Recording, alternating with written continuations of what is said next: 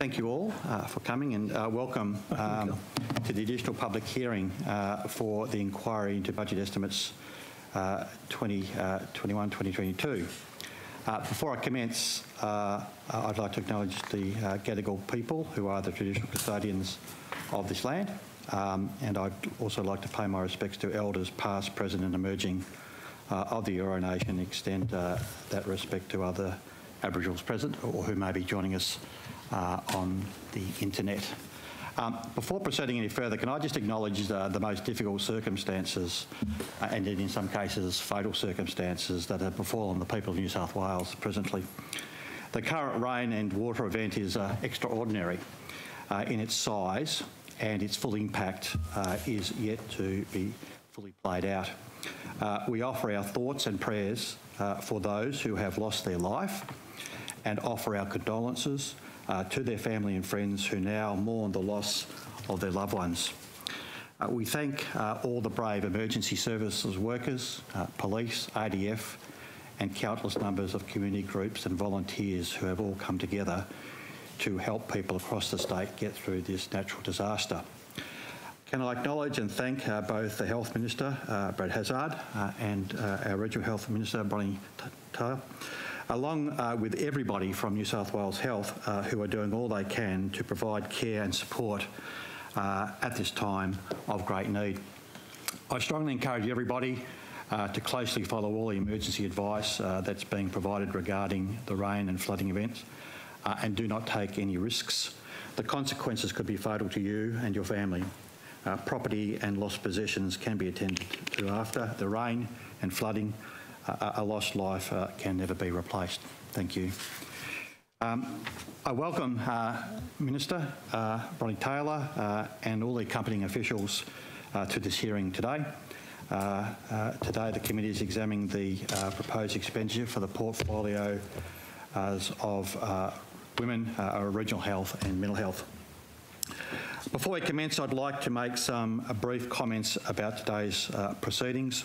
Today's proceedings are being broadcast live from the Parliament's website and transcript will be placed uh, on the committee's website once it becomes available. In accordance with the broadcasting guidelines, media representatives uh, are reminded that they must take responsibility for what they publish about the committee's proceedings and all witnesses in budget estimates have a right to procedural fairness, of course, according to the procedural fairness resolution of the House adopted in 2018. Uh, there may be some questions uh, that a witness can only answer if they had more time or with certain documents to hand. In these circumstances, witnesses are advised that they can take a question on notice and provide an answer within 21 days. If witnesses wish to hand up documents, they should do so through the committee uh, staff. And Minister, to remind you and the officers that accompany you that you are free, of course, to pass notes and refer directly to your advisors seated at the table behind you. And finally, uh, could everyone please turn their mobile phones uh, to silent for the duration of the hearing. Um, all witnesses will be sworn prior to giving evidence. Uh, uh, Minister, I, I remind you, you do not need to be sworn as you've already sworn an oath to your office as a Member of Parliament. I'd also like to remind the following witnesses uh, that you do not need to be sworn as you have uh, been sworn at an earlier budget estimates hearing uh, before the committee. So uh, just going through this list, um, so there's Ms Koff, Dr Wright, Dr Lyons, uh, Mr Minns, um, Ms Smythe and uh, Ms Lowry. So uh, all of you are not required to swear or affirm again. But for our other witnesses, um, I ask uh, that each of you in turn state your uh, full name, position, uh, title, and agency, if you're associated with the agency specifically. Swear either an oath or an affirmation, whichever you prefer, the words of which uh, should be before you. If not for some reason, uh, just put your hand up and we'll provide them to you. So commencing from my left, working across, uh, who have we got? We've just got two we need sworn. So there's uh, Ms uh, Van, is that, um, if I pronounced that correctly? Could you please swear either an oath or an affirmation, please? Thank you. Hello, Pia van der Zant, Acting Executive Director of Strategies and Programs in the Department of Communities and Justice. I solemnly, sincerely and truly declare and affirm that the evidence now about to be given by me shall be the truth, the whole truth, and nothing but the truth. Thank you very much. And we now move to uh, Ms Lewis, who is joining us via WebEx. Uh, Ms Lewis, can you, can you hear us? Can, thank you. Would you please proceed? Hi, my name is Maureen Lewis, I'm Acting Executive Director for the Mental Health Branch, Ministry of Health. Um, I swear that the evidence now given by me shall be the truth, the whole truth, and nothing but the truth, so help me God. Thank you very much. Now, before we uh, commence the questioning, um, in terms of the, uh, the program today, so thank you for all the witnesses and the support staff who join us, it's much appreciated. Uh, we go through uh, with, with breaks over the course of the day. I think people probably are aware of, of what the breaks are. I won't go through that again.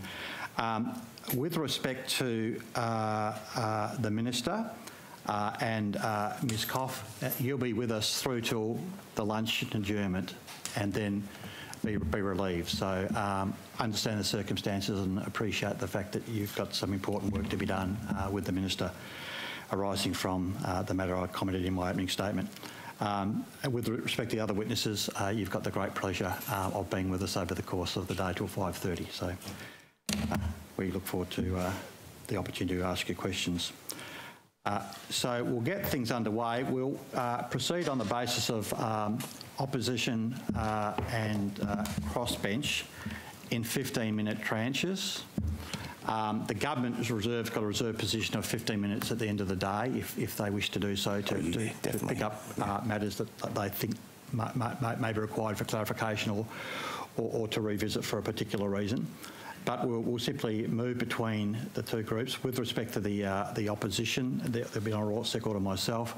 Uh, with a crossbench, uh, we've got Deputy Chair uh, and Ms Cate Faehrmann, uh, and there'll be others uh, joining us over the course of the day. So there will be members joining us at the table, some of whom names are, are on the table, some of whom will be placed on the table at the time they arrive. So uh, uh, with uh, that, can I just commence by providing the Minister with an opportunity um, to provide uh, just a, a, for us a, an update on, on matters uh, flooding and the water emergency uh, and its impact on obviously uh, New South Wales Health and particularly with respect to the rural part of New South Wales Health that you now have responsibility for, just to give us a, snapshot of where things are and, and, and, any insights you may be able to provide in regards to the, the immediate future next day or two. Well, thank you very much, Mr. Chair. And obviously, you know, the, what we're seeing across New South Wales is just devastating. Uh, as you would be aware, we had to evacuate Ballina Hospital um, yesterday. Or the, it's all gelling into one at the moment. Um, and that was a Herculean effort on behalf of all of the staff in doing that and moving patients into a facility at, a, at Xavier Catholic College in, in Ballina. Um, we're just trying at the moment. Obviously, we're very, very focused on saving lives and preserving lives and, and the way that that's going. In terms of healthcare, we're ensuring as best as we can that healthcare is available to those that need it, where they need it, and when they need it. But as you would appreciate, Mr. Chair, it's an evolving situation. Uh, it's a difficult situation. These are communities that have been affected by floods quite recently. They're communities that have been affected by the trauma of fire in terms of a mental health response response as well. That's something that we are, um, are gathering and are ready to execute when needed. We've reached out to, Dr. Wright has reached out to all of the mental health directors in the flood affected areas to offer our help and assistance. I'm, I'm envisaging that will be similar to what we did in the fires, where we asked our colleagues and friends in Sydney to be able to provide, um, you know, assistance to that. But it's an evolving situation. If you'd like the secretary to comment, or if you prefer to do that uh, in your provide questioning. opportunity for, for you. Yeah. yeah. Yeah. So we'll move now then to formal questions. So, um, Mr. Chair, on that note, um, thank you, Minister, and thank you for your time, I, and thank you for the health officials. We do understand it's a busy time. Can I get an indication of what is actually happening in Ballina and what is happening at Ballina and Lismore hospitals at the moment involving emergency situations and if a young mum goes into labor and is giving birth. So, what happens to families at Ballina and Lismore in those situations, as well as emergency cases involving, I guess, heart attack, stroke, or any major inj- injuries that would occur. So, what's happening in those areas in the flood affected hospitals? Mm, Sure. I'll, I'll start, Mr. Secord, and then I'll pass on to uh, probably Dr. Knott Lyons or uh, the Secretary to discuss those operational issues that you mentioned. But to answer the first part of your question, um, I was notified immediately when the decision had been made to evacuate Ballina Hospital. That decision was made on advice that we had at the time and, of course, followed that advice. The majority of the patients that Uh, were inpatients at the time at Ballina were medical patients and rehab patients. They were moved, to what was felt the safest place was to Xavier Catholic College in Ballina. They were supported by extra medical staff, by staff on the ground. Obviously, it's a difficult situation when you're not in a hospital setting and you're caring for patients that require hospital care. But those decisions had to be made with, as you would appreciate, with the most paramount of safety at, at hand. And we are continuing to, to run services out of Xavier Catholic College in Ballina. If there was a patient who needed to receive a higher acuity of care, which you would be very well aware of with your previous roles in, in the opposition, they will be transferred out. But if I may ask uh, either Dr. Lyons or the Secretary to elaborate on that in terms of key operational issues that were indicated in your question.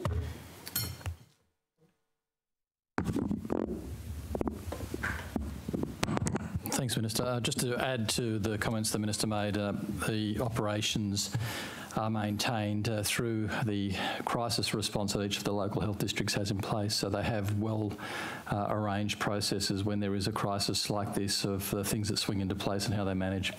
They have set up, uh, I was talking to the acting chief executive of Northern New South Wales yesterday evening. Uh, they have set up a temporary emergency department uh, in the school uh, when they've relo- relocated uh, some of the uh, patients from the Ballina Hospital too, those that were appropriate to be cared for in that environment, and they are assessing patients on arrival there with the clinical staff. Uh, and then making decisions about if they need definitive care, how that can be arranged. And they are transferring people to Lismore and to other hospitals as required. So uh, those are in, are, are in place. Lismore has been, uh, you know, severely affected, as you know, and the hospital has maintained all critical operations. There are a few days there where electricity supply was an issue and the generators were on, but they've managed to uh, get that uh, back up and going. They've got uh, impact on their electronic medical record system. It was impacted for a while with uh, the uh, issues around telecommunications, but basic functions are back up and operating. So everything is thrown at ensuring that we can maintain services, maintain that support, those particularly the critical care to those communities that need it. Are there, uh, with your, your indulgence, are there any other medical facilities that are affected on the North Coast? I know there are a number of smaller district hospitals and MPSs and that too. Are they, um, are there others other than Lismore and Ballina affected? Uh, my understanding is there are many of the, the uh, smaller facilities in that district have been impacted as well, but I haven't got all of the details of every, everyone and how, how they've been affected at this point in time. Do you, do you think there'll be a significant cost to the public health system to repair and restore the various hospitals affected by the floods? And has any work been undertaken in the area? I do know that it's only a day. Uh, I think it's too early, Mr. Secord, Mr. To actually say what uh, that's likely to be, and we uh, haven't been able to assess impact. And until the floodwaters recede, that those uh, assessments really can't be made. So it's really too early to say. Um, Minister, with your, your indulgence, could I also ask Dr. Murray, Dr. Murray Wright, to update the members on what's happening involving support for mental health in on the North Coast, particularly? Certainly, Mr. Secord. Dr. Wright? Thank, thank you. Um, so there's a, um, we've had a number of conversations between um, the ministry, the local district, um, and the other directors of mental health. And so, um, as the minister said, it's a similar arrangement to what we um, did af- um, during the bushfires.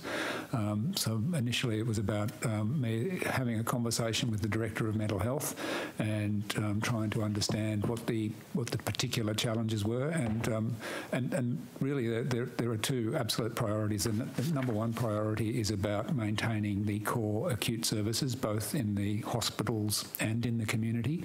We have a, um, as you know, in mental health, we try and manage people in the least restrictive environment, and that means we've got a lot of people who have relatively high needs managed in the community. Um, and the difficulty with that is not just the impact on the on the hospital facilities themselves, but the staff. Um, the staff have been dramatically affected um, throughout northern New South Wales. Many of the staff working in those areas um, live on acreages um, outside of outside of the um, um, the main town, and many of them, although they've not been inundated, are cut off from being able to access work. So the staff that remain have been, in many cases, working double shifts, and in some cases um, sleeping over um, because in, in order to keep um, um, maintain the services.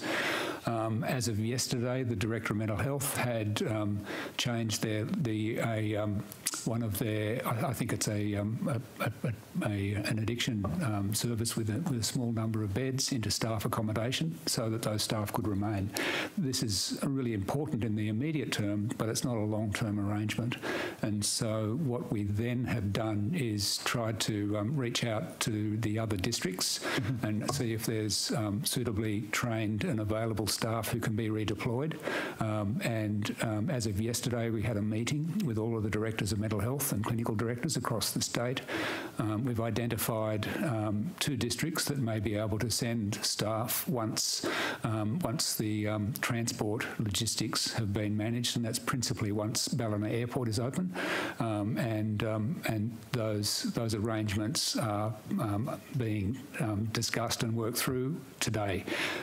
We will then look at um, being able to then um, see whether there's a need to supplement those staff. It's still, as Dr. Lyons said, it's still early days in trying to understand what the size of the problem is. Um, backfilling the, the existing staff and supporting them, um, and particularly those who can't get to the facilities, is really crucial. Um, and then down the track, there's the second phase, which is about um, supporting the recovery process. On, on that point, um, Dr. Wright, the recovery process and the wider community, people that are not in acute care at the moment. So I understand that there'd be vase, various phases of reaction. So the very first reaction would be, thank God I'm alive. So what, what would be the next step and what are the, and I guess as a, a mental health official, how would you, what, what are the next phases that people on the North Coast will be going through? It's, an important issue, Mr. Secord. Um, I, I think that the first phase is is is actually something. Yes, thank God I'm alive, and, and doing everything I can to protect myself and my possessions and my family and my community. Um, and that's that's um, that, that's a basically a crisis mode, and it's dominated by a, a really strong adrenaline response. And, and at that point, you are in survival mode. Most, not many people are reflecting on how they feel about it. They're just reflecting on um, getting through and and and, and um, staying safe. The priorities, and we've we've learnt this over many many decades of studying um, the responses to um, disasters. The priorities are food, shelter, warmth, um, being close to family and community, um, and reliable and regular information. Um, those are the priorities, and we know that um, those priorities, if they're addressed sufficiently, and that's what's happening in our evacuation centres, if those uh, are being addressed sufficiently, that will minimise um, the um, the mental health impact, which people will gradually come to grips with once the crisis passes, um, and then and that's um, the, the the recovery phase, which is you know, some point after that, um, it, and it's really when people uh, fully appreciate what the what the losses and what the damage is, um, and then um, then it's about how do you support not just the individuals but the communities in recovery. Okay, M- Minister, you, you may want to direct this to the appropriate official. Um, I know down the track we'll be looking at public health responses. So there'll be large pools of stagnant water, which will attract attract and create the multiplication of mosquitoes. So I guess what will be the public health response from New South Wales Health in the regard to, I guess, mosquito-borne diseases, as well as water contamination, sewage overflow. So there'll be gastro, there'll be Ross River fever, things like that. So uh, what stages and what steps has New South Wales Health taken in regard to that? Because that'll be the next stage. Yeah, and, and I thank you very much for your question, Mr. Secord, and I will I will pass that on because again, those will be um, plans that we have in place that are long-term plans where we have seen these um, situations before, and, and you're exactly right about, you know, the the issues that come afterwards. And as Dr. Wright said as well, it is it is about dealing with what is immediate now, but also being prepared for what is to come, and those large pools of water and cleaning up and, and all of those issues that will be ahead of us. Um, in terms of our public health response, that will be, um, Dr. Lyons, do you, or, or Ms. Elizabeth? Yep. Look, uh, as much as I hate to say the, the benefit of precedent and having had floods before um, really makes the, the public health and environmental health units well well-oiled machines in responding to these initiatives. As you identified, the major issues of um, waterborne vectors with mosquitoes, um, sewerage, fresh water supply. Our environmental health unit um, is very well trained, and as soon as, as physically possible, we'll be giving advice, um, you know, as basic as boiling water when we get back to, to the situation. But uh, they're, they're well versed in how to respond to these things and we'll be on the ground. Uh, Yeah, yeah, I- guess I was asking, like, are are we in fact flying up pallets and pallets of bottled water and things like that?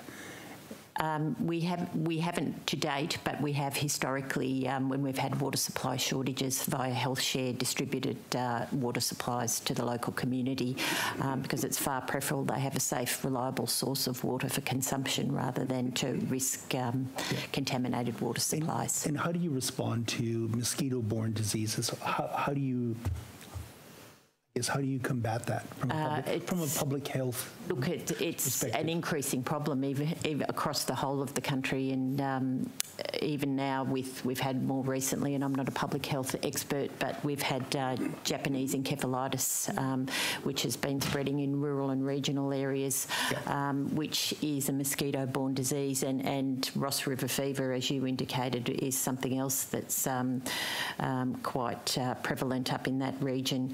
Um, and the advice will be specifically tailored to those communities um, on the best evidence of our public health and environmental physicians. And, and also, Mr. Secord, if, if I may just add to that, that, that's why we have, you know, set up SEOC as well, that that will be a whole of government response in terms of all of the things that you've mentioned that are right across, uh, you know, a multitude of departments, and that's why we set up that in any disaster response. Now, um, Ms. Ms. Koff, you actually mentioned Japanese um, encephalitis, and I understand that on Saturday, which is February the 26th, um, New South Wales took New South Wales Health took the extraordinary step of issuing a public health warning, and we thought that Australia was actually Japanese encephalitis free. Um, so, what steps? Okay, wh- where has the appearance of the of this disease occurred? I understand southern New South Wales, and what steps? And is New South Wales Health taking this seriously? Because we actually thought that Australia was Japanese encephalitis free. Um, of course, we're taking it seriously, um, Secord. Um, the concerns and as the update I received um, Yeah, can you update us, please? Because this is a from, very from serious. Public matter. Health on Monday morning. It started in the piggeries. Oh. Um, so it was uh, identified first, and I think agriculture had some line of sight uh, because it was um, identified in, in stillbirths in piggeries and um, mummified births. Um, and that's when I think started the exploratory um, investigations because it it is it had been unrecognised uh, Yeah. to date. Um, the public health update that I received, um, the, it's most concerning actually in the under five age group um, if it's transmitted through chains of transmission, as we understand. Um, we have uh, secured plentiful supplies of the vaccine, um, which uh, does make a significant difference, and there will be an active campaign for vaccination down there. So I understand that it was um, southern and western New South Wales, near the Victorian border. Um, yes. So well, so this is quite it's quite extraordinary. So the concern is that that it's a mosquito-borne disease and it's appeared in pigs in southern New South Wales. But the concern is that you want to prevent it getting into the human population. Yes, correct. Thank you. Thank you very much. Um, Minister, I'd like to take you to, um, to your, your role as Regional Health Minister. Sure, you do. In that, in that position, do you, okay, I, I guess there's been, it was announced in, in December, and um, what is your role in relation to responsibilities? Actual responsibilities. Um, I've, I've downloaded the New South Wales Ministry of Health responsibility chart, and it hasn't been updated since Minister Skinner. So I think that it's a bit. Of, so can you please? What are what are your actual practical responsibilities? So, Mr. Scott, I thank you very much for your question. And um, I, I am the Minister for Regional Health, the first ever Minister for Regional Health in New South Wales. And my responsibility will lie across the across regional health, so across all of the regional and rural health districts. Obviously, New South Wales Health and the New South sorry the New South Wales government sits in the process of government in clusters, and in that cluster you have a cluster lead minister, which is Mr. Hazzard, which is Minister Hazzard, and then now there is another minister in that. So if you look at other clusters, say in the Department of Community Justice, there are multiple ministers. In the cluster of health, there was previously one minister, there are two. So I work very closely with Minister Hazzard. He is the senior minister in the health cluster, and my remit is to focus on rural and regional health. Okay, I'll, I'll come back to this. You Thank you. Uh, Deputy Chair. Uh, Thank you, thank you, Chair. Um, uh, In regards to, oh, morning, Minister, sorry. Um, In regards to uh, Ballina Hospital um, that was evacuated.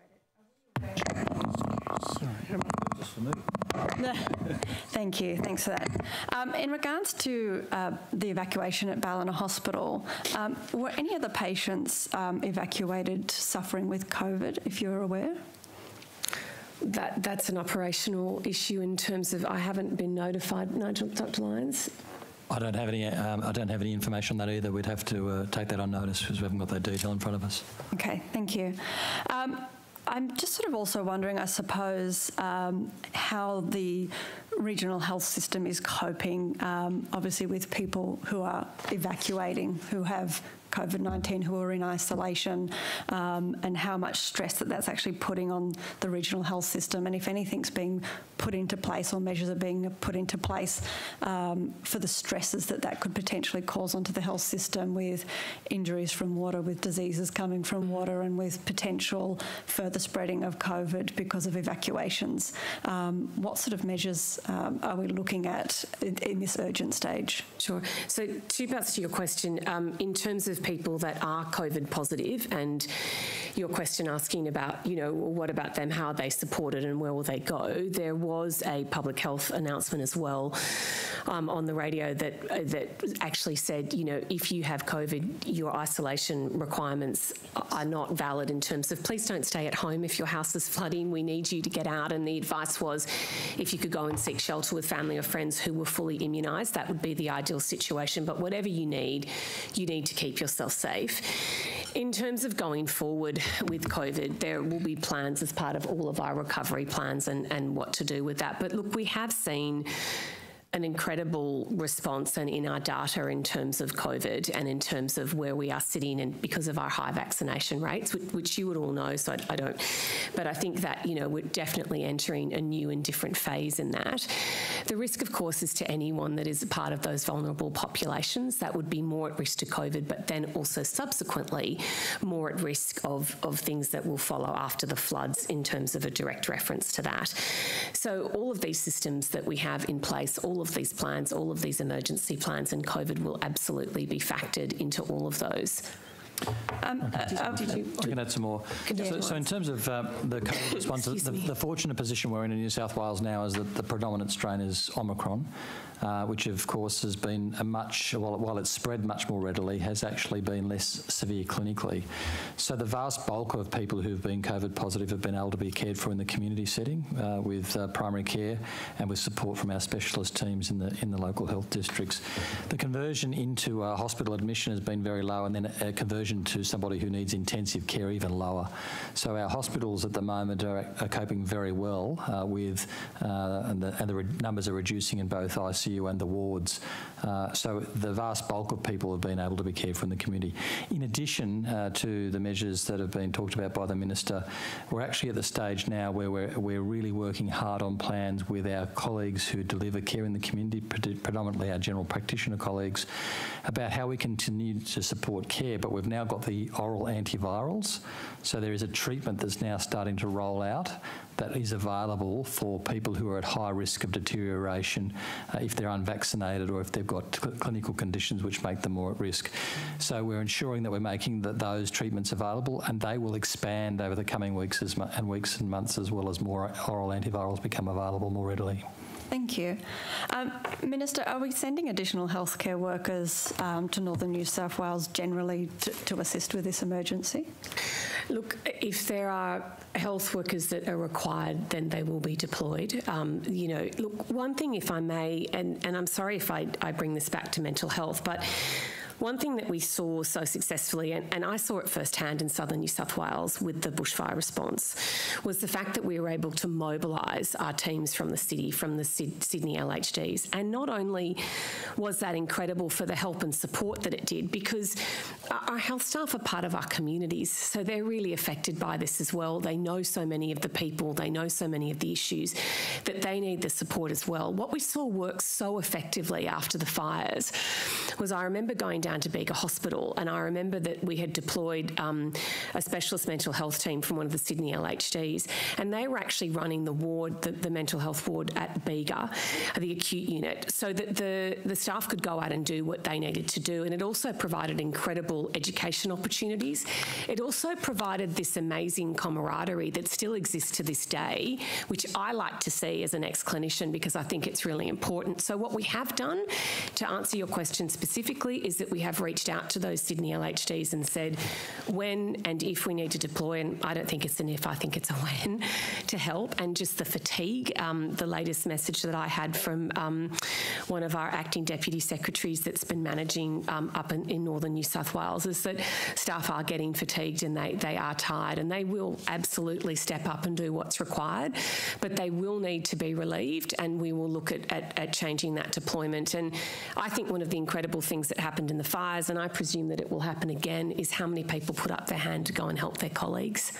And I think it really, you know, there's been a lot of challenges and a lot of difficulties over the last two years, but one of the shining lights, I think, is people and community. And in terms of New South Wales Health, is the way that everybody across this entire enormous system steps up to help each other. And that's exactly what I presume I'll see again here.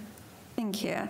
Um, studies have shown, and, and, this is sort of go, carrying on from, from comments that were made earlier by Dr. Wright, um, that flooding disasters, um, people who experience flooding disasters are nine times more likely to experience long term mental health concerns such as depression and PTSD.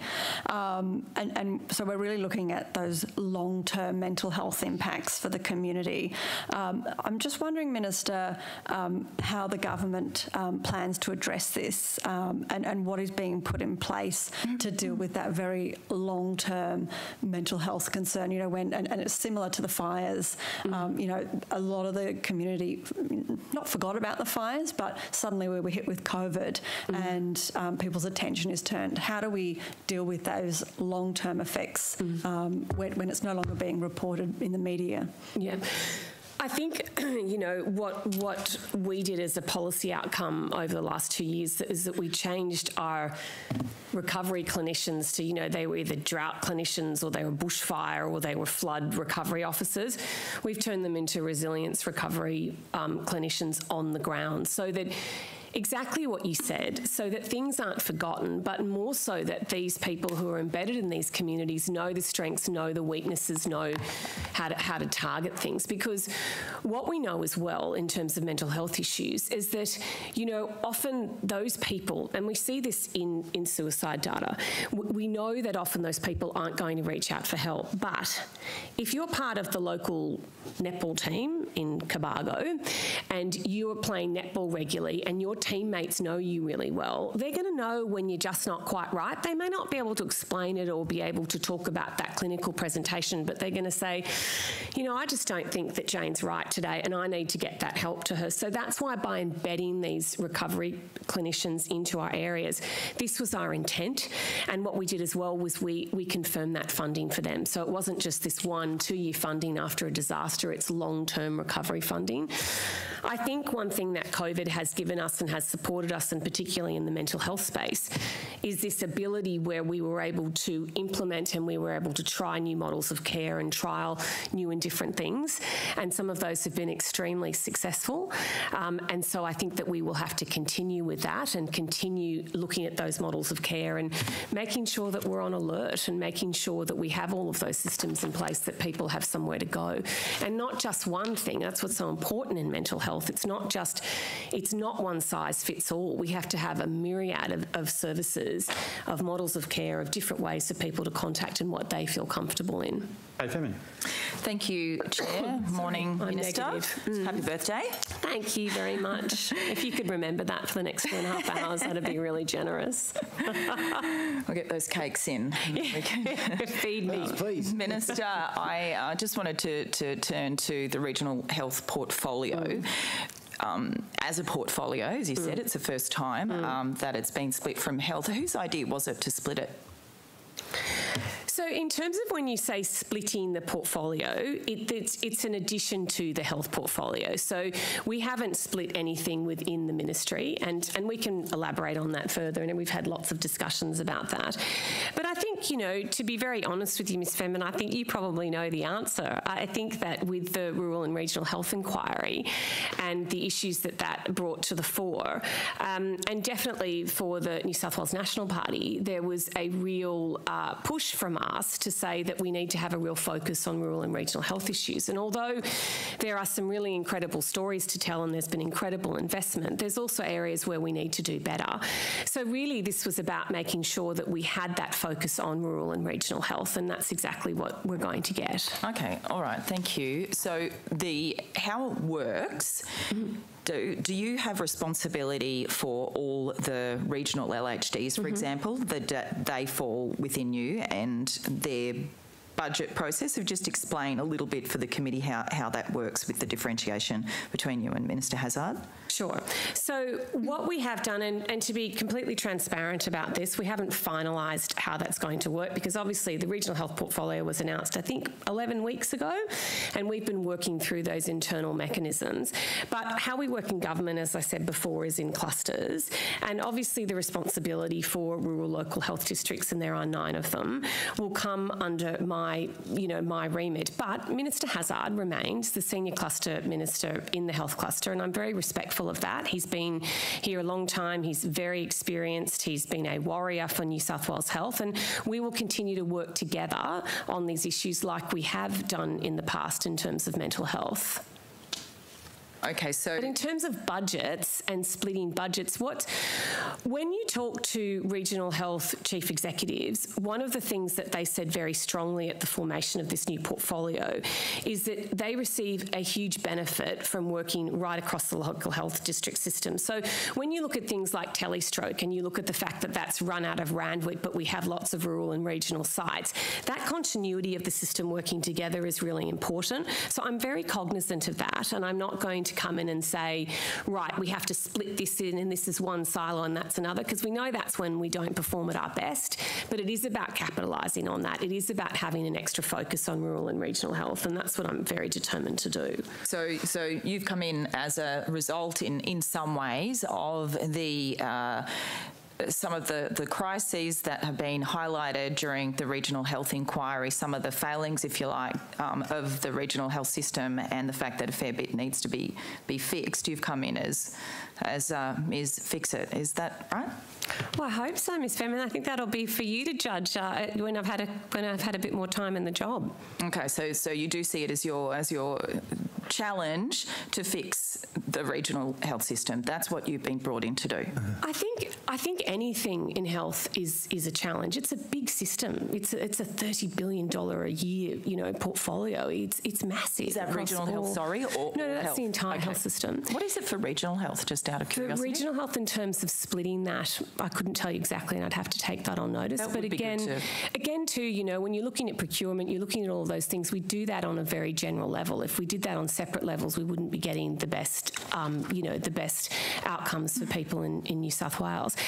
But I, I also will say that, yes, my focus will be on all regional LHDs. I, I'm going to have a real focus on workforce and on those issues that are raised, and also as a response to the inquiry. The inquiry deserves that response. People have, you know, look, you've been on the inquiry, not me. So Excellent. yeah. So, so one of the, the, let's go into the issues then. One of the issues that has come up time and time again has been the closure of maternity units at regional hospitals, the lack of midwives. It kind of uh, comes into your portfolio of obviously for women as well as regional health. What's your plan to have a look at whether maternity units indeed uh, should they have been closed in the first place, birthing services, services and um, midwifery services in regional areas for, for women, because that, that we've heard a lot of shocking stories. Yeah, yeah, and look, you have you have heard a lot of stories that have been very confronting, and I don't walk away from that. Um, what I will say in response to your question specifically about maternity units. Obviously, safety is paramount. Safety is the absolute first thing that has to be thought of.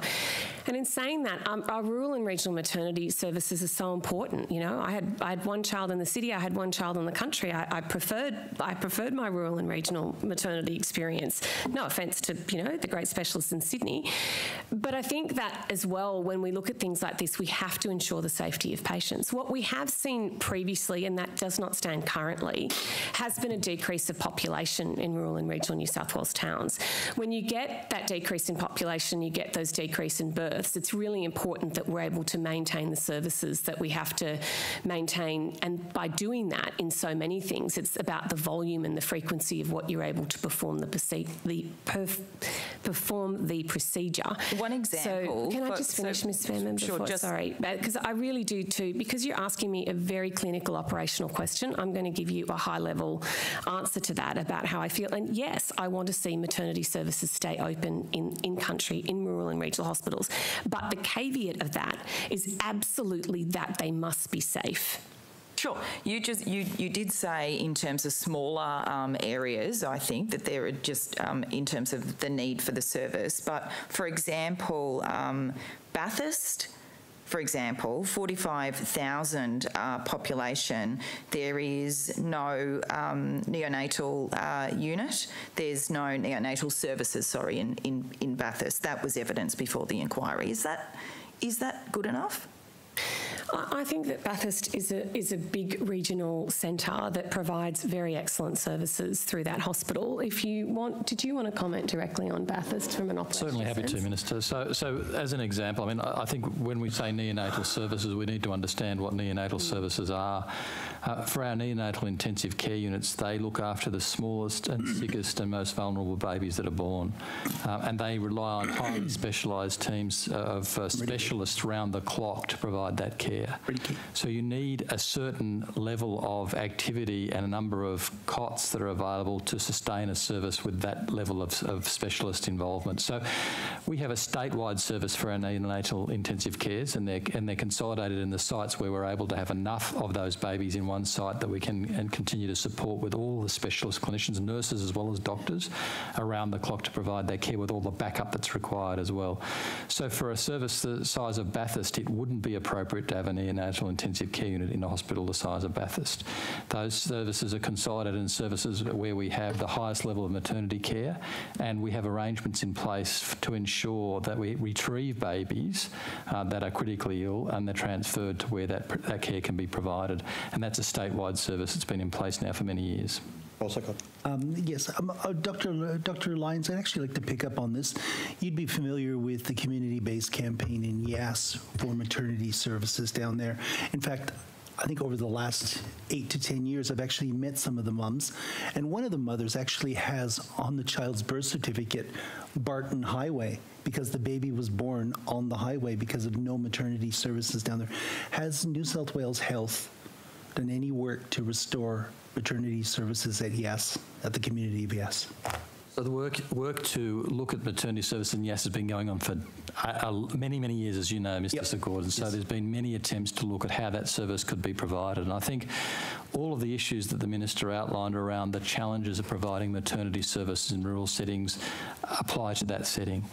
The challenges for us, and we heard through the Rural and Regional Health Inquiry, The changes in care over many years and the requirements of doctors and nurses to have skills that are maintained at an appropriate level and the requirement now, as we've seen with maternity care, the shift towards more caesarean sections being undertaken, the higher risk deliveries that uh, are now designated as being appropriate for a caesarean section to be available within 30 minutes of somebody who might be in the process of delivering. All of these things, the fact you need an anaesthetist, you need someone to resuscitate the baby if there's a problem with the baby, as well as the person who's involved in providing the delivery to, uh, and, and delivering the baby. Those things have compounded over the last few years to mean that it's very difficult in some sites to maintain those services safely, particularly where the delivery numbers were decreasing. It meant the point that uh, many clinicians decided they were no longer able to maintain their skills and decided to come out of doing that sort of clinical care. So those factors have compounded in so many sites across rural environments. And this is not just an issue for New South Wales, as we heard in the inquiry as well. It's an issue nationwide and internationally this intersection between quality and safety, the most recent requirements for maintenance, maintenance of skills, the requirements of a certain level of care to be available yep. to provide that care safely, and the consequences if the clinicians provide that care in a setting where those things are not available mean that there have been very big changes in the dynamics of service delivery. Minister, given um, Dr. Lyons' answer that Yass is one of the fastest growing communities because of its location near Canberra, mm -hmm. it's become a bit of a dormitory community, but far enough away where there's concern that with the young mums giving birth, will you give a, give a commitment today to look at maternity services at Yass as part of your new portfolio? I know that you've been for 11 weeks, but will you give a commitment today? Mr. Secord, I'm not into, you know, in, in, budget estimates giving commitments and giving, you know, guarantees. I understand what you're asking, and I understand that you're asking that we relook at that service. Yes. Mr. Secord, I would hope through my entire time that I'm lucky enough to hold this portfolio that I'm constantly looking and looking at ways of evolving the service and making sure that we get services. I, I came into this parliament absolutely fighting for local services in a, in a community in Cooma, but what I will always, always always encourage and always want to see happening is that we do as many services as we possibly can as close to people as they are allowed to do safely to ensure the best health outcomes. Because the reality is, if we look at things and we want to deliver every type of service in every single centre in rural and regional New South Wales, then we are going to expose our communities to a very high and unacceptable level of risk. And our clinicians and our doctors and, and everyone will also look at that. The really important important thing here when we look at areas like Yass. Of course, the community would prefer that they could birth at that hospital, and if there comes a time when that can be done safely and effectively and staffed appropriately, then we're able to look at those things. But the really important thing here is the wraparound maternity services that exist in that area. The fact that if you do need to go away to have your baby, that you are able to come back as soon as that is, as, as mum and bub are well, and you can have all of those backup services in the community, all of that primary health healthcare in the community, all of that support for you and your new baby that allows you, your family, and your community to thrive. And we're very focused on that. I think the I think the community would be disappointed by that answer. But I'll return I'll return to the area of being um, regional health minister. So. Minister, as Minister for Regional Health, do you have any responsibility on appointments to the nine local health districts? I will be doing so, Mr. Secord, yes. You'll be doing those appointments. Will you also be reviewing uh, previous appointments in that? Uh, Mr. Secord, uh, uh, nothing has been brought to my attention where I have to review a previous appointment. People are appointed for a certain length of time. If the minister has to intervene because there was a complaint, if you're alleging that there's some complaint well, or some uh, issue, I, I'd then actually like to take you to the you to outlandish, offensive comments made by Pru Goward on the Southern New South Wales Local Health District, and there were calls for her removal. Where her comments in the Australian Financial Review, they were highly offensive. And, and, your question to me? Well, will you be looking at her her, her position, her appointment? Look, Mr. Secord, I think that I, I found those comments uh, unacceptable on, on my own level. Okay, I, thank I did. You. Minister, I want to return to rural health. So the rural health plan towards 2021 mm. has now expired. So is a, re a, review being undertaken, and what briefings have you had in relation to that? I've had multiple briefings, Mr. Secord. We are looking at the rural health plan and, and making sure that we land that and we do it um, do it appropriately. I've been working with both Dr. Lyons and the secretary on that, and we look forward to having that um, finalised in the very near future. But I do want to look right through that, and I do want to make sure that you know I, I'm completely um, across and involved in that plan. One thing that I do want to do as well, um, and as it, I, I think too, it is nearing completion, and it will be published on the on the website, and it's the third and final review. I understand there's a lot of reviews, and it's been a time in coming. But one thing also that I am looking at um, that I will that- It's a third review of what? of the plan. It is the third and final review of the plan. It commenced that commenced, and it's pre- the previous reviews were undertaken in 2015 and 2018, and those So are both. Is it due? Sorry, When is it due? it's due this year, 2021. So it started in 2015. No, no, I understand. No, that, no, but no. When's the third? Yep. When's the third review due? This year, Mr. Chair, as I said. So, so the 31st of December, perhaps? Sorry, The 31st of December? it's due this year, Mr. Chair. What are we looking at? So, uh, if I can clarify, um, so we've got the current rural health plan that finished in 2021. And I, I think the understand that, minister's yes. talking about the reviews of that previous rural health plan. Correct. And the minister's also committed to uh, a new rural health plan to replace the previous one, which we will be undertaking the process of development of that rural health plan this calendar year, with an aim that will be finalised in December of this year. I'm talking about the review of the one that's expired. When uh, will that be published and made available? So that review is the third review that I think the minister was talking right, about, that's and right. that's the one that is available, I think, on the website now. It's been completed, the review The third of, review the is of the progress in the 10 years of the rural health plan that we previously had. We've uh, assessed the impact of that plan and what it's achieved and what things still need to be done. And also, Mr. Chair, I'll be Sorry, just looking to very. clarify, that, just, just to clarify, so the plan expired in 2021. Mm-hmm. You're saying there is a third review and that that review now is available on the website? That's my understanding. I'll just, Okay, I- well, well, we'll, we'll yep. clarify for sure, but That's that's fine. my understanding. And, and the, the process is very clearly been uh, thought through in the context of the rural and regional health inquiry that was underway and the need for us to ensure that whatever we put into the rural health plan is informed by any recommendations that might come out of that review process, in addition to the need to consult very extensively with our rural communities to make sure uh, that there's a lot of input into the next phase of rural health investment, uh, particularly given the sorts of, uh, of things that we've been hearing through the, the, the uh, inquiry. But Minister, could you understand the frustration?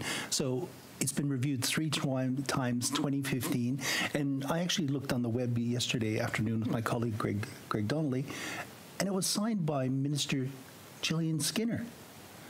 That's that's a long time ago. So you could understand the frustration in the community. Can I can I take you back to can I take you back to your appointment? So, are you familiar with um, a community-based campaign by Wagga MP Dr. Joe McGirr?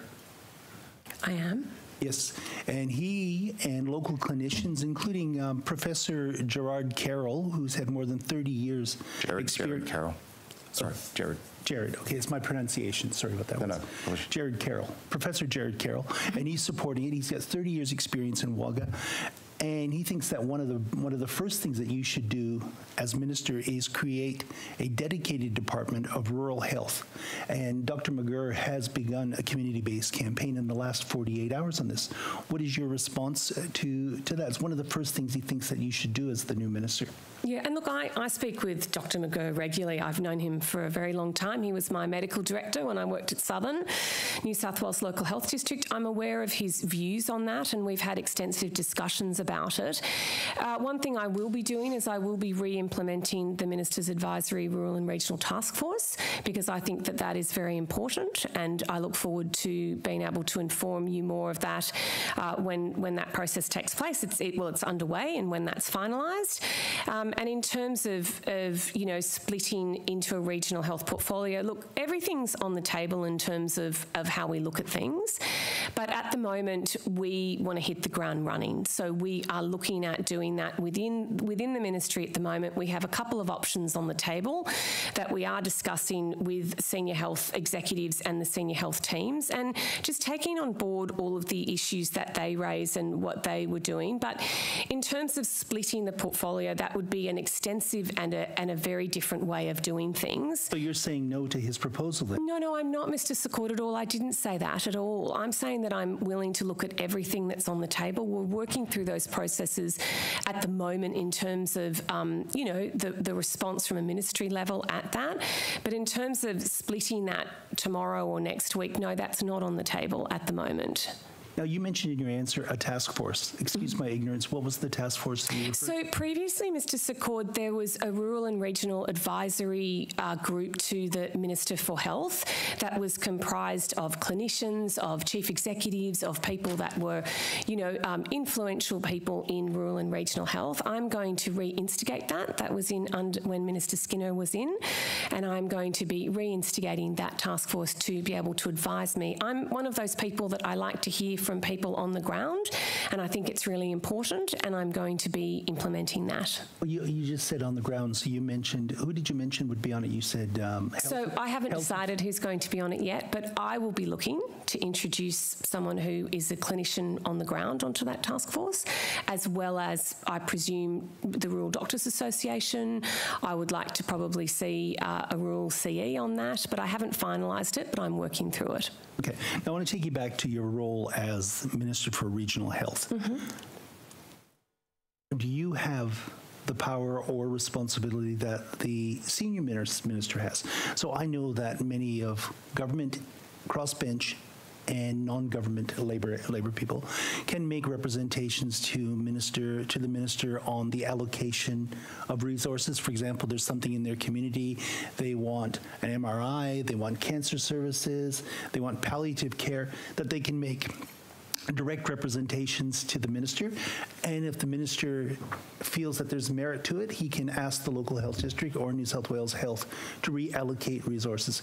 Do you have the ability and responsibility to do that? For example, um, Goulburn Hospital requested something, Yass Hospital requests something, Lismore Hospital requests something. Do you have the ability to direct them or ask them to do that? So, Mr. Secord, what I would say in answer to that is that each, when you're talking about, say, equipment, you mentioned a CT scanner, I believe. If you, all of the local health districts will have a list of priorities for them that are on that list to say what are the most needs of priority in terms of whether that's equipment, whether that's a refurbishment, whether that's something that has to exist within that local health district. Mm-hmm. Those things are looked at in an appropriate fashion. They are not just decisions that are, that are made, they are looked at on a needs basis. Then advice is sought from that local health district, from the ministry, and those decisions are made in the appropriate budget process. So the answer is no. You are just a figurehead. No, Mr. Secord, I think you know me well enough to know that I would never Yeah. just be a figurehead. Chair, I think I might have to take a, a point of order on that one. I think that um, uh, the, the minister um, was clearly uh, articulating her response. Uh, I, I think that uh, making uh, statements of that nature are probably unhelpful at this stage. And Mr. Hazel, Secord, I would also draw your attention, if I may, that I've been the Minister for Mental Health for close on three years now. That also sits within the cluster position of uh, of a cluster of health with Mr. Minister Hazzard as the senior minister.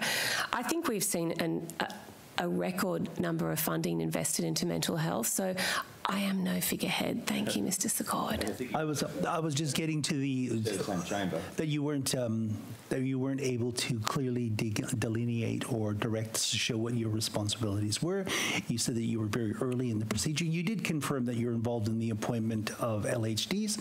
I understand that those are symbolic appointments. That's that's fine to be involved in. It. But I wanted to know if you could pick up the phone and say we need maternity services in Yass, and that would happen. And it's quite clear from today's evidence that you don't have the power to do that. Mr. Secord, that is absolutely inaccurate and, and quite, actually, I'll be very careful, Mr. Chair, and not to, but I think, you know, what is always a, the best thing to do is look at someone's track record, and I invite you to look at my track record in mental health. Well, can I just say this before I pass on, Minister? This is the glossy brochure produced by New South Wales Health mm-hmm. with respect to the 2021 plan. Okay, the one that we're looking for the third review. And can I just say the first priority is listed at the top strategy.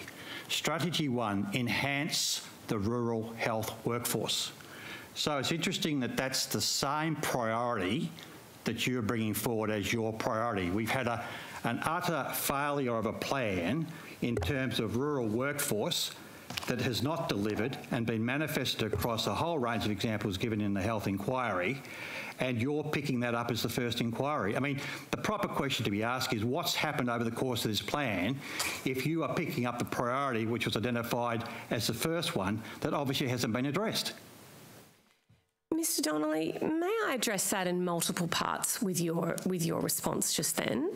And of course, workforce is a priority for me, and workforce continues to be a priority, and so it should be. And the fact that it was has been a priority on that plan is saying that we have been working towards solutions. And when you look at the fact that the workforce, Solutions that haven't Mr. been Donnelly, delivered, may Minister. I finish, please? Solutions that haven't been May delivered. I finish, please? You've asked me the question. I'd like the opportunity to answer it. I didn't actually ask a question, I actually made a uh, statement. Chair, yeah. Order, I mean, it's to do with the order on the chair, but I think you should allow the minister to answer. When we look at the rural health workforce and we look at the last 10 years, we've had an increase of 10,123 FTE. That's a 25.3% increase.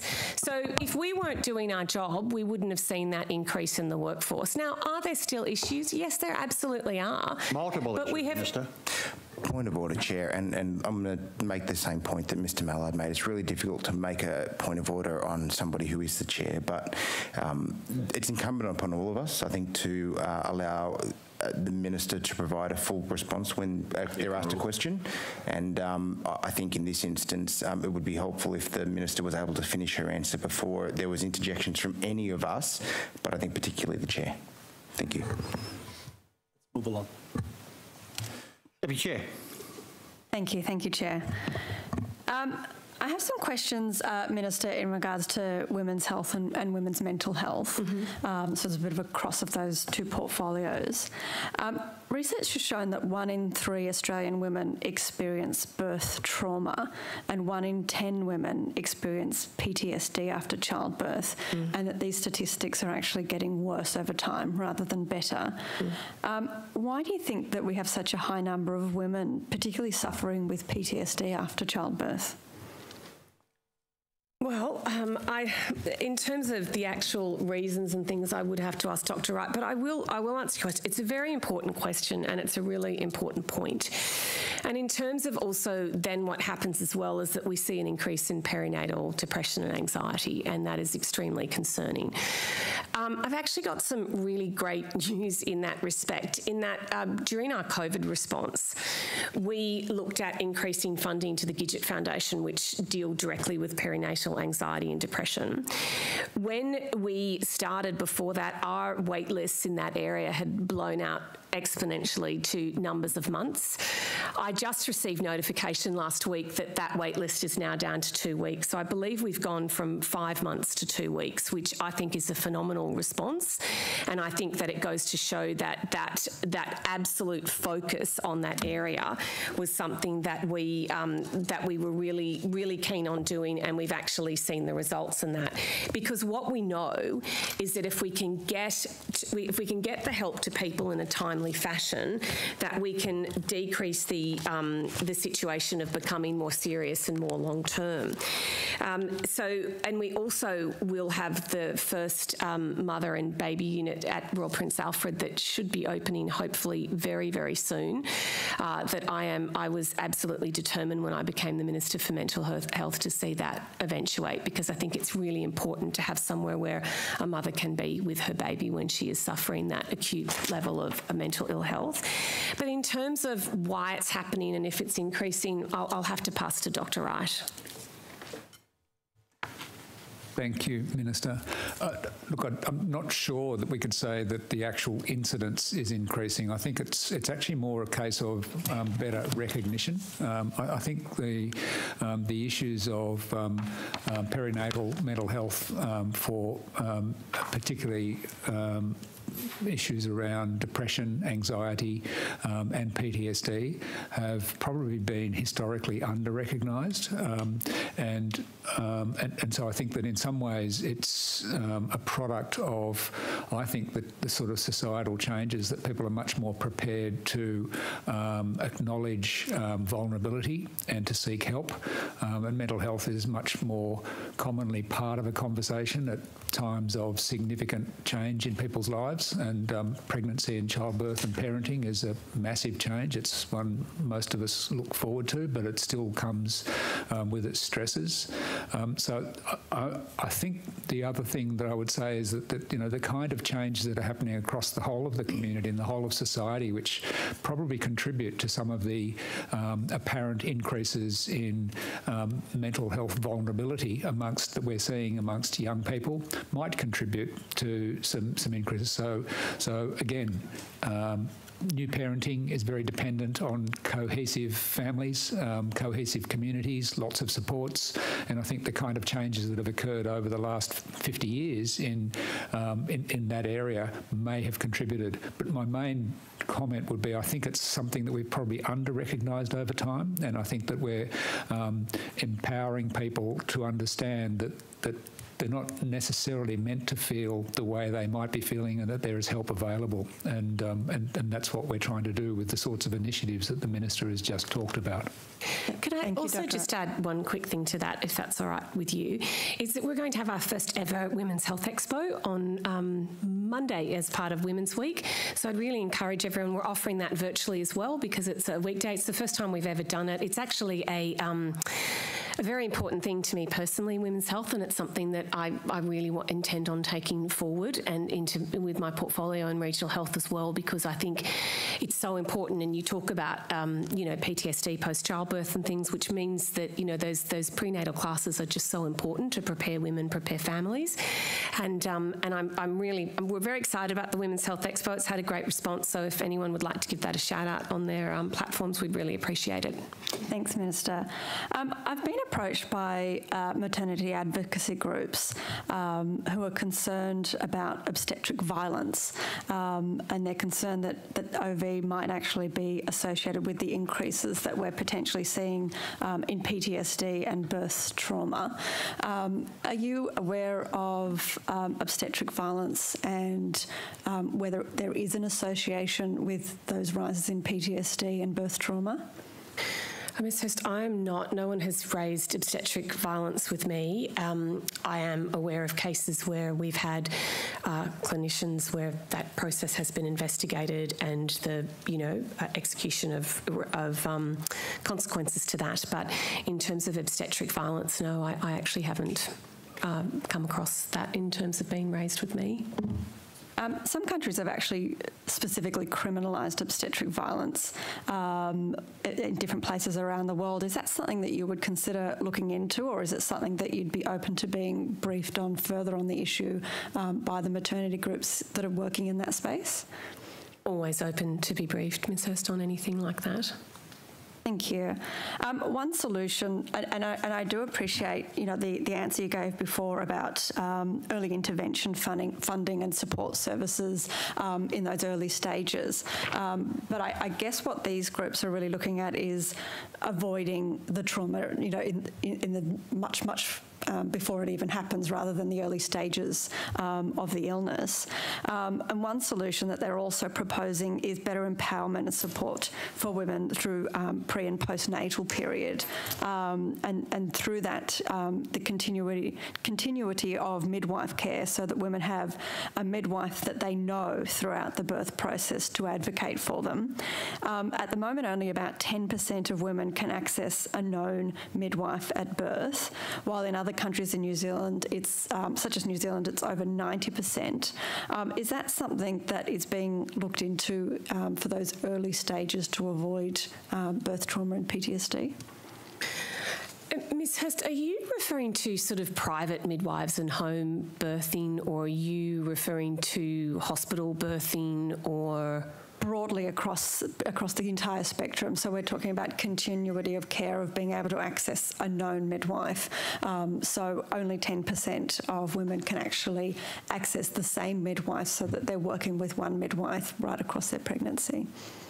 Look, I am I'm happy to look at that, but at the moment, what what happens is that you go and you birth, and you have the midwife who's on that that births you, that is there on that shift on that day, and then you are followed up by community mental uh, community community health teams that consists of community midwives who specialise in those different things. Midwifery is an incredible profession and it's highly specialised, but the the part of actually birthing and then looking after people after they've had their baby and those issues that they might find are sometimes different. But my my absolute understanding of the system, and it was certainly my own experience, although many years ago, uh, is that those those things are followed through and that you are supported by those teams and those people. And whether it's at your GP or whether it's at through your primary healthcare initiative or whether it's about going back to your hospital, I think we have incredible maternity systems in place. If there are specific issues at specific sites, I, I would welcome hearing about that. Thank you, Chair. Minister, I just want to turn to the issue of mental health peer workers, particularly their um, their pay and conditions. Are you aware of the um, average wage of a mental health peer worker? Uh, Ms. What it is, sorry. I should- No, I, I don't. I, I'm not aware of that. Is it so? I'm told that the minimum rate is $27.97, and quite a lot of peer mental health peer workers are employed part time. So you, firstly, maybe if anybody else, any of your um, officials know the turnover rate of mental health peer workers or the average wage, the average hourly rate of mental health peer workers. Does anybody have that information? It would be according to an award, Ms Faehrmann. But look, I will say too that, you know, mental health use peer support workers quite extensively and I think extremely effectively. It's something that the Mental Health Commissioner and I have discussed on many occasions and we actually have looked at making sure that we care for our peer workforce. And I think I might ask the Commissioner to speak on this if that's okay. But one of the things I think that's happened as well, Ms Faehrmann, just to be completely honest and transparent, is that I think with the success of the peer support workforce in mental health, it's actually grown a lot faster and a lot quicker than we probably anticipated because it's been so successful. So I think absolutely it's been on my uh, remit to make sure that we're looking after that peer workforce, that they are cared for. But uh, may I ask the Mental Health Commissioner just to elaborate because her and I'm I've had many... specifically after the paying conditions, not the broad. I'm aware of this. I'm aware of the program. Yeah, no, I don't have the pay conditions um, information at hand, but you are absolutely right that a lot of the positions are um, part time. But we have seen an increase, and we have seen in the numbers, and we have seen an, um, an increase. Pardon my voice um, in the. in the um, training um, through the development, um, the provision of um, scholarships. So we are also increasing our, our, workforce, and especially at this time when peer workers um, can work in so many different settings when the community's been impacted, you know, so, upon their well-being. Thank you. I have had somebody uh, contact me who was employed as a um, as a mental health peer worker at Mudgee Hospital, uh, who unfortunately is is no longer in that position due to what they have um, termed as the abysmal pay. They were earning only $26,000 a year, working, I understand, um, around 24 hours a 24 hours a week, that um, that position has been empty for over a year because no one's interested in the role because of the, the terrible pay. Um, they've also um, spoke, they've also told me about the fact that salary progression pro, um, requires a three-year degree, such as nursing or social work. But the whole point of peer peer workers is, of course, their lived experience with mental health. Minister, are you aware of any of these issues with the program? Ms. Faehrmann, did you make representations to my office about this particular person no, and the I issues? No. Yeah, so because I haven't heard about that and I, I don't know, um, and you haven't made those representations, I can't comment on that particular case. I would welcome you, you any time when you have an issue with, with anything as you've done in the past that you come and you bring it to us and we can absolutely look at that. Thanks, Minister. I'm bringing it to you now. It's budget estimates and I'm talking about the peer worker, mental health peer worker program broadly. I've just said that the minimum wage is $27.97 an hour, which is below the poverty line. Most mental health peer workers are paid that amount. Most are paid part-time, as I understand. And there are, um, what I, I would like to know, the uh, turnover as a result of that and how many mental peer um, mental health peer workers are employed and how many vacancies there are because it is a great program, but surely they should be paid more for the great work that they do. Ms Faehrmann, I've met with a lot of peer workers since I've been the Minister for Mental Health. I'm absolutely in awe of them and the work that they do. When I look at the new Safe Haven model and I see how that's built on peer workers and the incredible success that's coming out of those programs, uh, every single time I've spoken with peer support workers, and I, I speak with people a lot, I haven't had this issue raised with me. In terms of someone working part time or full time, that, that's often a personal choice. But if you'd like to raise those issues, give that particular detail to me, I'm really happy to look into it. Okay, I will do that. Thank you. Um, I just wanted to turn to um, COVID vaccinations and just to check what the, how the booster rollout is going in regional New South Wales compared to Greater Sydney. In, um, is Koff or? It will take we were very Okay, strong all right. in the rural and Mr regional Minns areas. might have some response. Okay, great. Well, uh, Chair, if we're while waiting, I can clarify the question about the COVID patients in Ballina. There were no COVID patients in Ballina Hospital at the time that the transfer was occurred. We've had that clarified. And uh, so we can take that one off notice. Uh, and the other one I've just had clarified is that the third progress report on the rural health plan is not yet on the website. It is going through the final approval, approval processes and will be on the website shortly. So I just wanted to make clarify. Thank you very much.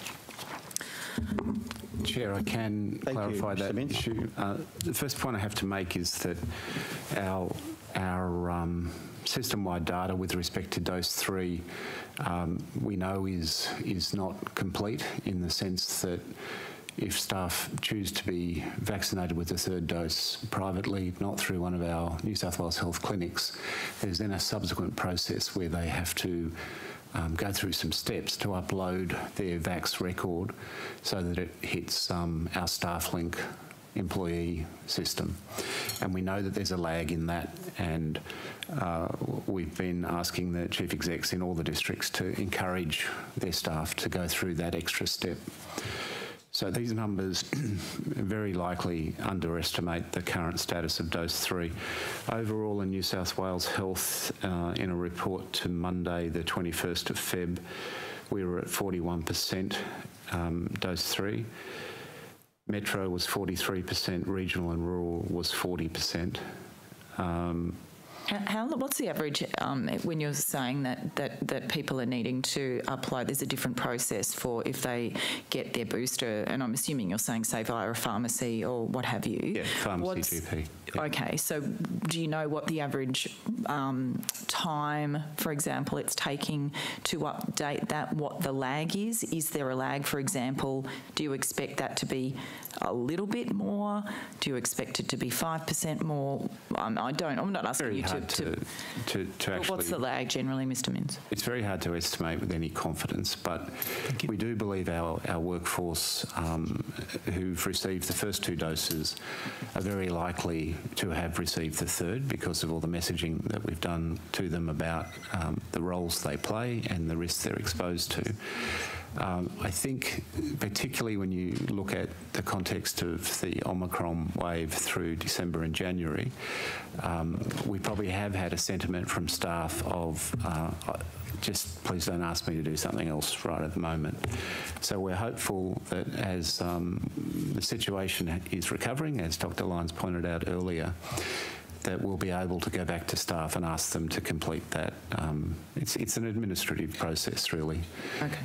Uh, but you, you would you would surmise that our workforce um, who, who are with us now, who got their first two doses, are very likely believers in um, the importance of vaccination. So I think the numbers, if I had to punt, are a pretty significant underestimation of current status. But but we won't know until we clean up that administrative process. Thank you. Mr Minns, uh, with the remaining time, we'll split between the two groups. So, Honourable Secord. Thank you, Mr. Chair. And um, That's Mi- till 11 a.m. Yeah. Okay. Minister, I'd like to turn your attention as Minister for Mental Health to the um, tragic case that's been reported for the last several days by the Daily Telegraph. And I wish to congratulate the Daily Telegraph on their campaign to highlight the impact of cyberbullying, particularly on the mental health of young people. It's tragic, heart wrenching, every parent's nightmare. And our thoughts and prayers go out to the, her family grieving in Bathurst. um, you'd be aware of this coverage the last few days. So, what is your response to the tragic case involving Miss Matilda Tilly Rose Warren? And what steps and what advice could you give in the area of cyberbullying and the impact of mental health on young people? Mr. Secord, I actually find myself echoing your original sentiments when you spoke just then. It is an absolute tragedy, and uh, for that family, for the community, for everybody, just a, uh, a, a terrible and horrific situation. Any life lost by suicide is an absolute and utter tragedy on the family, on the community. In the case of this particular case, I can't comment, as you would know, on, on personal considerations within the case because I presume that will be with the coroner. What I will say is that I have really been very determined to make sure that we improve the mental health for our young people in New South Wales. And we've done that by a number of measures that we've introduced uh, over the last three years. I point to things like our safeguards teams that are specifically child and adolescent mental health teams that are focused on child and adolescent mental health. For the first time ever, as a state government, we are going into Headspace to look at reducing that wait list that we see in terms of putting master's students into headspace to try and reduce those wait lists. I truly and sincerely hope we have the same success that we've had with Gidget in doing that so that we make sure that we have more services that are accessible. Minister, um, if I, with your indulgence, could I ask the chief psychiatrist, the chief psychiatrist of New South Wales, what is his response to what should young young people do when confronted with cyberbullying? Like, how, how does a young person who's 15 years old respond to that? As a chief psychiatrist, what advice, what do you say to young people, but what also do you say to parents who find their, find their children in situations like this? Uh, thanks, Mr. Secord. Well, I, I, again, I, I, haven't got any any different sentiments to those that you've already expressed. Um, it, it is tragic. It is um, really distressing, even just to read about it. So one can only imagine what it's like for those people in the immediate family and community. I, I think it's. I think um, the minister's comments about making sure that from our end that we've got visible, well-skilled and well-promoted um, accessible mental health services is crucial because um, when the, because the message to families, to schools, and to young people is that this is completely unacceptable. And when it happens, you've got to, both in schools and in families, we all need to strive to create an environment where someone will speak up about these things because they're, they're, not always spoken about. Um, and, and so make it a, a place of safety where individual um, kids, um, and sometimes it's not the person who's being bullied, it's the people around them. Um, sometimes it's other family members um, can identify that this is something that might be going on. Um, we need to provide the services to support those people. Um, we need to work closely with our education colleagues, which we do, and to support them to create an environment where there's a, a, a, capability to respond to the actual cause. Um, and the causes are complex, um, and to provide support for everyone who's involved, because the, it's it's not just the person being bullied. It's the person around them, and sometimes it's the bullies themselves. So, on the subject of bullies, so if you're a parent and you discover that your child is a cyber bully, what advice do you provide to that parent? It would be quite similar, Mr. Secord. It, it would be to um, obviously, as a, as a, as a parent, you'd, you'd, want to have the opportunity to understand what your child's perception is of what they're doing and why, um, and how it's affecting them. There's there there are always antecedents to these things. There's always a context. Um, then it's a it's about engaging with the school environment and trying to understand from their perspective. Um, and almost invariably, it's about getting um, getting um, assistance for the perpetrator. Um, that they are very often just as um, just as fragile and just as damaged as the people that they are attacking. It's not a there are no winners in, in, in this sort of environment. It's a, it's a you know it's a it, and that's why the school environment and the family environment and the local community are all part of, I guess, the jigsaw of you know, what contributes to this this sort of thing, and and it, and the res the response to it is not about a an individual piece of support or therapy. It's about trying to address the problem on a on a um, on a, on a sort of a uh, community scale, whether it's the community of the school or whether it's the local community within which they live. It's it, it is complex. It's absolutely you know, a high priority for anybody who's interested in, in working towards improving child and adolescent mental health um, because it's because it's just so so damaging. Thank you, Minister. I think that's why too, Mr. Secord. If I could just add to that, we've been really um, focused on creating collaboratives across across New South Wales, and what that means, it's you know, it's not an easy thing to explain, but it's about making sure that we have all the services at the table when we're talking about young people and when we actually, uh, you know, Headspace actually uh, spear up that for us. But it's about bringing community, it's about bringing, you know, education, it's about bringing health all around the table so that we can discuss these issues as they're presenting, as you know, and, and look at that whole of community response to these issues around things like, as you said, like bullying, which is just unacceptable. And we provide support to any child that should be experiencing bullying. Chair.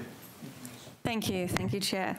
Um, I just want to say very quickly that the um, continuity care model that I was discussing in our last session um, was actually brought to me by um, midwives that work in the space, but maybe that's something we can take outside of budget estimates and talk further. It's certainly not a criticism at all of the work that midwives do um, in any way. Um, but I do want to just quickly talk to you about uh, women's workforce participation. I'm not sure if you're aware of research that was done recently by Endometriosis Australia that found that nearly two thirds of women um, had to take unpaid time off work to manage their endometriosis symptoms, and one in three women in Australia with endometriosis report being passed over for promotion because they're trying to manage their symptoms. Um, clearly, this is a major issue both for women's health and also women's workplace participation and equal opportunity. Um, is the New South Wales government doing anything to support women with these conditions?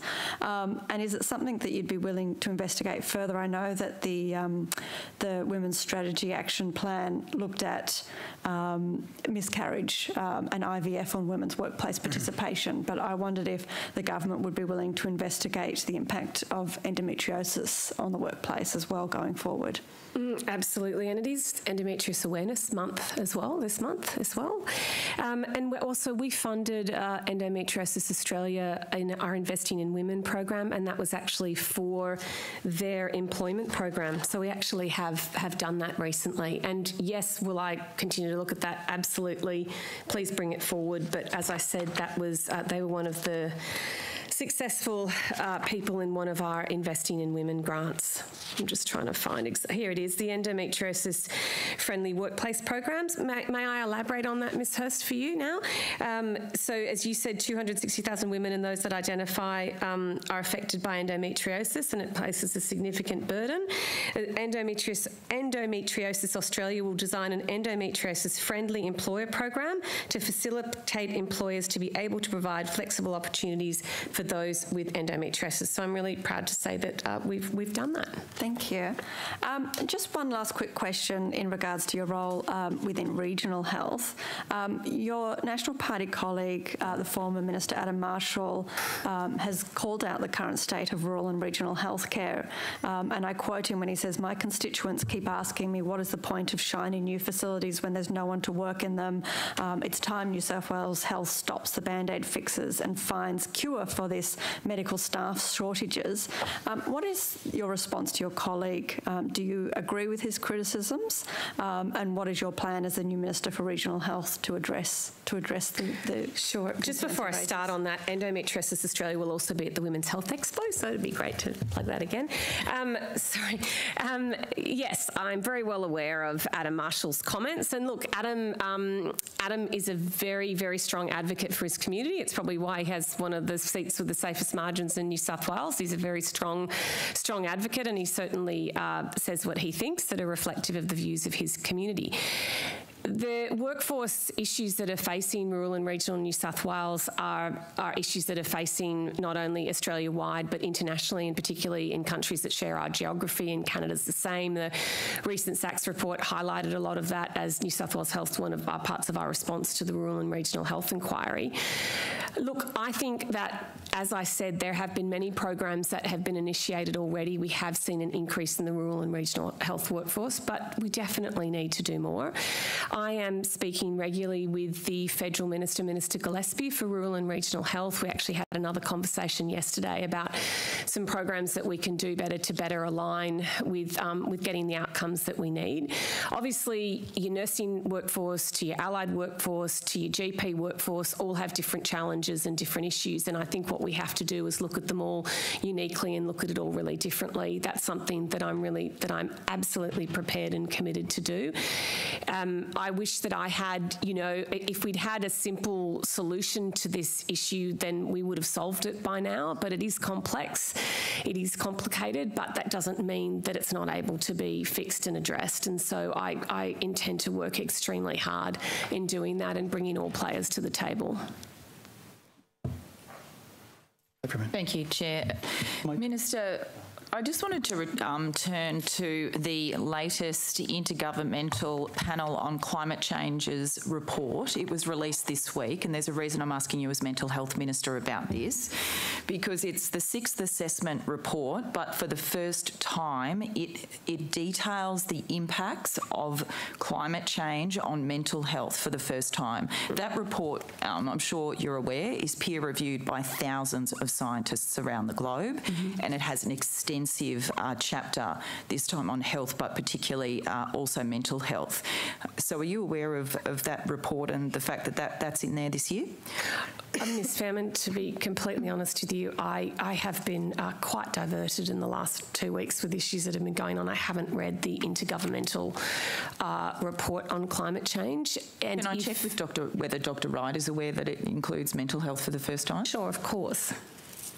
I haven't read the report, but I'm quite aware of the um, the, the, research which tells us that there, the, there's an association between climate change um, and increasing challenges for mental health across the community. Yes, I think th this time, so this time, because it, it, it, comes out every six years, and the research is um, very much in now that the trauma of increasing natural disasters, which you've talked about today as well, Minister, leads to PTSD, anxiety, depression in the short term, and potentially suicide and, and suicide in the, the long term. So I suppose the, the question is firstly, um, uh, so Be you're very cautious, not, Ms Faehrmann, about um, linking suicide and, and, and, specific issues. I just need to uh, say that. This, well, the report that is peer reviewed by thousands of scientists around the world states that. So that's what it directly I'm, states that. That yes. Right. So the question is what whether um, the department, your new regional health department, sorry, mental health, sorry, whether your mental health um, uh, department is now looking at providing increased training and awareness around the impacts of increased uh, natural disasters as a result of climate change, which is one of the recommendations from this IPCC report. So we have a complete suicide prevention strategy in New South Wales that we've been running now, which is we're one of the first states to ever do that. So all of those services and all of those models and all of those new programs are available to everybody. And so they're not specifically onto one particular strain, but if indeed, and look, I have heard from general practitioners as well that young people in particular will come to them and talk about the distress that climate change is causing to their mental health and the detrimental effect that it has on that. But in terms of how we treat that, is we actually treat the diagnosed illness by doing that and having all of those services in place to do that. Okay, we'll come back to this. Thank you. Thank you. That's uh, oh break. Sorry, break. break. Sorry, that's okay. I was ready to go. He's ready to we'll, go. Don't wander far. We'll be back at uh, 11:15. Oh, 11:15. Okay. Sharp.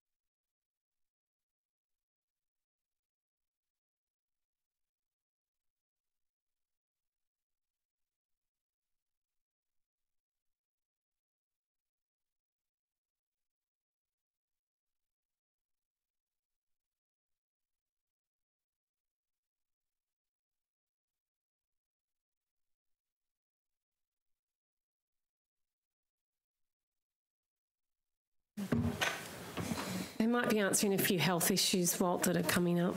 So Oh, okay, then, we'll- then we'll switch tack. and go. Crisis occurring. there's a little bit going on. Okay. Mr. Chair? Uh, Well, we've got, we're still down on the table, so Can anyone just check where they are, please? what a past. Like, as a member of this committee, and I, uh, if any health official needs to go because of the crisis, we should give- grant them that. I mean, Oh, you- Uh, Yeah, we've had this discussion with the If Minister. you were here on time, you'd know we had that well, I'm just saying, discussion. as a member of the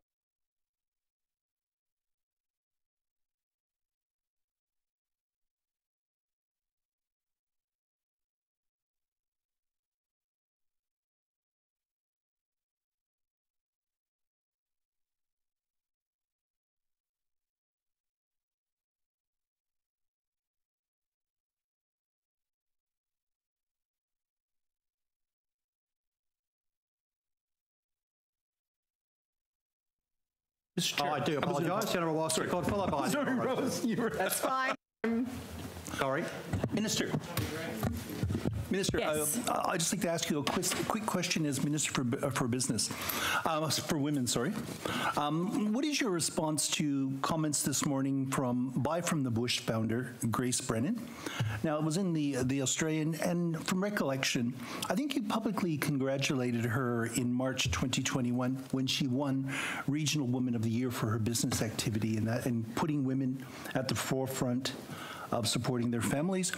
Anyways, this morning she said that 97% of the 250 businesses on her flat platform were run by women, but they were inhibited because, quote, Australia needs better internet, lower postage services charges in the bush, and increased rural childcare. If it's serious about increasing the contribution of regional and rural businesses to the national economy, what steps are you taking to improve the business atmosphere for women in rural and regional areas, particularly the problems highlighted today by Grace Brennan? Yeah, I know. I know Grace really well. She's an outstanding um, rural woman, and she's done an outstanding job. With she just has the most incredible story, and with what she's done with Buy from the Bush is just amazing. And I, I agree. I think that the more that we can, you know, have better internet capacity, the more opportunities that that brings for women running those businesses. Grace and I have both discussed about childcare issues and that hard cut off at 3 p.m. She talks about it when she comes off her property at Warren and she works in a, um, a, a co-working space with other people in Warren off her family, off her property. And then, you know, she has to get to school by three o'clock or be able to meet the bus and, and how difficult that is sometimes to run a business. But I don't think that's unique to, to rural and regional women. What is probably more challenging for rural and regional women is, is that there's not as many services and the distances that we face are a lot greater. I mean, I personally experienced that myself. My children would walk down from Cooma North Public School and, you know, um, I'd have other nurses, older children look after them until we finished and knocked off. So that was something that you had to do. So look, we have got the Women's Economic Review that's going on that will be looking at those, those issues and I really look forward to those coming forward. In terms of what am I doing as the Minister for Women, we've done, we've done quite a bit in terms of looking at women's economic opportunity. We know that if we can increase that, we increase um, a lot of benefits for women. And we will be looking at childcare in that review. But as you would know, and I'm not shirking the responsibility, but it does sit with the federal government. And we are looking at, you know, we have great examples of co working spaces in the country. When you look at the exchange in Dubbo and the huge success that that's had, I've had multiple discussions with that. We are, are discussing that at the moment with my Council for Women's Economic Opportunity, and I will hopefully have some very good news to announce very soon on that.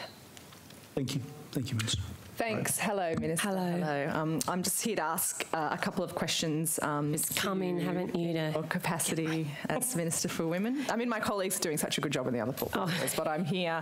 Um, I want to start with um, women's housing and homelessness because I'm sure that you would be across the pretty sobering statistics around the fact that women over 55 are the fastest growing group experiencing homelessness and that there has been a 30% increase um, in the number of women over 55 experiencing homelessness um, in the last two years alone, which is quite serious. So I guess I wanted to ask, you know, how involved are you in the work, in any work that the government is doing to try and address this? And i- to the extent that you are involved, you know, what are the initiatives um, that the government is is promoting? Mm-hmm. And sure, and completely acknowledge your question and completely acknowledge the facts that you've um, uh, that you've ascertained to in that question in terms of women over 55 and the issues that that presents. So, as you know, and I'm not joking this, but as you know, um, housing sits with another minister. It does not sit with me as my portfolio for Minister for Women. What does sit with me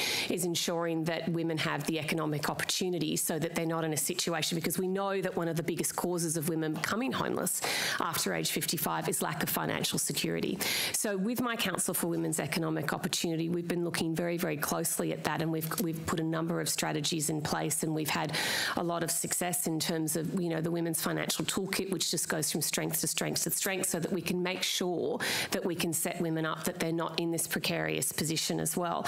One of the really big successes of the last two years has been the Back to Work program that we ran that was a $10 million program.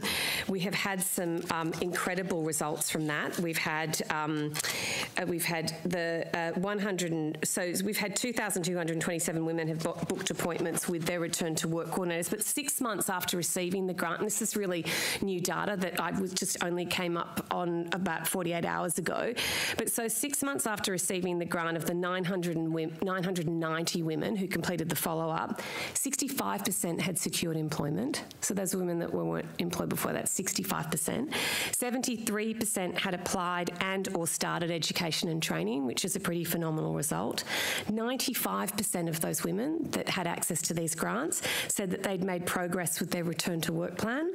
81% reported increased confidence regarding returning to work, and 98.5 found the return to work application process helpful.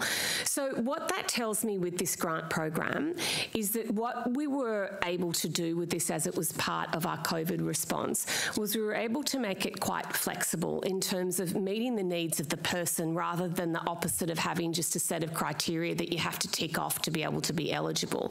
So one woman was telling us how one of the really big inhibitors for her getting back to work after she'd been in a domestic violence situation and then had subsequently become homeless and all of those things that you would be much more across is that her scooter tyres were bald. So she couldn't, and she couldn't afford to get new tyres to get herself to a place of employment. She was able to do that with this grant. So I think one thing that I think has been very obvious in this, and now we've got the demonstrated evidence of that, is that when we can allow that flexibility to actually tailor the needs of the woman, we can get some really great results. I mean, it's a good program, and I think you know it's good news for those women who have been able to participate in it. But I'm more interested in the women right now for whom accessing a grant like that seems like another world away because they are living in their car or a tent and have been on the social housing waiting list for years and years and years.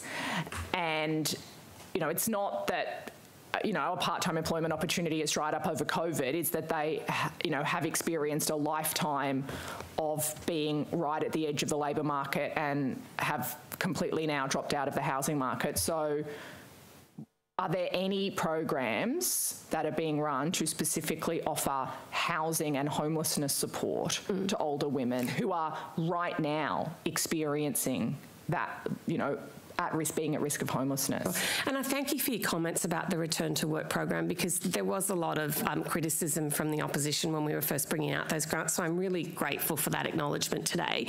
And as I said, in terms of those homelessness programs, they don't sit with me as Minister for Women, but I'm really happy for Pia. Oh, sorry. Oh, sorry, Tanya. Um, if Tanya would like to just follow up on that in terms of more broadly and more programs as well, but just to reiterate that that sits with another minister and not for me. But I'm happy for Tanya to. Yeah, I do. I do accept that. Although you know, know. We, we, do have this problem where no, I accept you know, that we, we have we the problem, questions and then budget estimates of, about the specific portfolio. But I'm happy for Tanya to take. Um, so through the Social and Affordable Housing Fund, um, which is a 1.1 billion dollar fund, um, the government's delivering over 3,400 social and affordable houses, um, and 1,414 of these dwellings are targeted to older people um, that are 55 years and over, or 45 years and over for um, Aboriginal and Torres Strait Islander people there's um, also the um, Safe and Affordable Housing Strategy 2041, which is um, the responsibility of Minister for Homes, Minister Roberts, um, and that's a 20-year strategy, um, and they have biennial action plans. Um, to date, some of their achievements, they're developing a housing evidence centre where all of the data available for New South Wales around housing and homelessness is available, and also the new housing state environmental planning policy was released in November 2021, um, and that policy aims to more efficiently deliver affordable and diverse housing. Um, and continuing forward, forward um, with the future action plans, are looking at um, longer term reforms um, to create a diversity of housing and also more affordable housing. Yeah, I mean, there is not one specialist homeless service in New South Wales that is dedicated to supporting older women. Is that something that you would be prepared to raise, perhaps, with Minister Maclaren-Jones in that instance? Is that of concern to you that there isn't one dedicated specialist homelessness service that supports older women? In terms of talking about homelessness services, that is a question you will have to direct to the relevant minister. Of course, I'm concerned as the Minister for Women, but my job and my portfolio is to increase economic opportunity for women so we don't get to that point. But of course, I'm open to discuss those, and I'll have multiple discussions all of the time about how we can address that and how we can do better. Uh, how many staff are there in Women New South Wales? Miss Smythe, probably. Um, there are um, there are eight um, FTE in Women New South Wales. And how does that compare to last year? Um, it's it's difficult to compare because um, women. Not a large South, number, so. No, Women New South Wales was responsible for domestic family violence and um, sexual violence and women's policy. Um, there were some staff that transferred to another area of um, our strategy, uh, policy and commissioning division um, that look after domestic violence strategy. So they transferred rather than um, the women's policy team reducing. Yeah. So how many staff were that? Were in that category that you just described? That, that um, are continuing to work on domestic family violence. Yes, how many staff who were working in that portfolio area transferred out of Women New South Wales into a new, some, some new um, it's because the portfolios yep. were split. Yeah. Right. So it's not that they've gone or it's changed. It's just that that's focusing on we're focusing on women's economic opportunity, and there is a specific focus on domestic and family violence, and that happened when the portfolios were split after the last election. Yep. yep. I'll have to take it on notice. It's, it's a, um, a handful of positions. And so the number of women, the, the eight FTE, excuse Correct. me, that has not changed no, so um, the, there's six um, people that actually work on women's policy, and that, that hasn't changed. And there's two that work on events and communications. Um, Minister, how is progress tracking on the Premier's priority to ensure 50% of government sector senior leaders are women? I think when we look at the Department of Community and Justice, where Women New South Wales has sat, we have a really great story to tell in terms of the percentage of women in that in that in that um, department. That's good, except that's yeah. actually not the Premier's priority, as I'm sure you would be aware. That is a government-wide yeah. Um, Chair, I think uh, in this instance it uh, might be helpful if uh, Ms Jackson uh, allows the Minister to finish her answer before um, she seeks points of clarification. Make sure that the Minister I think the Minister was, was very aware of the 42.7%. Okay. And thank you, Minister. And how's that tracking? You know, say, what was it this time last year? Have you got that figure? Because we're aiming for 50, so are we going forwards or backwards? And actually, it was a, it was the former premier's priority, and it sits at 42.7 of senior leadership roles in the public sector are women, and that as at 20 is at 2021. If you'd like those 2020 figures, I could take that part on notice and get that back to you. That would be useful, thank you. I mean, you mentioned there it was the former Premier's priority. Has there been any indication that it's no longer a priority with the new Premier? No, I'm working on, I mean, look, I, that's a priority for me anyway to look at. And look, I was just, I've just been messaged by my people that at 2021 it was 41.1%. So we've had a 1.6% increase. I thought you said it was 42 before. I said. Well, you said 42, and then you took it on notice, and then you just said 41, which seems to me to be a decrease, not an increase. So as at 2021, it was 42.7, and 2020 was 41.1. Ah, right, Which makes it a 1.6% Yes, increase. I wasn't clear No, on no, those I, dates, I yeah. have to check with my maths because it's not one of my Um, strengths. So. So, I mean, it's, it's good that it's gone up, although that's slow progress. I mean, have you had one conversation with the new Premier about any initiatives to actually try and, you know, get that moving to 50%? Have you had talked to him about that at all? That is something that is entrenched within the public service. That's why we have flexible work practice. That's why we look at all of those things that women say that are important to them that allow that, them that opportunity. We'll continue to work towards that. Well, I think that actually, to be fair too, the public service actually has a very good story to tell in terms of that often, in terms of within our bureaucracy and having women. We've got a female secretary for health. I've got, you know, I, I think that we have a very positive story to Have tell. you, have you had a conversation? I have with conversations Premier? with the Premier all the time Okay, about women's issues. uh, about, hey, I have this Premier's priority that aims to 50% of government sector senior leaders are women. We're at, you know, 41, 42. It's pretty slow progress. What, what are we doing about that? Any? Well, we have we have things that we're looking at. We have many conversations, and I really look forward to uh, seeing the findings of the review as well. Ms Abigail Boyd. Thank you, Chair. Um, and good morning. Good morning, Minister. I understand it's your birthday. Happy birthday. Um, See, she's on top of it. I know, nice. You know, it's um, It's, it's outside wonderful. to gave it away. it's not the best thing to do on your on your birthday, I'm sure. Um, I had, happy to be I had to here. spend my last birthday at a, uh, greyhound racing track and part of an inquiry, and that wasn't fun either. Oh, it, wasn't, it wasn't so bad. Can't imagine that would be fun Anyway. for you had all, Miss Boyd. I will use my time a bit more uh, wisely. But thanks, So- that makes me feel better. Running out of time now. Um, the, uh, the Illawarra Women's Health Centre submitted the business case for their Women's Trauma Recovery Centre um, to Women New South Wales on the 20th of July 2021. Um, the Ministry of Health funded the business case for that. Um, when will the government respond to the business case? Okay, so that particular one will sit with the Minister for Domestic and Family Violence in terms of that centre. I am aware of that centre and I have met with them myself and I think that they do an incredible job. I am not aware of the, um, I haven't actually seen myself the business case, but it's something also as well that Dr Vagona, who is the Chief Psychiatrist in New South Wales, has made uh, representations to me about and spoken to me about that. But in terms of where that's at at the moment, and that would be part of a budget process that are budget matters. So, even though it was submitted to Women New South Wales, that still sits under Minister Ward now, does it?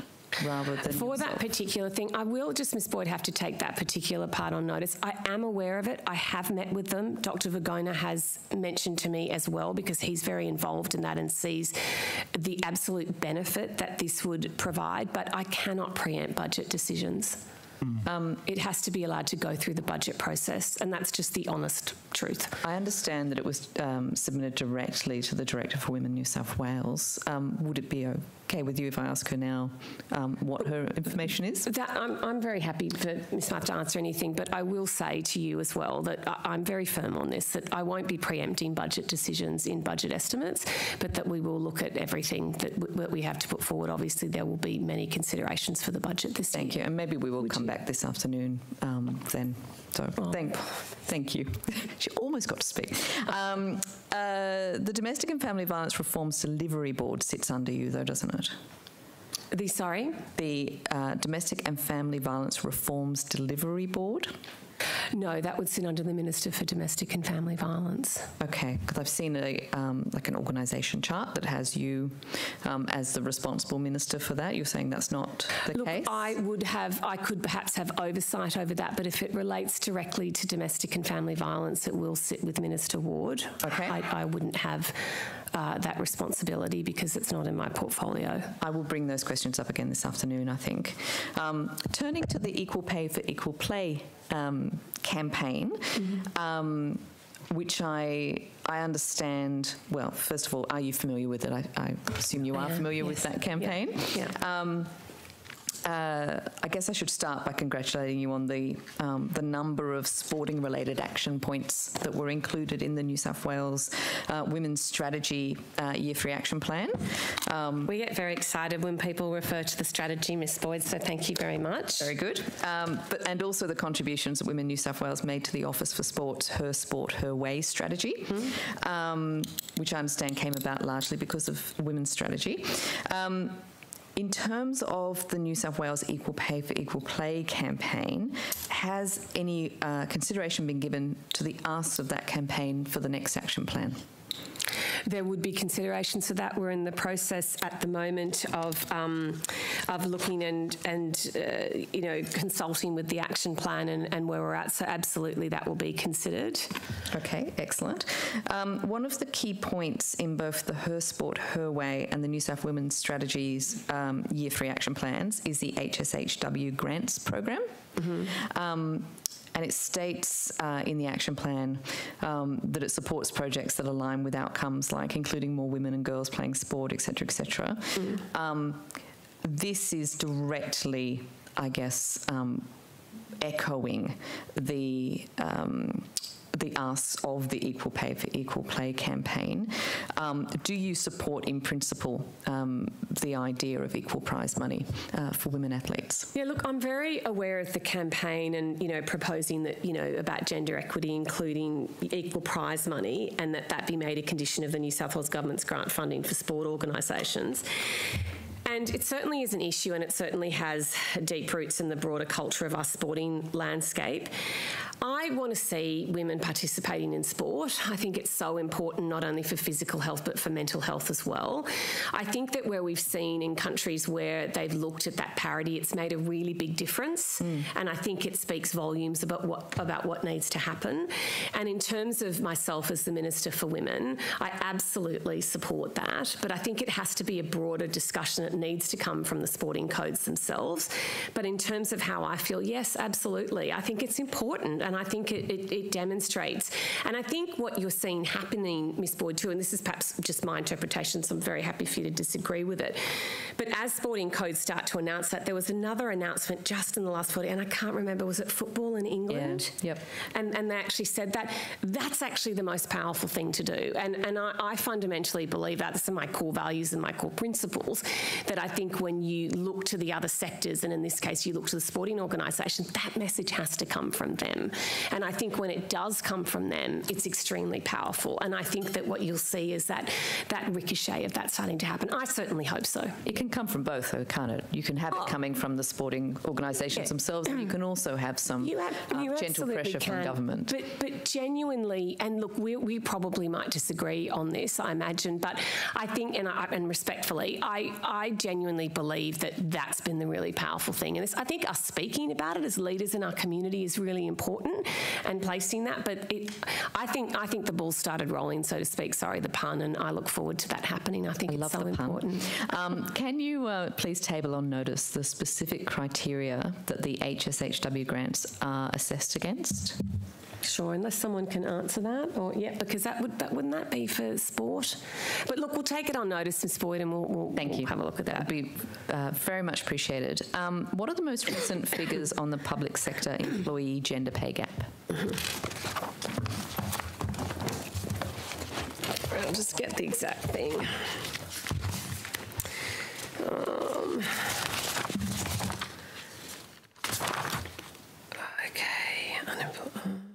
As at May 2021, the gender pay gap in New South Wales was 14.5%, and that reflects a pay difference gap of $272 per week. And the, gen- yeah, the gender pay gap in Australia is 14.2%. So New South Wales 14.5, Australia 14.2. So that's a 1.1% increase on the previous year? Oh, I'd have to take, Worse? I don't think I have the I believe that November 2020, the gender pay gap for New South Wales was 13.4%, which was the same as the national pay Yeah. gap at okay, that time. Well, I'll, I'll take that. Um, that I'll take that as as read that you've said that. I don't have that right in front of me, and I'm just very cautious when I'm talking about um, you know numbers and things. So that's that's still a very concerning number, isn't it? That we still Yeah, have. Definitely. Um, what are you doing to try and correct that? What what sort of policies are you putting in place? So before you came, I think, Ms Boyd, I was talking to Ms Jackson about all of the things that we're doing in terms. So as Minister for Women, my remit is to look at the economic opportunities for women because we know. Can you? Sorry, can we just target the pay gap though in particular? The measures that are targeted Yeah, at the pay but gap. the thing is, is that the more the more women that we get into the workforce, the more women that we're allowed to have those careers and have that potentiality of employment, will in turn allow us to bring that down. In terms of, you know, in terms of those professions that women do, this has been a long-standing issue, something that we're all working towards, something that we all want to see improve. Um, what does the public sector employee gender superannuation gap look like? Do you have that data? Not in front of me in terms of the superannuation gap. I don't. I can ask Ms Smythe if you've. No. Could you take it on We can take that on notice. Sure. Um, and yeah, let me know if it's not data that you track, but it would be useful to know. Mm-hmm. Um, last year, during estimates, and in the context of Brittany Higgins coming forward, Mm. um, you said, uh, "quote When I'm asked about it, I use my platform and my privilege as a member of Parliament to absolutely encourage women to come forward." Um, what have you been doing over the past year as minister and as a member of cabinet to directly respond to the many public disclosures of sexual assault, sexual harassment, and gendered bullying in politics? So uh, you would be aware of well as well internally that there has been um, a review and an inquiry, uh, two of them in in Parliament, that are running at the moment. We await the results. Um, the results. We we await the finding of that. So we've got the Goward Sorry, review. just to stop you there. With respect, yes, I understand um, the Pru Goward review was something that the, the prior Premier... And the Broderick review? Um, the Broderick review was actually something that was started by Parliament rather than the government. Um, it's fine. I, I completely retract that then, Ms Boyd. That's I was all right. I not just- trying to take credit for the That's government okay. over What something. I you- was just naming the inquiries. That's fine. The question was, what have you been doing um, personally, individually, as Minister and Member of Cabinet, um, to directly respond to the issue? Ms Boyd, those inquiries, as you said, are rightly taking place. I think it's really important that they take place and that, that we await those findings. In terms of my own personal responsibility, my door is always open, and anyone that knows me in this place knows that I am a very big supporter of women. And if there are any issues that are ever brought to me, I will continuously make sure that women are supported, that women are looked after, and that appropriate behaviour occurs at all times. I am resolute on that, and my experience and my track record speaks highly for that. I've encouraged all staff to participate in the Broderick report. I've ensured that my chief of staff has made sure that all of my staff have report have contributed to that. I have made sure across my ministerial colleagues, and I have raised that in cabinet that everybody needs to contribute to that report. People should be able to speak freely and speak openly. I think it's very powerful that that's an independent report. I think that Elizabeth Broderick, who I've met with personally as well, is very well respected in this space, and I think that we should await the findings of that report. All right, second. wasn't that Hmm. 10 minutes? My turn now. I s- Sorry, I- that's why I, that's why I said four to, Crossbench time would be 20 minutes. no, it's no, you 15 can- minutes. 15 We're doing minute 15 minute blocks. We're doing tranches. 15 Ah, okay. And Cate said you were doing 10 minutes worth, and when we just passed the, the 10 minutes, I went like that, four minutes. That was four minutes left, so I thought you were going to jump in. Right. Apologies. That's right. So 15 minutes. We can. We're, we're doing in We've been doing 15 minutes rounds. all day. Mr. Chair. Honourable second. Um, Ms. Ms. Ms. Tanya Smith, uh, Smythe, in your um, in your uh, your answer to my colleague Rose Jackson, you said that two of the eight staff in Women New South Wales are working on quote events and communications. Is that correct? Yes, correct. So 25% of the people employed by Women New South Wales are working on events and communications. Minister, do you think that's an appropriate allocation of resources when there are so many press- pressing issues involving women, such as gender pay gap, such as superannuation gaps, such as childcare? Do you that Minister Secord, one of the events that we're starting, and you may not be aware that it's Women's Week next week, Yeah, and we're aware of it. actually we actually run. Okay, well, I, I beg your pardon then, but we're actually running a huge program of events for women, and we're actually running. I think it will be actually. I can confirm that it will be the biggest women's awards that we have ever run in New South Wales before. That takes a lot of logistics and a lot of organising, and every single member of Parliament, regardless of their colour, nominates a woman for Woman of the Year awards, and they bring them and we and we discuss. Of their colour, what do you mean? I mean, sorry, different political party. Oh, I'm That's sorry. I thought you were talking about something. Okay. Oh, no, Mr. Secord, you know that I Um, wouldn't. I was just saying that regardless of your political party, Oh, okay. you are nominating a woman for the Woman of, of the Year awards, and those are really important things to be able Thank to you, do. Minister. And I look forward to seeing you at the awards. Thank you. Minister, um, a quick question now. Can you guarantee that all hospitals, MPSs, and emergency departments outside of Sydney, Wollongong, and Newcastle have doctors on duty 24 7? Now, this goes to evidence provided to the Rural Health Inquiry, where we had hospitals in New South Wales. Emergency departments that did not have a doctor on duty. Can you guarantee that there are doctors on duty January the 1st, 2020 to March the 2nd, 2022? On duty, Mr. Secord, could you clarify I mean, what you physically, mean by on duty? uh, when I say duty, I mean physically in a hospital. So, No, Mr. I don't mean on Secord, telephone. As you would know, I think, because of your experience in being in opposition in health for quite a number of years, that you would know that in terms of it, that in some of our hospitals, people aren't doctors aren't on duty actually on site. They are they are working in their general practice and they are on call and they are called in. So there is still access to a doctor that happens. Okay, so it's very straightforward. Can you take it on notice if you're unable to answer? No, January Mr. the 1st it's not. It's not that I am unable to answer. What I have said to you is that you. I know exactly what you're trying to do here. Very clearly, I'm trying to prove that well, there are no, you're trying to be doctors. tricky, and that's that's disingenuous. But we know that there are doctors that are available that do not actually sit at the hospital, but they run their private practices and they are on call and available to the hospital. Thank you for that answer, Minister. Minister, I want to take you as in your dual capacity as rural health, but also as Minister for Mental Health. You'd be aware that the Premier's priority, um, it's called Towards Zero Suicides, has set a target to reduce the rate of suicides in New South Wales by 20% by 2023 as a first step towards the journey up towards zero suicides. In 2017, it was 10.9 per 100,000 people. Is the rate of suicide attempt or deaths in, involving young people increasing or decreasing in New South Wales? In terms of young people, Mr. Secord, as you um, would or may or may not be aware, we now have a suicide monitoring system in New South Wales, which gives us uh, very up-to-date data on a month-to-month basis. If I could just preempt this by saying, Mr. Secord, as well, that any death by suicide is an absolute tragedy. So what we have seen is we have seen um, numbers within within that happen. Your specific question for me was if I had seen an increase in young people in suicide.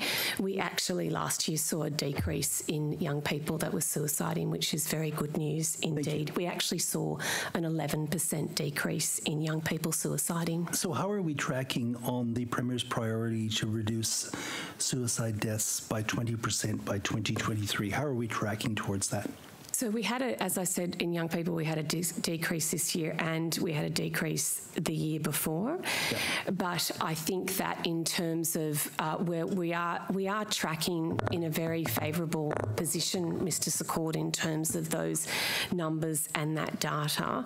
But I will say that I I have concerns in terms of going forward and in terms of a delayed um, response in terms of the mental health stress and that have been faced by our communities. But I will also say that when we were at the um, start of the COVID pandemic, so almost relatively about two years ago, we had uh, specialist people come out and say that they felt that they talked about a shadow pandemic, they talked about catastrophic rates of suicide in New South Wales, And we actually have not seen that. And, and that, that is not because I'm the Minister for Mental Health and it's not because it's the government, it's because we have the most amazing people working on the ground in terms of prevention and in terms of the programs that we're Thank you, running. Minister. and also, as you referred directly in your question to me about towards zero suicides, we've been able to take on a lot of new initiatives and new models of care. So things like the Safe Haven and the anecdotal evidence coming out of that, and particularly with the with the Safe Haven in Western Sydney, is quite phenomenal in terms of decrease in presentation to emergency departments, and also in terms of people saying that that actual moment of stepping into that safe haven has actually saved their life. Now, Minister, earlier you said that the number of suicides in New South Wales was decreasing. So this is New South Wales website, New South Wales health.nsw.gov mental health resources publications sums report November 2021 Mm-hmm. it says January the 1st to November 30th 2021 there were 833 confirmed suicides in New South Wales that's actually an increase from 812 the same pre- period uh, previous the previous. I have year to correct you there, Mr. Secord. Your direct question to me was about young people's suicide. My direct answer to you was that youth suicide had decreased. You did not ask me about the general number of suicide. I answered your question as you asked it. Okay, well then, I want, I want to rephrase or re-ask the question. So, in fact, suicides tragically have increased in New South Wales, not decreased. Well, Mr. Secord, when Based you on your own when data you, on your website that I looked I, at I'm very well aware of the numbers. When you look at this, you have to look at this in, a, in, in over a period of time and you have to look at the trajectory. When we look at 20, so say the last three years, if we look at 2019, 2020, 2021, and where we've had our towards zero suicide strategy, yes, from 2020 to 21, 2021, there was an increase. But if you look at that compared to 2019, th- those numbers are not as high as what they were in 2019. And we have had this towards zero strategy in place with unprecedented challenges in terms of people's mental health and mental fitness. Now, are we on track to meet the Premier's target to reduce the rate by 20% by the end of next year? Are we on target to do that? I think that at the moment we are we are tracking well, but I you know I'm very cautious of trying to predict what's going to happen. We've put many many programs in place, but we are struggling with unprecedented times in terms of the challenges. And when I look at what's unfolding in northern New South Wales, to say that that didn't concern me for people's mental health would would not be correct. Now, what about the um, the funding of Towards Zero? Now, this is budget estimates, so I'd like to know. Yay! Will the funding for Towards Zero initiative be renewed when it expires this year? So, Mr. Secord, that will be part of the budget process, and and I will be um, putting that, and I would advise to watch this space. Um, Minister, now I want to take you to another area that's um, involving mental mental health, but an overlap with the health system, and that's the area of seclusion and restraint. Is the KPI, tar- KPI target for the average duration of seclusion in New South Wales less than four hours? We would like to see no seclusion and restraint in an ideal world, but this is a situation that is used in terms of a clinical decision at the time. And obviously, the safety and well-being of patients and staff is absolutely paramount in this, and that um, we, you know, seclusion and restraint should only be used as a last resort.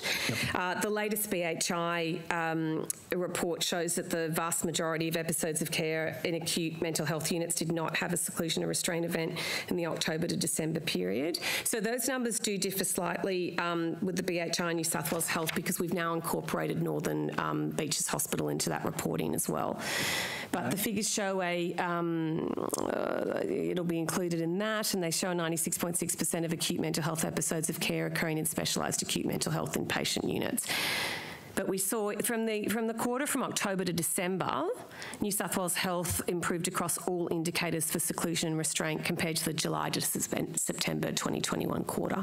Um, Ms. Koff, and last year you, actually two years ago, two consecutive reports, you said that uh, Concord Hospital, which had the um, longest seclusion and restraint of any hospital in Sydney, you said it was an outlier. That was your direct quote. Um, in fact, I don't know why Concord number was so high. I'm happy to take that on notice to find out because I think we need to explore it because it does look, quote, an outlier. Do you still hold that view and why, almost three years later, that restraints are up to 10 hours at that particular hospital?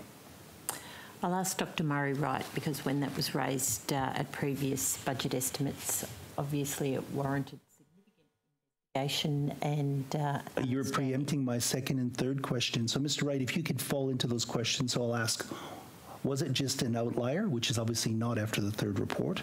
And what is being done about that? And is it acceptable? And why is it occurring at Concord Hospital? Thank you, Mr. D- Dr. Wright. Thanks, Mr. Secord. Um, I think um, an outlier is a kind of a technical definition. It's literally, statistically, an outlier um, in terms of its relationship to um, the other figures. So I, I, don't take any, and I don't um, attach any other meaning and to the fact that when we look at when we look across the board, that performance at Concord is um, is you know out of kilter with what's happening in other places. So that's what it means to me. Is, are we concerned about it? Yes, we are. Um, I, think, as the minister said, um, we um, would like to see um, zero use of seclusion. Um, and if it's used, we would like to see it used for as little time as possible. And that's and and so the indicators are there to try and drive improvement. When we see instances of any facility which is um, struggling to meet those indicators, um, the, the process that that is being is, is used in all of our health services is is that um, the, um, the, there is a there is a um, an explanation sought from the district as to their understanding of what is driving it Okay, because there are multiple. Dr. Wright, what is driving it? What is happening at Concord? Now, we have data here 24 hours and 21 minutes in Concord. What is happening to a person 24 hours in seclusion? Are they just shoved into a room? What is happening at Concord? This is the third consecutive report of this. It's not an outlier. What is happening at Concord Hospital? I'm sorry, sir. What is happening at that hospital? So I'll complete my answer. Um, and so what we ask for an explanation is the understanding from the local health district as to what is driving um, that performance. Um, it is then also followed up in the um, performance review process, which is a regular meeting between the executive leadership of the local health district and New South Wales Health. Um, and there are there are efforts to also, and, and so the there Sir, are efforts. What are the reasons? I know you. Chair, um, Okay, I, I I, must- I would just, I want to know the reasons. I understand, but m- Mr. Secord, you must appreciate that this was a very complex question that you asked, and uh, Dr. Wright is providing a very detailed and very thorough response to your question. I think he needs to be allowed to complete that answer first before you ask any that. I subsequent acknowledge that. Mr. Fang. Thank you. I acknowledge that. Um, it, it is. It is. There aren't simple answers to this, Mr. Secord.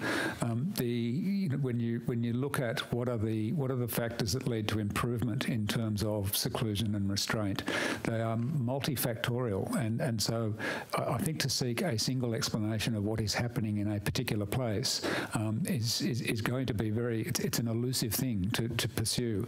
Um, and in terms of the what are we trying to do, we are trying to understand. Um, Con- Concord is a quite a complex um, mental health facility. It's a very large facility managing a, a, a, a wide range of individuals with mental health problems, including having an, uh, an adult mental health inpatient, uh, sorry, mental health intensive care unit. Um, that means that they um, are managing some of the most challenging and at, at times quite high risk individuals and there, there is a utilisation of um, seclusion as a way to keep that person, other patients, and staff safe. Um, and I ha- have regular um, instances of knowing what those challenges are, and I don't think we should underestimate what an invidious situation it is for the for the for both the staff and the consumers themselves in some of those situations. All of the facilities in um, New South Wales that have mental health intensive care units um, are somewhat outlying in terms of the seclusion rates, and that is a function of this very challenging, very difficult situation they drive. I would add, though, and, and I'm sorry to go on, but I would add that it's not just a case of um, trying to understand what is happening, but trying to offer um, the strategies which help lead to improvements. Um, and so we have funded the mental health patient safety program through the Clinical Excellence Commission over the last couple of years. It specifically arose out of the seclusion review in 2017 as a way to address the importance of trying to help the staff and their managers um, to Im improve practice in the multiple ways that lead to a difference with seclusion and restraint. It's a long way from over. It's still a problem. Yes, it concerns me. Yes, we're still following up on it, um, and um, and and we will continue to do so until we, until we see these these figures improve. Dr. Dr. Wright, after the break, I will return to this for your benefit. I will return to questioning in this area. Hey, Faehrmann. Thank you, Chair. Um, Minister, I just want to turn to uh, the situation regarding community mental health services in Griffith and the Murrumbidgee. Mm -hmm. In an interview with ABC Riverina on the 21st of February, um, you did say that there was no wait list for community health services in Griffith and the Murrumbidgee. Is that correct? What I said was that there were no wait lists at Griffith Community Health, Ms Faehrmann. So, are you aware of the um, extraordinary wait lists for mental health services in the area? I am, I am aware of uh, pressure for mental health services, but my comment, and it is still the case to this day, is that there is no wait list at Griffith Community Health. So, Griffith Community Health has mental health services available for anybody who wants it. Is that correct? Then? At Griffith Community Mental Health, that's correct. At, There's no waiting list. At Griffith Community Health. So I, I have a um, case study uh, here from uh, somebody who has, has agreed for their, their situation to be um, made public in, in this in this instance. So it's a Griffith resident, Bree Hanson, who said that she was trying to find mental health support in Griffith. She was trying to find clinical psychologists, psychiatrists. She said that there is a lack of them in Griffith. If there is one, you are paying an arm and a leg, and that she currently has to see a psychiatrist from Sydney via telehealth. So the Griffith Community Mental Health Service can't can't provide Bree with what she's after in this instance? Well, that's a question that we'd have to ask Bree, and I would ask that you raise those issues with me and, and my office so that we can direct Bree and see if there's any other ways that we can help her access those services that she needs. And, and in saying that, uh, you know, one of the things that we've seen with COVID as well is that the use of virtual and telehealth has been really effective in terms of mental health and being able to do that. And I mean, you know, I, have helped many people that contact my office in terms of accessing services, and I'm very happy to do that. So most of them are telehealth services, are they? No, no. Um, a whole different. The, the thing with the mental health response is that what suits you may not suit me, and it may not suit someone else. So it's about finding that service and finding that pathway that's appropriate for that person to be able to access. That, that's what's really important here. So there's a there are an extraordinary number of people, though, who were transferred from Griffith Hospital to Wagga for mental health care. It is a situation in that local health district which there is a demand for mental health services that currently isn't being met. But you've just you just talked about two different things there. You're talking about a demand for mental health services, and then you're talking about mental health beds. So when we look at beds and, and acuity, we absolutely need to have mental health beds. But what's really important is that we have those services on the ground that are helping people, because most of the time, and particularly in the case of young people, and, and Dr. Wright can talk to this because he's the professional, is that you know what we're looking at is keeping people out of those acute admissions because often an admission to an acute mental health unit for a young person can actually be detrimental to their health outcomes. It's a very big consideration. So we try to support people as much as we can in the communities to ensure that they get the best health outcomes. So to just be talking about beds is not the answer when we're talking about mental health services. They're absolutely an important part of it. But the so, really important part is making sure that those services exist in the community community. and, and also, too, Ms. Fenton, I would say to you as well, there's almost, I think, 30 full-time equivalents that work out of Griffith Community Mental Health. So, what are you doing, Minister, to try and attract more psychologists and psychiatrists into the regional areas of, um, say, the Murrumbidgee Local Health District? Yeah, yeah. Look, we have got the psychiatry workforce plan that, that we continue to work through. We are looking at, you know, in terms of that, that is, I mean, we've talked about this before, it's a nationwide shortage in terms of psychiatrists and in psychologists as well. I, I want to see more people be able to train locally. We're seeing some really great results. I met someone the other day at the Griffith Country University Centre who's training to do his psychology degree, wants to stay in Griffith about growing your own. Another really positive result out of the country university centres that's happening. Uh, we have got a workforce plan that Phil and Murray can talk towards as well if, if, you, if you'd like that. And, you know, recently I opened the Safe Haven in Griffith as well that is just going to be a wonderful contribution to the services on the ground there. Spoke extensively with service providers. Uh, as I said before, and I alluded to with this safe haven model, I, I, am I'm cautiously excited about the anecdotal results that we're getting already. Um, I was talking to a, a gentleman in Western Sydney who was an Iraqi refugee who found it very difficult to talk about his mental health challenges because of the cultural issues that that said during, and we opened that early during COVID. He spoke at the opening of that centre and said that walking through those doors, talking to the peer support workers saved his life. And I think by looking at these different models of care that we're doing, things like Safe Haven, things like our Towards Zero suicide prevention strategy are all parts of the mix that, that we're looking at to make sure that we have a myriad of services that are providing services to the community. And what I would say is that anyone that is in the ability to do so or who is approached by someone who is struggling to please make sure that they get the appropriate information that they need. Okay, thank you. I'll, I'll continue asking questions on this la um, later this afternoon rather than going to the um, officials now, if that's okay. I wanted to turn to cancer um, treatments in the regions. We've heard cancer treatment, I should say, access to um, publicly funded cancer treatment. We've heard a lot about this during the regional health inquiry. Um, there are a couple of, um, again, people who have contacted my office with concerns about lack of um, support. One example is a Aboriginal man who has prostate cancer living in Condobolin. There is a treatment for prostate cancer, which is only available for a procedure which is only available for private patients. He's, he's been told that the prostate cancer operation he will have to have in the public system will leave him incontinent and impotent for the rest of his life and he'll have to wear a nappy. To get it through the private system means he won't be, um, he won't be incontinent and impotent, but that's going to cost about $36,000, which he doesn't have. He's not privately insured. Is this acceptable in regional New South Wales that we have people having to accept an operation, a man that will have to accept an operation if he wants to fight his cancer in the public system that will leave him incompetent, eh, sorry, incontinent and impotent? Um, impotent?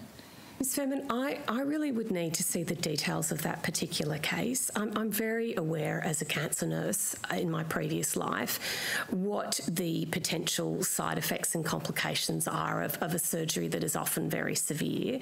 Um, I, I, have a, a, very, very strong knowledge of prostate cancer and those consequences. My, my father himself had it. But I will say to you that I cannot address that issue raised here today in budget estimates about a clinical pathway and clinical decision, and to suggest that someone is being offered substandard care is something that I really would urge you very strongly to bring forward to me. I have written to the Minister, uh, Minister Hazzard, about this right, in well, if you uh, could please January. today um, get that, I, I, would appreciate that. I will ask Dr. Lyons as well to comment on that on that particular case. Look, I'm happy, happy to make some general comments comments. I mean, I can't comment on the specifics that you've raised because I'm not aware of the clinical details. But um, to suggest that the services or procedures that are offered in the public sector for cancer care are second rate, I would reject completely. And we have world class cancer care, and in fact, the outcomes for our cancer patients across the board have been improving and are uh, com- comparable with international uh, standards for outcomes. The issues around the treatment for prostate cancer are very challenging in that those complications you refer to uh, are complications that can occur, occur from any type of surgery on the prostate.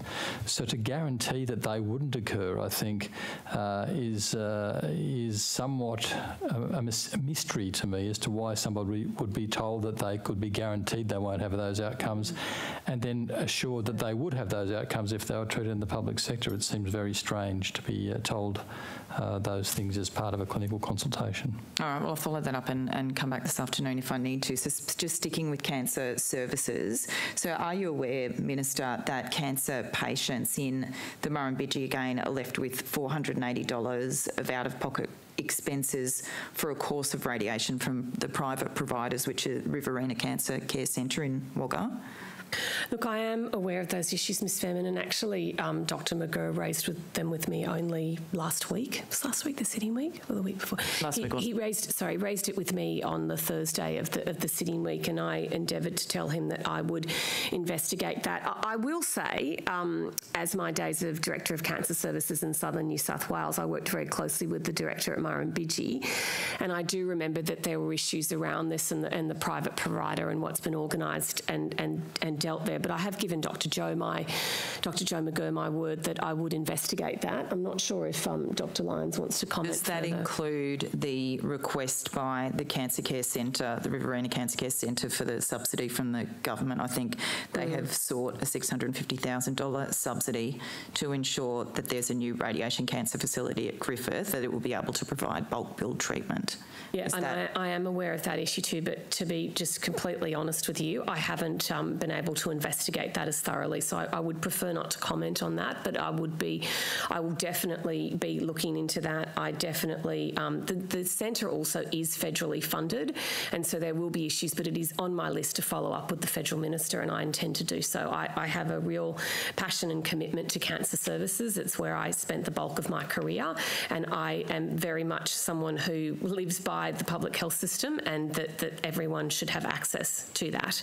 But in, well, in that vein, surely the Murrumbidgee Local Health District should be providing radiation cancer services directly to, like in their public hospitals. Yes, but that was an agreement that was started with the Riverina Cancer Centre that was well before my time that I will have to look into. But, but but the real issue here is that those services are there in that area. That's what we want to see. In terms of out of pocket, $480 cost to people. In, in terms of out of pocket expenses, that's something that I will have to look for, look to, and, and compare right across the state. So I don't want to comment on that now to you because I don't have the accurate information myself, and that would be wrong of me. So I will be looking into that and investigating that. Okay, I do understand that the government has has been uh, considering this. That a decision was made in mid-January as to whether they were going to provide that six hundred and fifty thousand dollars subsidy to to. So my understanding is that New South Wales Health and the district are reviewing the proposal. Okay, all right, thank you. I just wanted to uh, let's just stick with the Murrumbidgee till my time's up. If we could just go to Leeton Hospital. Um, at the New South Wales Rural Health Inquiry, it was revealed that the government spent $3 million upgrading a 66 bed Leeton Hospital operating theatre. Um, so, why? We also heard that the operating theatre hasn't been used for the past five years. Why is that? Uh, in terms of Leeton Hospital in the last five years, Dr. Lyons, would you like to answer that? I haven't got the specifics around Leeton Hospital's operating theatre in front of me, but if a theatre is not being used in a facility where one was built, it'll be because there aren't the clinicians who can provide those sorts of services available to deliver those services locally. So in August, the Murrumbidgee LHD announced it had called off the search for a uh, chief medical officer in Leeton Hospital. Do you know why the search has been called off? I don't have any details about that, I'm sorry. Could you get back to me maybe for we can take we can find out take that maybe question on We'll notice. take on notice. yeah. So the I also understand that the phrase Leeton District Hospital has been deleted from the Murrumbidgee Local Health Service website. It's now called Leeton Health Service. Is this a deliberate um, strategy to, to downgrade the Leeton Public Hospital to a, to a health service? Not at all. I mean, where those uh, that terminology is used is because it's usually used to encompass that there are more than just the hospital services provided in those towns. That there are community services and other services available to the community. So it's about the fact that it's a broader service than just a district hospital. It wouldn't be a downgrade at all. Also happening at the same time as the as the search has been called off for a chief medical officer in Leeton Hospital. Let us find think the community details of has- that, has and a- perhaps it's been extensively advertised. We, we don't know, so we won't comment, and we'll take that the on notice. Leeton community, though, that they the, the, the government's given up on them in finding a Oh, chief that- medical officer just- for that's Leeton just Hospital. not- That is just not correct. That's just trying to, you know, Take a point of order on that. I think, I, uh, think we've had a, a request for a point of order to be taken, so Uh, thank you, Chair. Look, um, you know, I, I note the um, the respectful uh, conduct of the the inquiry uh, into budget estimates to to this point, but I, I think the phrasing of that question was possibly uh, not helpful to uh, the members that are here, but also to the members of the Leeton community. So I just think that we could actually be a bit more. I'll rephrase. Thank you, Ms. Will, Faehrmann. will the minister guarantee to the Leeton community that the that New South Wales Health will renew its push to find a chief medical officer for Leeton Hospital? What, what my guarantee is to every single community in rural and regional New South mm-hmm. Wales, Ms Faehrmann, is that I want to see the best services provided locally as safely and as best to the ability to ensure that we get really good health outcomes. As you know from sitting on the inquiry for an extensive period of time, there have been issues with the medical workforce going out to rural and regional New South Wales. It is my job, and I look forward to the suggestions from the inquiry, to make sure that we can encourage doctors and we can see that increase in rural and regional New South Wales.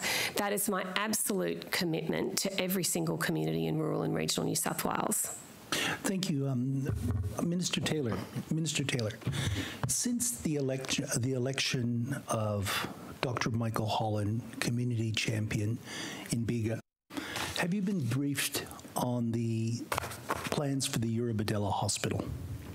I haven't had extensive briefs, but Mr. uh, Minister Hazzard did announce that the Eurobodalla Hospital would go ahead during that uh, in recent in recent times. I understand he was down there and he did that. Um, have you sought any briefings or you, you earlier today made a great point about being the Minister for Regional Health. So have you sought any briefings or updates on the status of Minister Hazzard's promise on being on um, Eurobodalla Hospital? Look, I'm in discussions all the time about, uh, we have a very big health infrastructure build going on in, in rural and regional New South Wales, as you'd be aware, unprecedented amount of, of building in terms of infrastructure, in terms of those services. And where does I, Eurobodalla, I'm very, I, and where does have- it fit into that? Sorry, can I And where just does it fit into that? No, no, no. I'm asking I a know, very but I'd like to finish my No, question, but I'd like a, Secord. I'd like an answer on this hospital. I don't want broad sweeping statements. I'm gonna I want an answer now, on this hospital. Okay, a specific question, but the point of order, so... Sorry, sorry, Ms. Fang, Mr. Fang. Chair, um, for the benefit of Hansard, I think in particular we need to have one speaker at a time. I think that uh, talking over the minister when she's answering a question is unhelpful for, for Hansard, but also for those people that are viewing today. So I just ask that um, while the minister is speaking and she's addressing the question, that uh, she be permitted to finish before the Walt Secord asks for any clarification, which of course he's entitled to do. Proceed, Minister. Thank you. So thank you very much, Mr Chair. I appreciate that. Uh, so as we've said, the government will commence the construction of the new $260 million Eurobodalla Health Service during this term of government, and the new Euroba- Eurobodalla Regional Hospital is anticipated to be commissioned in 2025. Has the purchase of the new hospital site been finalised? In terms of the new hospital site? Has the Uh, site my understanding is it's working through the process at the moment, Mr Secord, so it hasn't been finalised at this point. Right, it hasn't been finalised. Thank you for the clarity. Um, Minister, can you give a commitment, and if you're unable to do this, maybe the health officials can, that when the hospital does open, it'll be fully open, fully at level four? Not some parts, but everything from day one will be level four. Now, that was a commitment from Minister Hazzard. If, would you like to comment on that, Dr Lyons? If that was a commitment from Minister Hazzard, that's the commitment from Minister Hazzard. I mean, I don't think there's more to, for us to add to that. Level four. Commitment to level four. So no weasel words. It will be. A, Planning down there, sort of. So oh, would you like to answer the question, oh, Minister Mallard? Thank you. Okay. Oh, I'd like to take you to Shoalhaven Hospital. Shoalhaven Hospital's subacute mental health ward only reopened in February after it was closed for COVID repurposing. What happened to those individuals who needed to be treated in a subacute ward? As you'd be aware, Mr. Secord, it was a subacute ward that was shut to be repurposed for our response to COVID. Yep. Those patients would have been looked after, diverted, either looked after in the community or looked after in other facilities to ensure that their best health outcomes were reached. This is this is what happens when you need to repurpose and you need to respond to COVID, and what an incredible job our our health staff have done when they did that. A lot of I think a few patients went to Shellharbour and, and it all was managed very well. Minister, why is Shoalhaven Hospital the worst performing emergency department in the local health district? In fact, one of the most under pressure emergency departments outside of Sydney, Wollongong, and Newcastle. In terms of what's happening down there? Why is that the case? Shoalhaven's a, a, a, very busy hospital. We've got very busy hospitals uh, across many of our regional communities, Mr. Secord. So uh, I, am not sure where you're alluding to in terms of the pressure and where you're getting that advice from. Well, from the BHI, the, the Bureau of Health Information.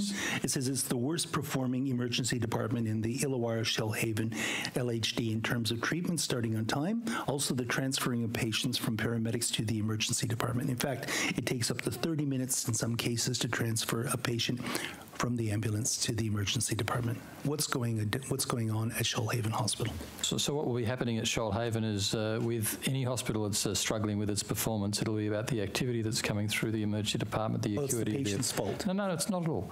The acuity of the acuity of the patients uh, and the, the ability of the hospital to ensure that they have the staff available to meet those needs around the clock and uh, to have the ability to ensure that they can be uh, provided definitive treatment, whether that's in the Shoalhaven Hospital hospital or whether they require transfer to another hospital. So we do from time to time have challenges with workforce, uh, particularly for those hospitals that are on the periphery uh, and uh, geographically Shoalhaven would fit into that category.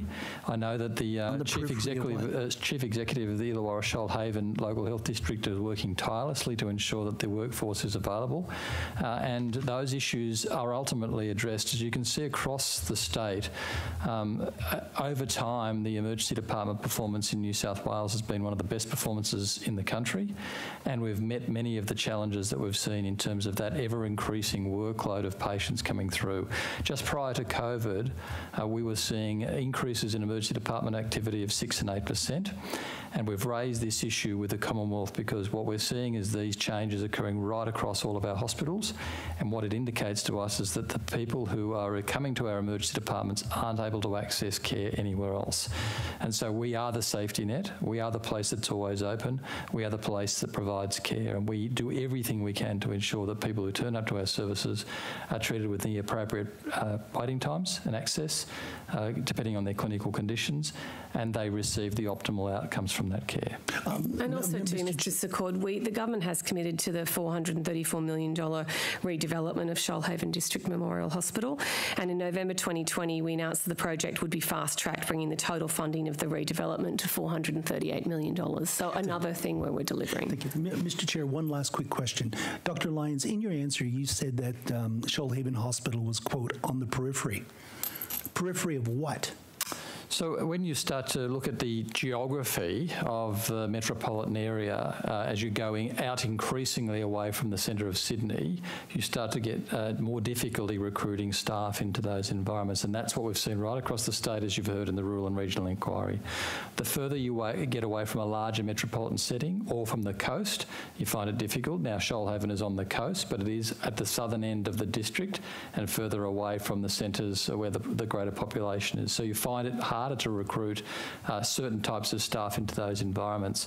It's been compounded by the fact, as we've heard from our chief executives, that many of those services uh, rely on the fact we recruit uh, doctors from overseas as part of the uh, training for emergency positions, and those positions haven't been able to be filled because of the closure of international borders.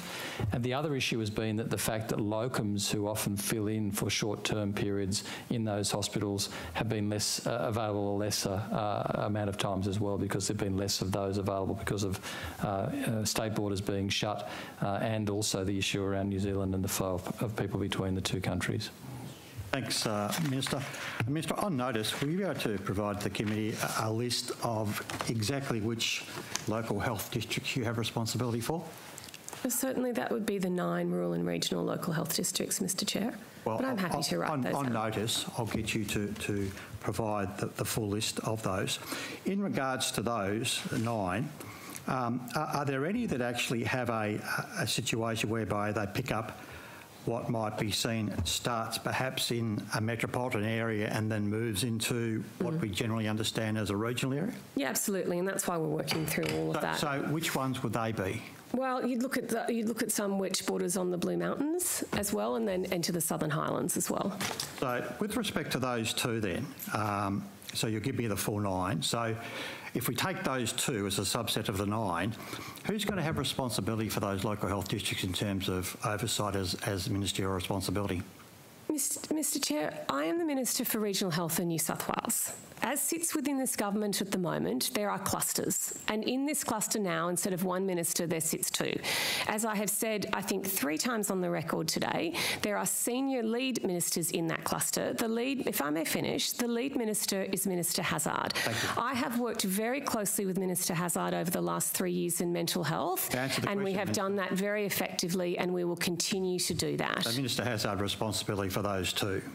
No, Mr. Chair. You, you, you know, with respect, please Okay. don't put words into my mouth. I am answering in the clearest way possible, and what I have said to you is that we are we have not finalised the distribution of that, but that, that the way we sit in this health cluster, and regardless if we did, I would seek advice from Minister Hazzard on numerous occasions, as I always have, and as I will continue to do so, because the best interests of patient care is where we are all going from, not about who has responsibility and who wants to do what. This is about the people of New South Well, Wales. Minister, could I just say on the issue of who has responsibility and who says what, that, they are two significant issues that there is a lot of interest in, in terms of this new appointment of you as a minister for, for, for regional health. Mm-hmm. So don't underestimate the significance of those two questions in, as we look forward, the respective responsibilities between you and Minister Hazzard. Yeah, exactly the same as it has with mental health, which I have Well- sat on this budget estimates committee for the last three years.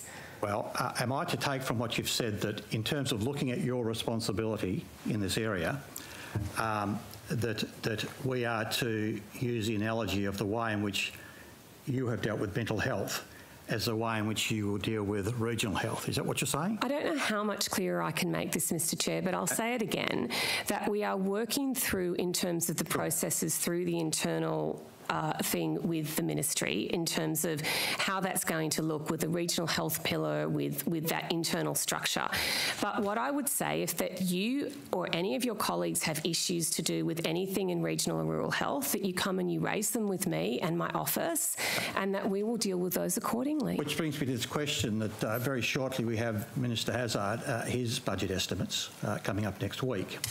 Um, is it the case that on questions to do with matters uh, in the nine uh, LHDs that you say you have responsibility for, that, that in fact we, we ought not or should not direct questions to Minister Hazzard? I would I would never presume to suggest which questions you could defer to Mr. Minister Hazzard, and I'm sure that he would take all of them um, and answer them in the appropriate manner. And I think that's a, really a matter for you what you choose to do Well, there. uh, if I've got a, a constituent issue in a regional area as raised with me, um, are are you saying, uh, in from your evidence you've given, that under the new uh, arrangement, that, that in fact I, I I need to direct that question to yourself uh, as opposed to Minister Hazzard?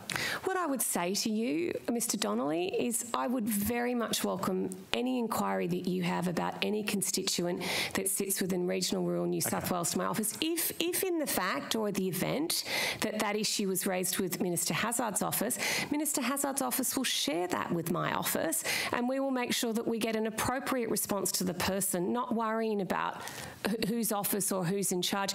Our officers speak multiple times, multiple days. I speak to Minister Hazzard multiple times a day. I'm sure. On the issue of the appointments to the boards, the local health districts, uh, our understanding clearly is that with respect to the signing off of those appointments to those boards, including the nine that you have responsibility for, the signing off is done by Minister Hazzard and will be done by Minister Hazzard into the future, not yourself. Do you have a different understanding? Well, actually, Minister Hazzard and I have discussed that and we'll sign that off jointly. So, with respect to the nine LHDs uh, that uh, that you have responsibility for, the appointments to the LHD boards will be joint appointments. In other words, you and Minister Hazzard will, I use the vernacular, sign the paperwork. Is that what you're saying? So, what will happen that we've discussed recently, and there was a case recently, as I said, I've had the portfolio for 11 weeks, is that often those things in any capacity are, are jointly signed off and, and jointly discussed, but those recommendations come up through the ministry and they'll be signed off. Well, how could they be jointly signed off if there was only Because there's two spots for two signatures on the brief. No, no, no, no. If up until now there was just one minister, That's right. And now there's two. So are you saying potentially there's, there is the option with respect to, oh, just to be clear, so with the nine LHDs, as we proceed forward from today, or from your appointment, that there'll be dual signatures on those appointments? Is that what you're saying? Okay. Can I just uh, go to the question uh, of the uh, development of the forthcoming uh, state budget and specific, specifically the health budget? Um, uh, what input are you having uh, over the development of the health budget for 23, 24, 2022, 23? Having a significant input. What is that? Well, I'm not going to discuss budget bids here and budget. No, no, I'm not asking you to, but, but uh, I'll be putting proposals forward as is the appropriate way for any minister to put those forward right, so you'll be through putting the appropriate budget processes and to, cabinet to processes. Minister Hazzard. I will be putting forward budget bids as I have in mental health, as I did in regional youth, as I do in women, and as I now will in regional health. And Minister Hazzard and I will discuss those. I hope. I hope to seek his advice, his contribution with his wealth of experience, his wealth of knowledge to put that forward. Uh, But in terms of the process, if No, I can okay. maybe just explain it to you to No, no, elaborate, you've- you've each minister is you- you've responsible to put it. Forward their submitting it to- budget bids. You'll be submitting it to Minister, Health, to Minister Hazzard. I understand what you've said. No, I'm not. I don't think you understand, respectfully. Well, what what respect happens when you're a minister in the government? You are responsible for putting forward your budget bids Correct. according to your portfolio. I am the Minister for Regional Health. For the junior minister. I will be putting forward. Yeah, sorry, I- um, you know, Chair, I you think know, that if, I'm- if I'm that's what you want to play, no, no, seriously, if you want to try and demean me and my role as the Minister for Regional Health in that capacity as the chair of this committee, I'm going to let that go. But I I'm would, I would suggest Minister. that you think about No, what you're Minister, saying. You have provided very little information to this committee this morning, and we, our time's about to expire relatively soon. You've had the whole morning to explain to the committee what essentially is the role that you have as a regional health minister. You've had multiple questions directed to you to help us understand what that role is, and you've come up with diddly squat. All we know that you are, have been appointed as the regional health minister. There are nine LHDs that you have some responsibility for, but we don't know precisely what they are. The only thing you've told us in regards to those LHDs is that with respect to future appointments to the board, uh, you'll be a co-signatory. That's all we have found out from you this morning about what your role is going to be in regards to the regional health minister. Mr Donnelly, I would dispute that, and perhaps it's the way that you choose to listen and interpret that. But I would, I would just point out to you that I am the fourth most senior minister in this government in New South Wales. I am the most senior woman in this government in New South Wales. Got nothing to do so with to gender, try Minister. and to do with patronise me gender. in that way is It's- unacceptable. No, Minister, you don't play the gender card. It's got nothing to do with gender. Chair, Chair. I- I've indicated to you, you've had the morning, you've had the morning to explain what essentially your role is, and you've utterly failed. That's what I'm I saying. would ask you to withdraw that comment about me playing the gender card, Mr. Chair. I would You're the one- ask you Minister, to withdraw. Are you raised it. choosing not to withdraw that? Uh, Minister, you raised it. No, you did. No, Minister, you, put it on the table. said no, no, I no. was playing the gender card. Because you put it on the table, Minister. You said you're the most senior female. You put that on the table. And you said I was playing the gender card. Where? I was simply stating the facts. No, Minister, you put that on the table deliberately. Chair, I'm going to have to raise a point of order about you, and I think that that's difficult, obviously, in the circumstances. proceed. I want to ask a question. No, I was going to call a point of order as well and support the minister's request that, that the, the, the uh, accusation of playing the gender card um, be withdrawn. Chair. Uh, well, um, yes or no? The will of the committee. Because just saying she's the most senior woman in this uh, government is not playing the gender card with respect, Chair.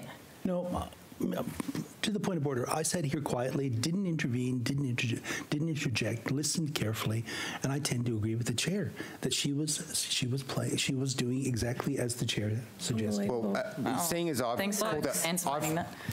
I've called the point of order, and um, I- I think some of the commentary that was made um, of late was unhelpful, and I think that um, on reflection, Chair, you may view back uh, this footage or read back the Hansard, and you may regret some of the the, the commentary, um, and so I think that the minister's giving you an opportunity now to uh, address that um, in this forum, and I think you might be um, it might be helpful to you to to be able to um, address it as the minister has requested.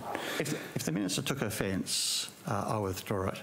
But I simply say the minister put it on the table. Wow. Chair, I think um, I, The, the chair, the chair withdrew. Let's no, no, no, on. no. I, I, The chair so- withdrew. No, That was- the point of order, the chair conditionally withdrew. Just withdraw it and let's move on. You're not the deputy president. Uh, sir. I, I'm very clear in my response. No, no, I understand. I, I- I'm, I'm, I'll just Yeah, thought I'd no, that- raise it. that's fine. The minister deliberately put it into the into the, her response, and I responded to it. It's got nothing to do with gender. Some of the other commentary that was made that I, I think was probably, you may reflect and find helpful, was uh, commentary about um, the way that the minister had uh, addressed her role. And I, and I would raise the point that it's it's not the minister's job to explain her role. It- the questions come from you and the crossbench, and so she addresses the questions that you put to her. I, think if you look back at the Hansard, you will see that every single one of those questions has been addressed. If there is not clarity in the minds of the opposition and the crossbenchers to her role, it would be down to the questions that you asked, not the answers the minister gave. So to then blame the minister for those answers, I, I, I thought was actually incorrect as well, but that was something that I was going to raise as well. Sure.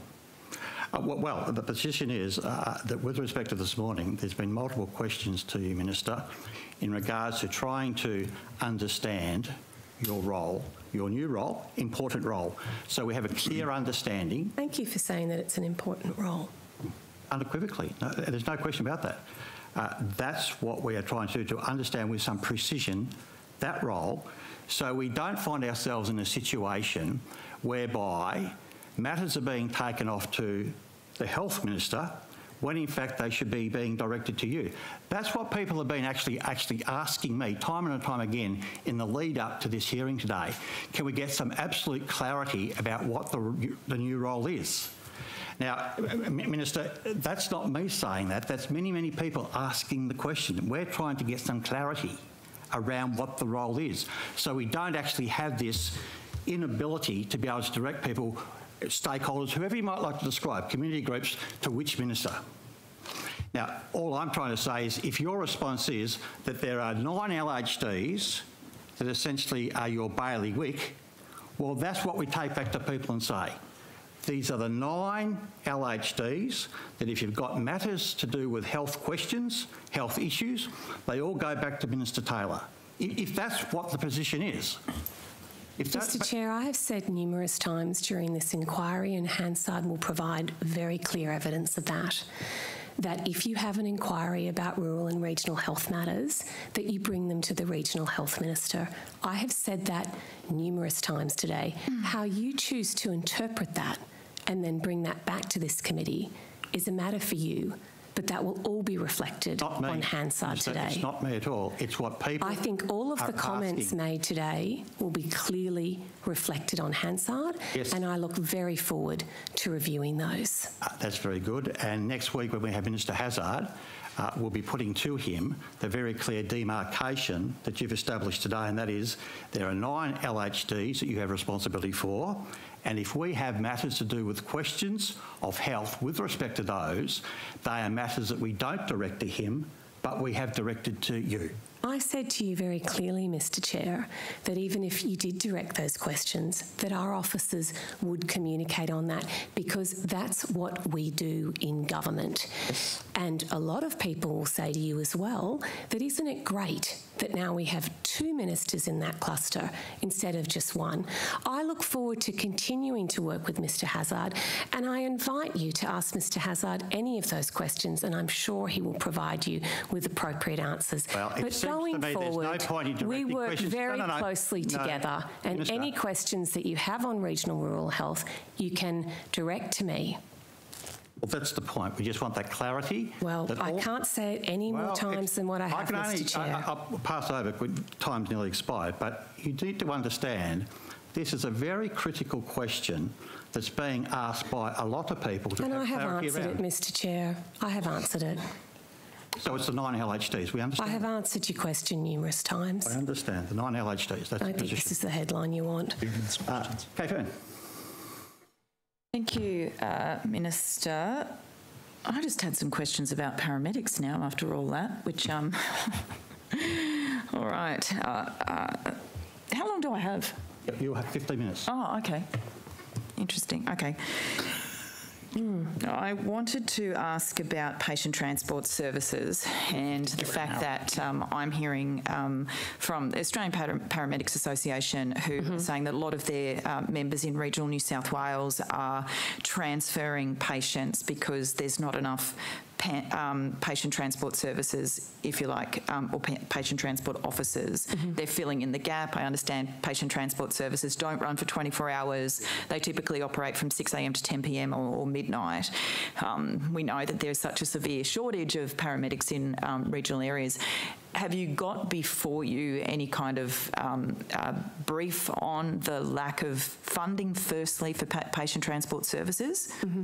Do so you two different things there. They patient are two different things. And paramedics. So can I go to paramedics first? Okay. I, or do you want me to go? Doesn't matter as long as they're, they Okay. Yeah, you can I'll, see I'll they're get, linked. I'll get. You can see um, they're linked. Patient everyone to- transport yes, services I can, first. and I yes. think you're exactly right. And I think that the difference with patient transport, obviously, is if people don't need that paramedic on board and that ambulance staff to be able to transport patients if they have a low acuity and it's safe to do so, we'll use patient transport services instead of an ambulance.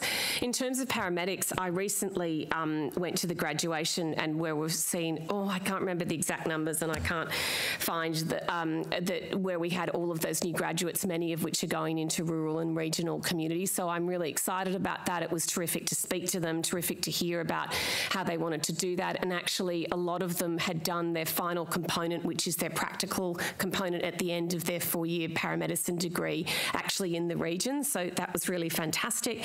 But in terms of um, patient transport and paramedic um, ambulance transport, Dr. Lyons, will that come to you to? In terms of paramedic numbers, I, I might defer to Mr Minns. Uh, that would be the first, and then I can come back and talk about patient transport services.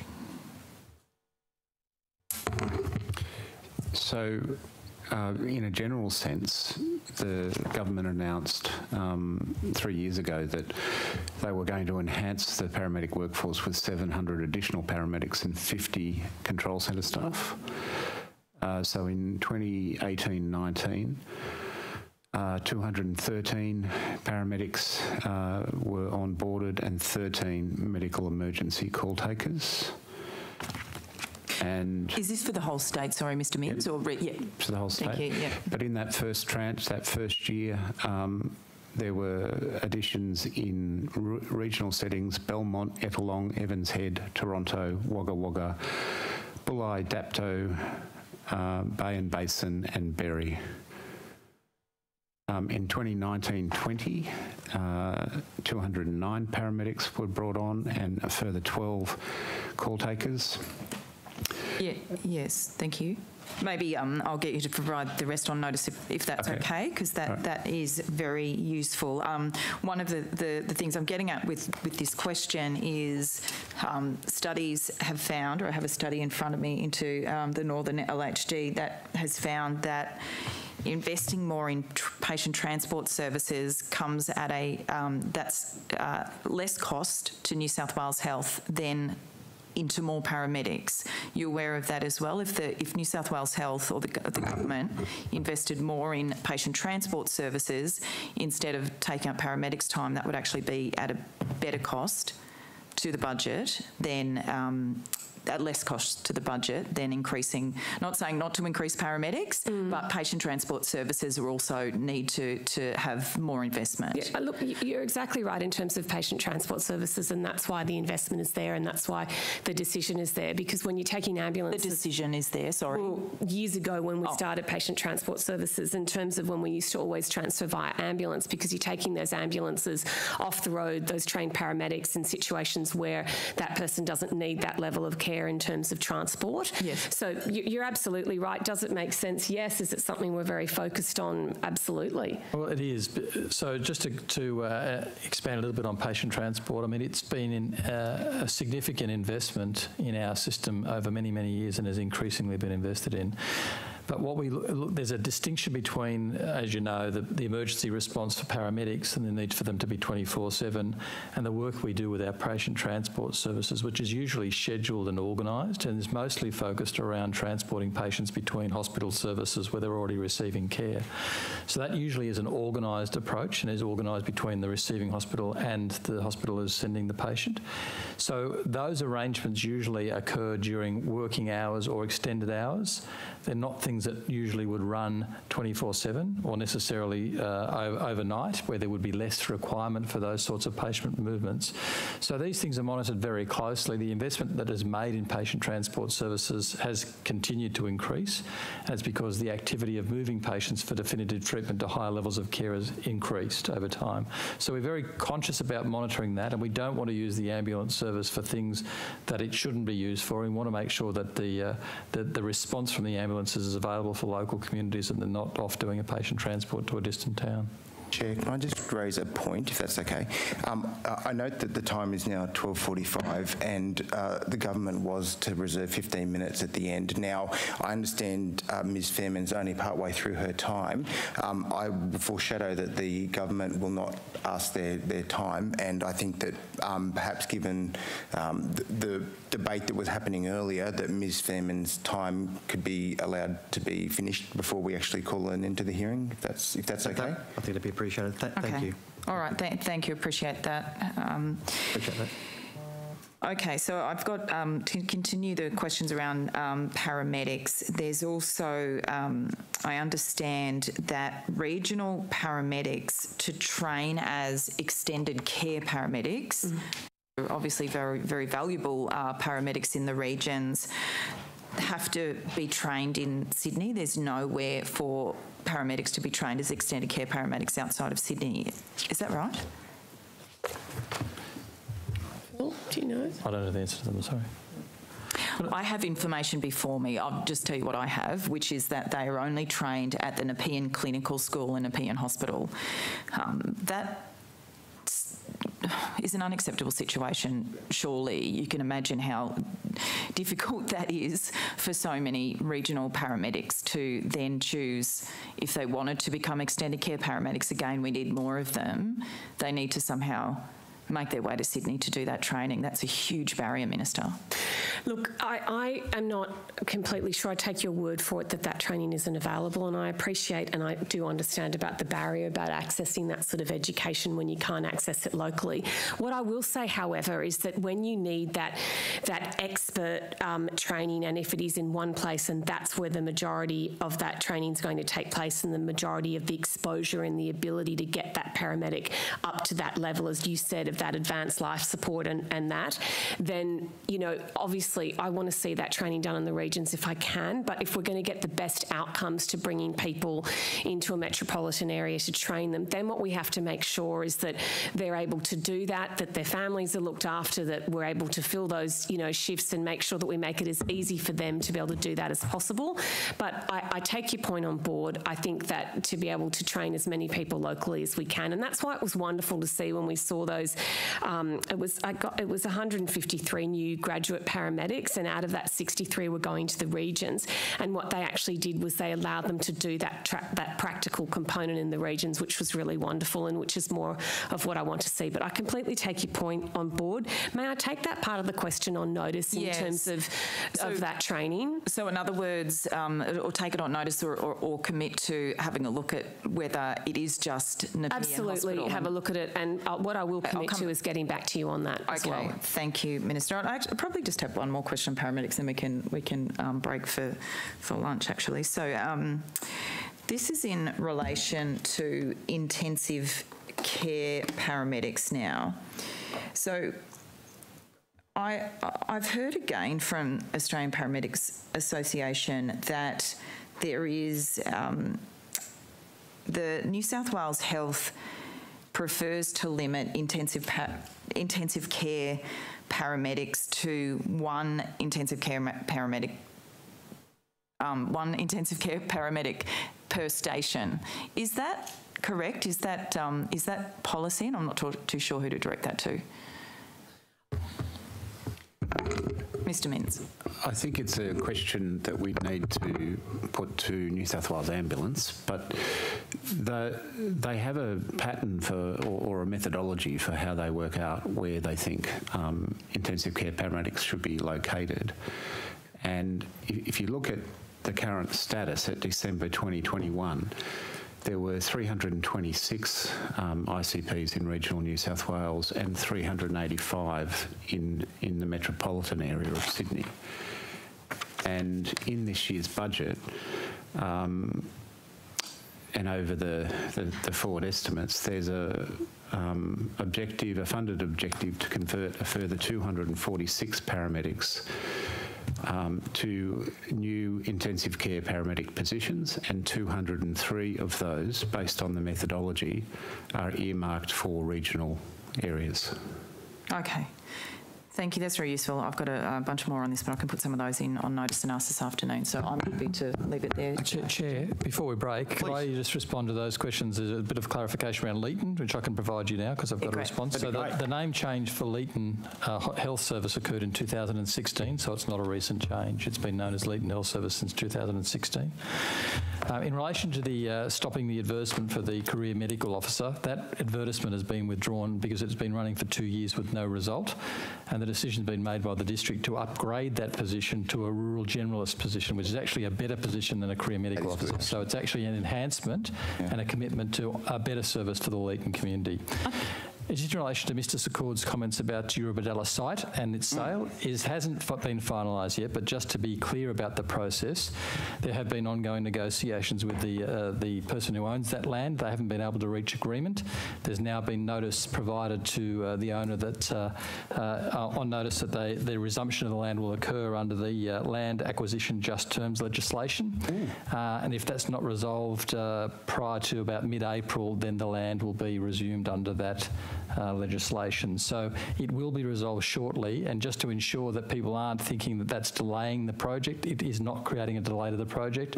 Uh, early works are envisaged on that site by later this calendar year. So I just wanted to make sure those things were clarified. Thank you, Dr. Lyons. Thank you. I'm just wondering if one more about the location of training. Um, I've just been advised by this Chief Executive of New South Wales Ambulance that that um, four-year funding that I mentioned that is to convert 246 paramedics to ICPs, uh, will provide an opportunity to undertake some training in regional hospitals as well as Metro.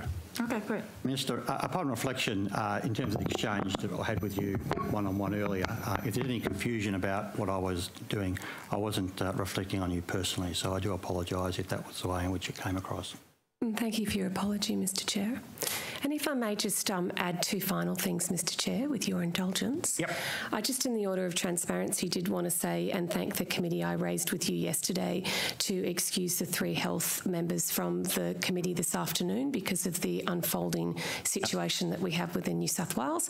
Your response to me was that you wanted some of them to remain, so two out of the three will remain. So Ms Koff will be leaving, but please, if the if the committee could please take into consideration, this is not politics. This is not a game. This is actually a genuine request because of the pressure that they're under. Uh, Dr. Lyons actually shredded two tyres on the way up here on the roads yesterday with, with the way it was. But the other thing that I would like to quickly say, and I'm sure you will share my sentiments, Mr. Chair, is the enormous gratitude that all of us as public servants of this state have to Elizabeth Koff for her incredible leadership as the Secretary of Health. This will be her last budget estimates. Her final day uh, will be tomorrow. She has been an absolute standout in terms of her leadership, in terms of her uh, personal workings with me. My office and myself have just an enormous respect, and I think the people of New South Wales, the government of New South Wales, owe her an incredibly great debt. Here, here. Uh, well, can I a- a- add to that? Uh, you, you, you, in fact, have, have done it in a very timely fashion because, in fact, both of you won't be available this afternoon, uh, and that's been been agreed to. Um, but, uh, Ms. Koff, we, we, we really do appreciate uh, the contribution you've made to. Uh, the body politic here in New South Wales, uh, not as an elected representative, but rather a key person at the most senior level with the, government in terms of a, a department which is very, very significant, effectively a third of the state budget, a third of what the government does in New South Wales. Um, I found you to be a highly professional individual. I, I don't know how many uh, budget estimates you've been. few. Uh, a Too few. many. Um, Too many. Perhaps won't, won't be something that you'll regret not having appeared before, but can I say I've always found you a, a straight shooter, if I could put it that way, uh, highly professional. Uh, if there's been matters that need to be, excuse me, clarified, you've been very efficient in the way you've done that either on the day or for the follow-up with respect to answers to supplementary questions or questions on notice. So we wish you all, I'm not just the committee, but, but uh, I'm sure all members of the House, uh, uh, our very best wishes for, I presume, is a retirement or at least a semi-retirement. Perhaps a busy person like you probably won't just retire like that. No, no. Um, I'm, But a I'm sure you'll have other roles. I don't imagine a person like you would just sit around. Uh, and uh, uh, as I said, uh, on behalf of uh, everyone here, thank you very much for the contribution you made to to health uh, at the highest level in the state. Thank you very much. Thank you, Mr. History will Much record the work you Thank did you. to keep us safe. Thank you. Thank you. Here, here. Okay, we'll break for lunch and be back at two. Two. Thank you.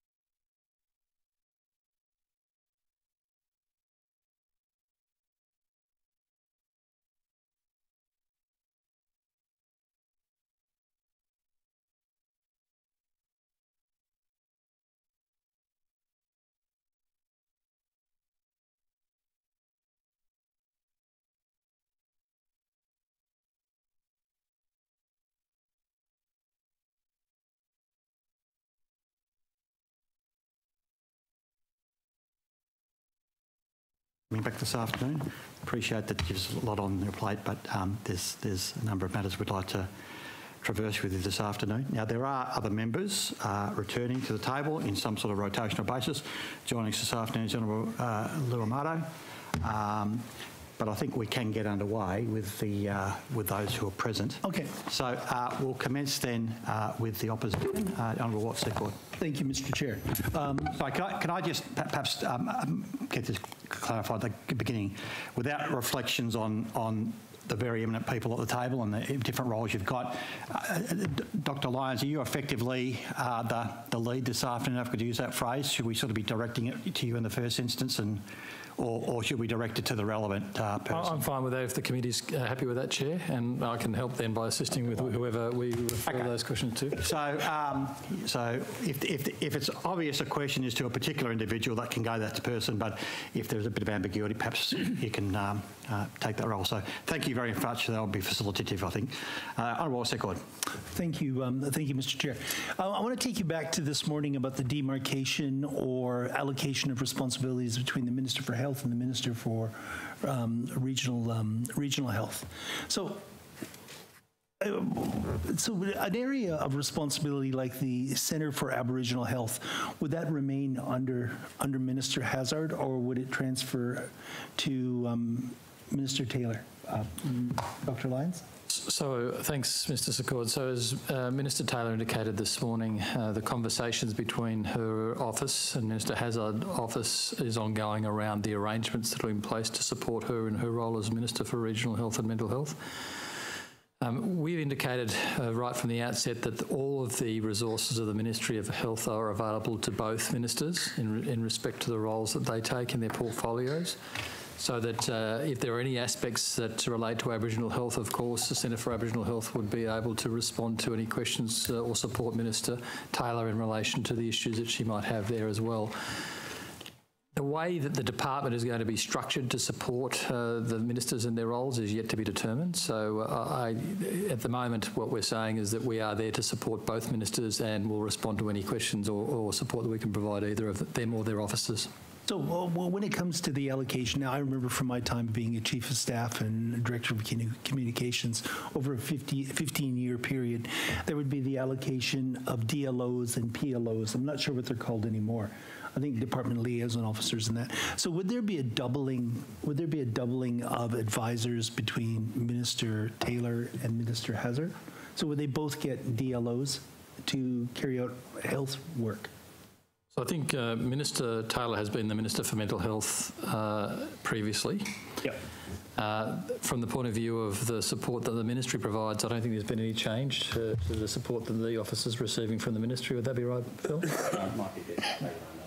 We might take it on notice to, to be absolutely clear, but uh, you know, we have um, provided support previously uh, to Minister Taylor's office because she was the Minister for Mental Health, so the arrangements uh, will continue. Okay, but um, I do accept that Mr. Minns has taken it on notice. But what happens currently? I mean, in fact, do they have, is there a health DLO in Minister Taylor's office as well as a health DLO? And I assume one or two in each office. At the, currently, like, I mean, that's not something you'd need to take on notice that you could probably tell me right now. Well, they do. They do have ministerial office staff, but um, I'm not completely familiar with how, you know, that responsibility is um, allocated within the office. So it's a question that I would need to put to the minister's chief of staff.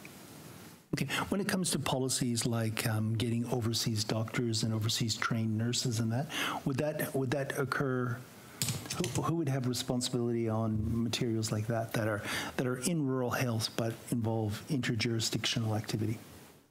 So from the ministry's perspective, we'd be providing advice when requested to the minister or, or ministers, and um, after that, it's really a matter for the two ministers.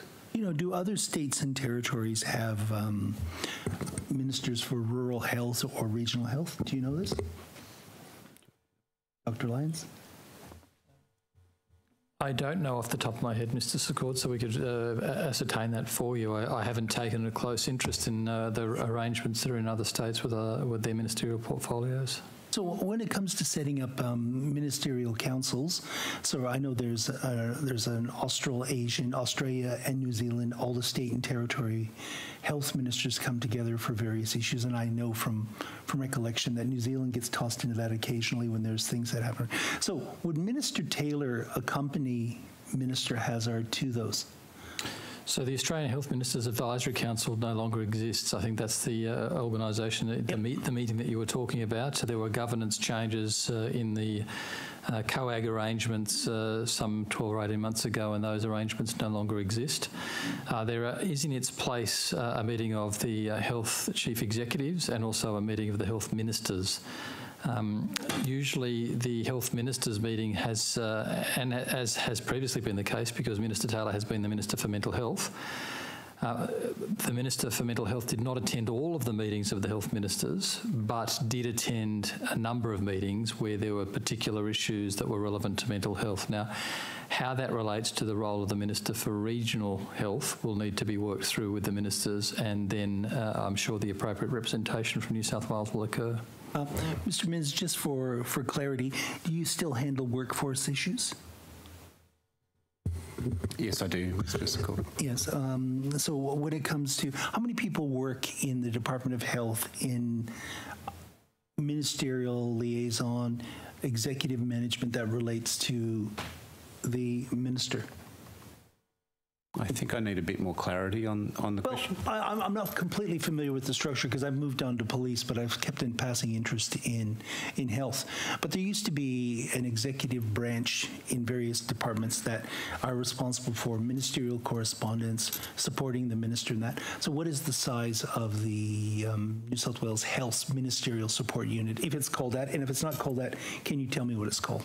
So we have a branch called Executive and Ministerial Services. Yep. Okay, that's um, what I mean. Someone will send me a text with the exact number of staff that are in it, but I think it's in the 40s. 40s. So can you give me the, uh, if you need to take it on notice, I understand that. Can you give me the number before the appointment, uh, one month before the appointment of Minister Taylor, and what it, will be on, how many people will be there on March the 3rd as of close of business today? Yes, I can do that, Mr. Secord, but I'm not aware of any um, increase. Okay, but can you check just in case that it's occurred? I will, yes.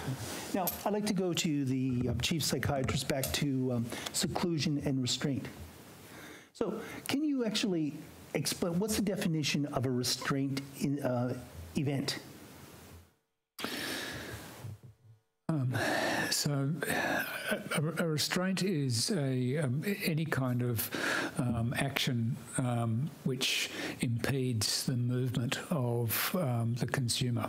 So it can be physical, mechanical, and chemical. Is that correct? Yes, it can. So, so physical can be holding down a person, yes. staff holding down. Mechanical can be what handcuffs, rest, physical restraints. Um, we don't use handcuffs, but um, straight yeah. jacket would used um, to be um, called. No, we don't. Jacket? We don't use straight jackets. We, there, there, are. Um, you can um, have straps. Yeah, straps. Okay, and the last one can be chemical. So. well, just a, a clarification. Yeah. so, uh, the in terms of what gets classified as restraint, um, um, sedation is when medication is used to manage um, people who have severe behavioural disturbance, and that does not get um, um, that is for a, a, range of reasons not classified as restraint because the um, the process which sedation involves is using medication which also has therapeutic purposes and it's actually impossible to differentiate the degree to which in, in some instances that that action is a therapeutic action to treat the underlying condition versus a sedation to manage behaviour. So we try to separate out that component of treatment so that we can um, have, if you like, a, a very clear focus on what is undeniably a form of restraint. And when, when you begin when you begin the timing of duration of restraint, um, it says the average duration of physical restraint was five minutes. Yes. Okay. So how does that differ from what's occurring at Concord where it says that the duration um, was longer than four hours and 11 hos. Okay, I'm quoting here. It says the duration, the average duration was longer than four hours in 11 New South Wales hospitals. They include Concord, 24 hours and 21 minutes, Cumberland, 22 hours, 44 minutes, Hornsby, 18 hours, 54 minutes, Nepean, 18 hours, 38 minutes, Liverpool, 17 hours, 27 minutes, Coffs Harbour, which is the country hospital, um, 9 hours and 35 minutes, and Prince of Wales Hospitals, 8 hours, 6 minutes, Royal Prince Alfred, 7 hours, 41 minutes, Lismore, second country hospital, 6 hours and 55 minutes, Blacktown, 5 hours, 5 minutes, and Bankstown Lidcombe, 5 hours and 3 minutes. Um, Again, uh, this morning I asked a number of questions, but I didn't feel that we actually got to the them. But so, why would all of those hospitals range between 24 hours to five hours restraining someone? So, does that mean that someone is in straps, as you, as your your word, for up to 24 hours at Concord? What what would be the situation where wouldn't there be like medical? Wouldn't you give someone an injection to relieve the anxiety or the aggression, if that's so why would why would someone be strapped up for 24 hours? Wouldn't that be wouldn't that be inhumane? And doesn't that sort of violate international benchmarks in that? But just as a clarification, Mr. Secord, I didn't say they would be in straps for that for that period of time. A restraint can be as simple as um, placing a hand on someone's shoulder to um, to, to manage their behaviour, all the way through to um, the application in, in, in, really severe cases of um, restraints, um, such as mechanical restraints. Um, the actual rate, the, the rate of the utilisation of mechanical restraints as opposed to physical restraints. So physical restraints restraint is the laying of hands in order to manage, and that's generally considered the least intrusive um, version um, so, kind so, of restraint. Just so I have clarity, so you're talking about putting a hand on someone's shoulder constitutes restraint in New South Wales? It can. It can because it's a it, you're basically and and and, and so. But um, I don't think someone's holding someone's shoulder for 24 hours and 21 minutes. I can't tell you precisely what they were doing, Mr. Secord, but I think the, the image of someone being um, strapped um, for a prolonged period of time is not one that I would necessarily um, agree with either. I think I think there's a range of things that happen which which constitute restraints. I need to be clear that the use of restraints is is something that you know I would like to see disappear, um, and, um, and and I think in those prolonged instances, um, as I mentioned this morning when we when we try and understand what's what's behind some of the um, high levels of seclusion. The same applies in restraints. We we want to understand why um, a particular service seems to either be using it more often mm. um, or has it in more more prolonged um, um, application of restraint. And until we have that conversation, um, anything that I would say about it would be would be speculative and, and likely to be um, um, um, missing the point.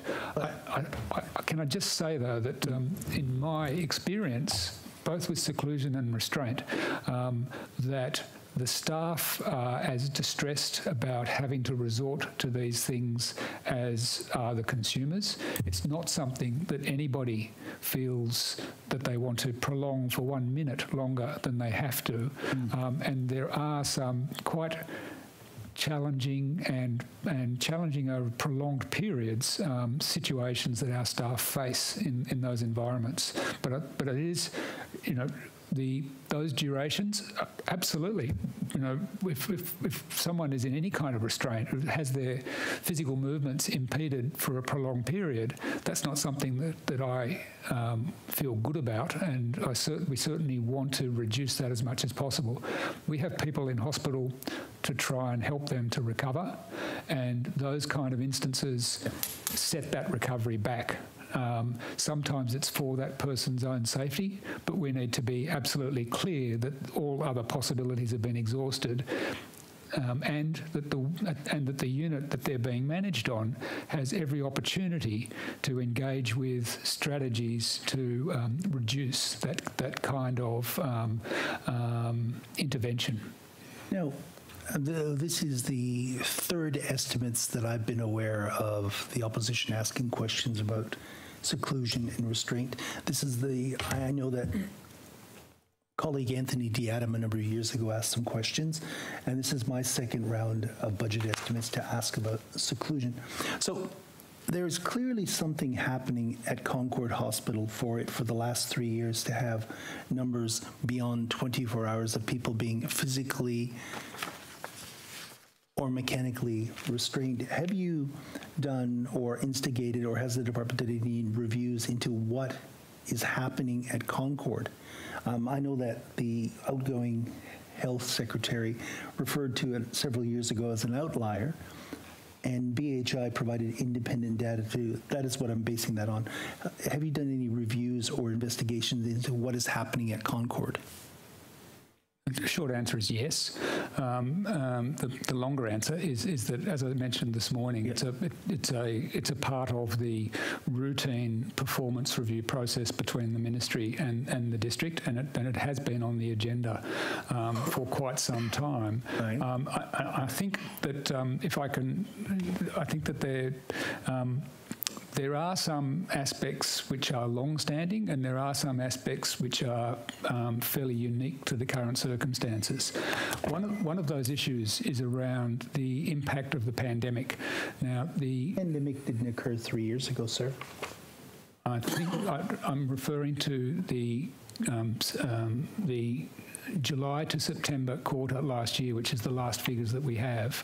Um, and you, you, you, will, of course, be aware that um, all of our acute inpatient units, all of the staff are in PPE um, yep. for the for the duration.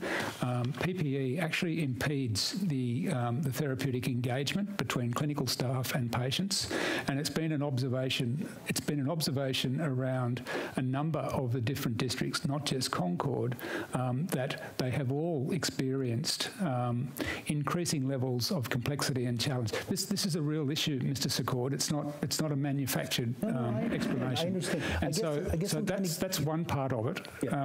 Guess I'm trying to get to the point, which I was trying to, is that, and you alluded to it.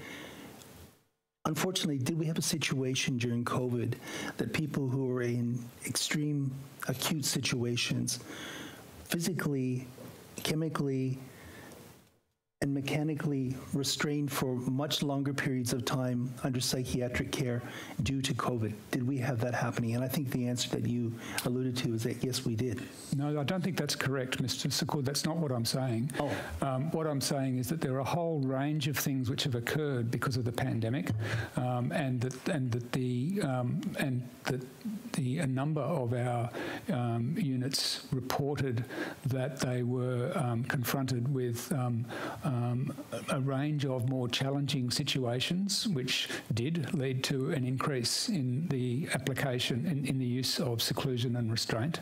I think the the um, the management at Concord have not sat idly in relation to this. They've engaged with the Mental Health Patient Safety Program. There is a working group which is establishing what is called a, um, a, a looking at a, um, a model of care which has been introduced in some other facilities interstate called a behaviour of concerns um, response, um, which is aiming to identify early individuals who might end up with um, either restraint or seclusion and trying to implement that within their in, in, in a couple of their units um, as a way of trying to bring down what they also would agree is an unacceptably high rate of seclusion and restraint. The, the comments about the role of the pandemic and how it's affected the interaction between staff and patients is offered as a as a as an explanation of why it is even more challenging over these over these last 12 months or so. Um, it hasn't stopped them from um, from trying to um, improve their performance. They've also taken on um, the um, the, um, the, the um, the six core strategies, which uh, is a which is a which is a program that's designed to um, reduce um, um the use of seclusion and restraint um, in many facilities as well. So, so, so they are trying to address it, um, and you know we're we're trying in various ways to assist them to address that. Mr. Secord, can I just reassure you because the BHI report for October to December 2021, which will be released shortly, highlights that both the rates or the numbers of seclusion have gone down, the numbers of restraints have gone down across the system, and Concord Hospital is no longer an outlier on So statistics. this is the next set of data we'll show. That's right. So I, I, think I apologise, Ms. So, so looking looking at these data at a thr- you know in a, in a three monthly batch, um, will draw attention to certain things and, and may look a, a certain way, and then the performance needs to be reviewed over time as well. Thank you, Dr. Lyons. Sorry, Ms. Faehrmann. I didn't mean to. Thank you. Thank you, Chair. Um, Dr. Wright, I know we, we have um, talked about this in the past, but I um, just wanted to ask you about uh, the use of um, psilocybin uh, as well as MDMA and other currently illicit drugs in treatment for um, mental health, um, uh, for various mental health uh, issues from anxiety to depression to PTSD and, and others. Are you aware now of research being um, undertaken or potentially going to be undertaken in Australia and in New South Wales and Sydney on, on this? Um, my understanding is, is certainly that there's a there's a group in, in Victoria who um, embarked on some study, and and I think there's been a group associated with Macquarie um, University who might be doing it in New South Wales, but I can't I don't know any details around that. Yes, I think um, it's becoming it, it, it's uh, getting more pickup within the medical research um, space in in this country. Indeed, uh, um, globally, it has gone ahead in leaps and bounds. Um, the Australian government's Medical Research Future Fund has just uh, given a total of almost fifteen million dollars to seven clinical trials which are testing the use of these um, kind of breakthrough combination therapies. And I understand from the information I have that it includes two trials in Sydney for psilocybin and MDMA. Have you personally, as the chief psychiatrist, um, been briefed on the potential of uh, this treatment yet? Um, yeah, I, I, am aware of the potential for the treatment. I'm um, I'm also very aware of the international interest um, and what, what I would consider um, are some very promising indications um, for for their use, in particular um, um, diagnoses. I think I think the issue which um, everyone is also waiting for is, is around the safety, um, and, and and and I think that that's why the, you know this, the, there's a there's a degree of caution. Um, the, the, the, potential positive effects of these drugs, particularly in psilocybin guided psychotherapy for conditions like PTSD. There's some there's some strong evidence from from um, the US in, in relation to this. Um, I, it, but it is around it is around is the- there are there any harms that um, we're not yet aware of that um, that, a, that a properly constructed study might might bring us bring to our attention. Are you aware of any uh, studies internationally from this psychedelic assisted therapy that has indicated that there has been any risks or harms as No, no. As I said, it's promising. It's promising.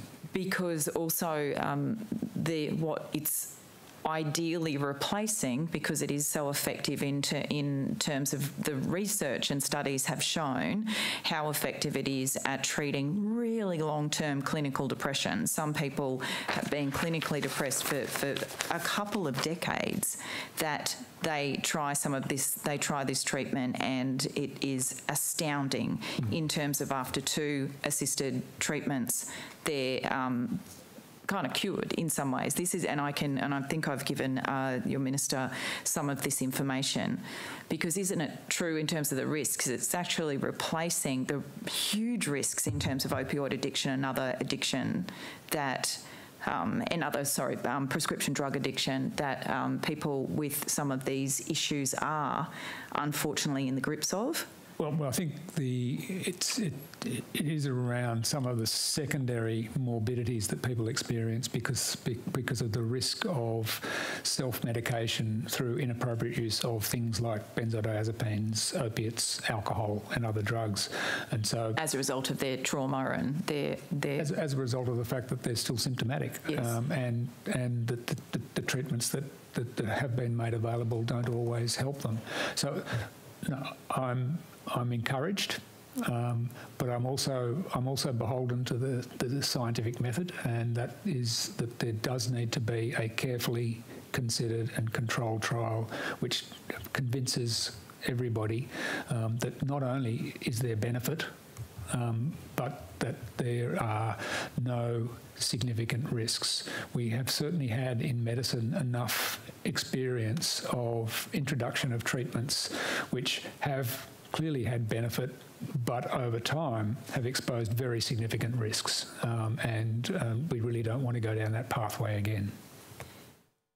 Yes. Uh, when you say go down that pathway again, can you explain what you mean by that? Which, Oh, which, think um, which had significant barbiturates, risks? barbiturates is a, is, a, is a pretty useful one. That was everyone's favourite medication in the 50s and early 60s, um, and um, and you know they're no longer in use because they're dangerous.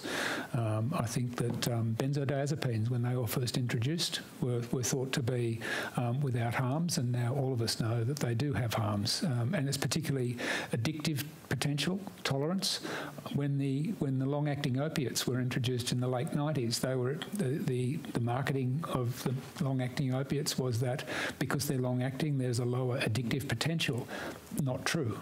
Um, and that's where we ended up with the opiate crisis. So, it, so it, it's quite easy to understand why people, particularly people who have chronic and disabling conditions, are focused on the potential benefits of any treatment. And so am I. But there is, we've got to make sure that it doesn't have risk. One of the big differences here, though, which is to, to the two examples you, you've just given, isn't it, is the fact that these are used in a therapeutic uh, environment with professionals, people who are trained in providing that therapy. We're not talking about drugs that are prescribed via a chemist and people go home and they're, they're on them every day of the week for however many months or years. We're talking about several treatments with a, with a psychiatrist or, or somebody who is trained, and the research has shown the extraordinary benefits after a couple of treatments. That's the big difference, isn't it, between the barbiturates and the benzos that you've talked about in terms of addiction and risks? Well, they, they've all got differences between them, but I, I need to be clear that I'm not. I'm not um, hostile to the idea a role for these um, treatments in psychiatry. What I am very cautious about, particularly in this role, is a premature endorsement of something which hasn't been thoroughly tested um, and that, that it doesn't just have benefits but has potential risks. So, uh, you know, I, I, I, I am um, just as much as anybody looking forward to having better treatments available to those to those individuals who, who really do suffer from these chronic conditions. So you'll be looking closely at the results of the, the recently MRFF funded um, Well, not only that, I'm, I'm, I'm very tuned into the international literature as well. So, Yes. so it's, a, it's, it's not. It's, it's, it, I think it's an accumulation of evidence, which then, um, which, which then, you know, gradually will um, persuade us that this is something which really, Yeah. really has merit and low risk. That's actually very positive, um, uh, Dr. Wright, I have to say. So uh, thank you for that exchange. Um, if uh, I just wanted to go to the issue of midwives again, um, now that we've got a bit more time, I think just without the minister here. Um, what are the concrete steps that are being taken by the department to get more midwives into regional New South Wales, more trained midwives? Just in terms of what that plan is. So midwives um, can enter training two ways. There's graduate midwives doing a specialist midwife degree. Uh, we are not seeing um, the levels of people graduating at, at the level we would like. Right. So it's about encouraging. Um, What's the salary for midwives? I need to look up their starting right, salary. okay. Yeah, I will be able to do that. But, Thank you. Yeah. um, the so the, the other way that we get them, and the way we used to traditionally get them, was through uh, what we call a mid-start program. So there are scholarships that we make available for a registered nurse already in our system to undertake uh, the training to become a midwife. And those scholarships are, you know, encouraged and they're directed towards rural and regional, and they have an effect. And we, the point that we make to the districts is that they probably have to look at that, that conversion model as their long-term strategy for regrowing their midwifery workforce rather than um, hope that the graduate program of the universities is going to meet their future needs. So um, it's essentially those scholarships, and I, if you give me a moment, I can look up the, their value and how they. Is there does the does the government have um, a target within a plan to um, increase the numbers of midwives in regional areas? Uh, yeah, broadly speaking, yeah. So um, in the in the commitment made by the government in 2019 to an additional um, health workforce, you know, I think it was 8,300. In that total, there was um, a number that were nurses, and there was a number that were midwives. Okay, so yeah, if it could be um, taken on notice, the uh, numbers of um, the that plan in terms of the the targets, if you like, over the next. I'm assuming it's in the forward estimates in terms of how many, and then maybe how many have been recruited during the last two years. That would be useful too. Okay. Thank you. Um, on a similar vein as well, um, but this is in relation to, I know we've talked about this in the rural health inquiry, but this is in relation to um, rural generalists. So what the, the plan is, obviously that's come up massively, you're very well aware of the, um, the situation there. What are the kind of goals around getting more rural generalists into our regional areas? Um, basically, to increase them. yes, I know. That's and and to make um, make the idea of rural generalism um, across the different disciplines attractive and um, and again. so uh, increase them. Is there a, is there a, is, do you have a target uh, I'd need to consult my notes if there's a precise target. I know. If, if I can uh, talk about, and we heard some of the evidence during the inquiry about Yes. some of the work the districts are doing to address the barriers to rural generalist training.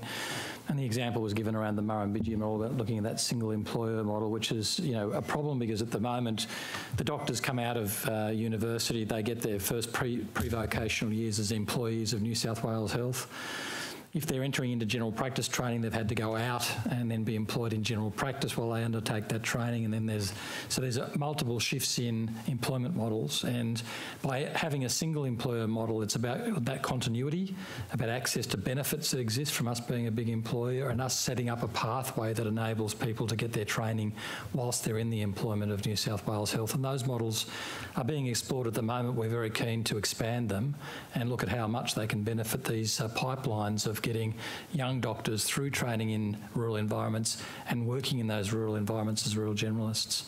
And then it comes the models about, well, what do we do with the Commonwealth around the employment arrangements of general practitioners? And at the moment, they're predominantly in private practice and access, accessing the MBS, and we've heard evidence about the, you know, that's not necessarily working in, in all rural environments. So do we need to come up with some different models of how we actually remunerate doctors in those environments and how we ensure that they're available to those smaller communities? So there is a lot of thinking, a lot of work. We've got to take it a lot further, as you heard. Those SACS papers that we commissioned and the final SACS paper, which made those four recommendations, one of the key recommendations was around what we need to do to strengthen up primary care uh, and have it uh, community based and overcome the issues between the state and the Commonwealth at the moment around uh, not only the vocational training of those doctors and nurses and others, but also their remuneration arrangements. And those are things we would be keen to explore further. Thank you, Dr. Lyon. Um, if I could um, uh, just return to the issue of the new. Oh, I'm sorry, Mr. Minns. I apologise. Yeah, um, just uh, on the rural generalists um, program and, and measures that we're pursuing there. So we fund the Rural Doctors Network uh, annually for 1.6 million, and they run programs to attract doctors to rural areas. That includes the New South Wales Rural Medical Officer Cadetship Program, and that provides up to 15 scholarships each year for medical students interested in a career in rural New South Wales.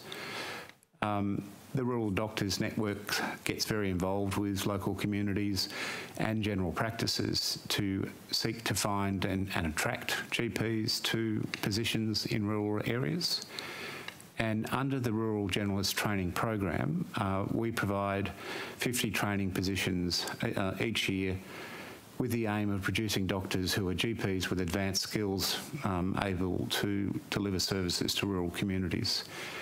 And in addition to that, um, in 2020, 145 interns were recruited as part of the Rural Preferential Recruitment Program, and that supports junior doctors working their first two years in a rural location. Um, that number was was 75 back in 2012, so we've almost doubled that. Thank you. Thank you. Um, just returning to the issue of the uh, the new structure um, arising from the creation of the new position of uh, regional uh, health minister. Um, I'm, I'm, looking at um, a document which is um, the New South Wales Health Organisational Chart, which I'm sure you're familiar with. It's been updated to the extent that it's dated the 7th of December 2021. So at the very top, it's got ministers plural. So it obviously accommodates the fact that there are there are two ministers. um, excuse me. And you go to the page, um, we've got the uh, local health districts, and uh, uh, as we were discussing earlier today, when the minister was present, uh, there, there, are, are nine that um, uh, she has responsibility for, as I best understand her evidence. Um, uh, uh, two of those nine are ones, and they're specifically uh, the Blue Mountains, sorry, the, the and Blue Mountains Local Health District and Southwestern Sydney Local Health District, which which bleed into uh, rural areas, but there is there is some metro uh, uh, component or, or, or consolidated um, population component. um, in terms of corresponding on issues, this is um, members of parliament from, from either house over constituent matters. Um, I'm wondering whether you can take it on notice. I mean this as a, quite a serious question that at least until the new structure is, is shaken down so we can clearly understand it, that, that correspondence on issues be uh, CC'd uh, to the other minister. In other words, that if it, if it is a matter that clearly is from one of those regional areas, and there's no question that it's uh, for, for um, uh, Minister Taylor, that nevertheless we should CC Minister Hazzard in or, or, vice versa, that there could be some occasion where we need to CC uh, Minister Taylor in. The only reason I raise that is because until things get set up and shaken down, uh, some things you, know will need to be dealt with and processed as, as we sort of proceed into the future. And uh, you know, I, I know the minister said that you know there'll be meeting between the two and the sharing of correspondence and what have you. But, but we all know how large the health system is in New South Wales, and we, we know that sometimes if something does get missed, it can have awful consequences quite inadvertently, sometimes tragic.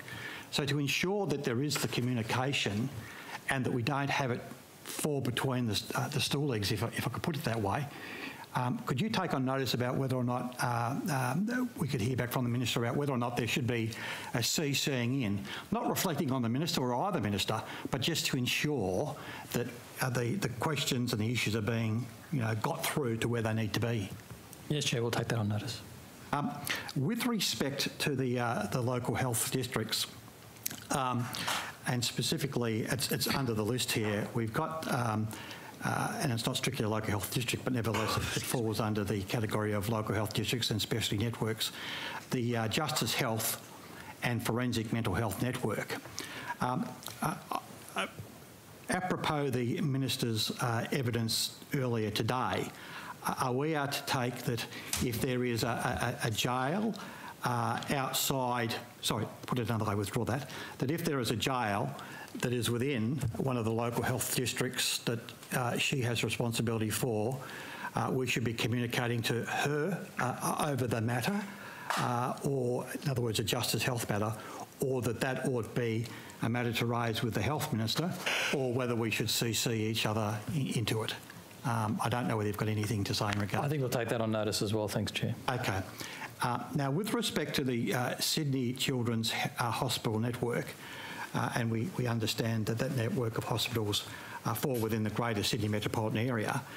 Does, does it, though, have any outreach um, as a network formally uh, into the regions which would pick up the responsibility now, or part thereof, that the, uh, the, the uh, Regional Health Minister has?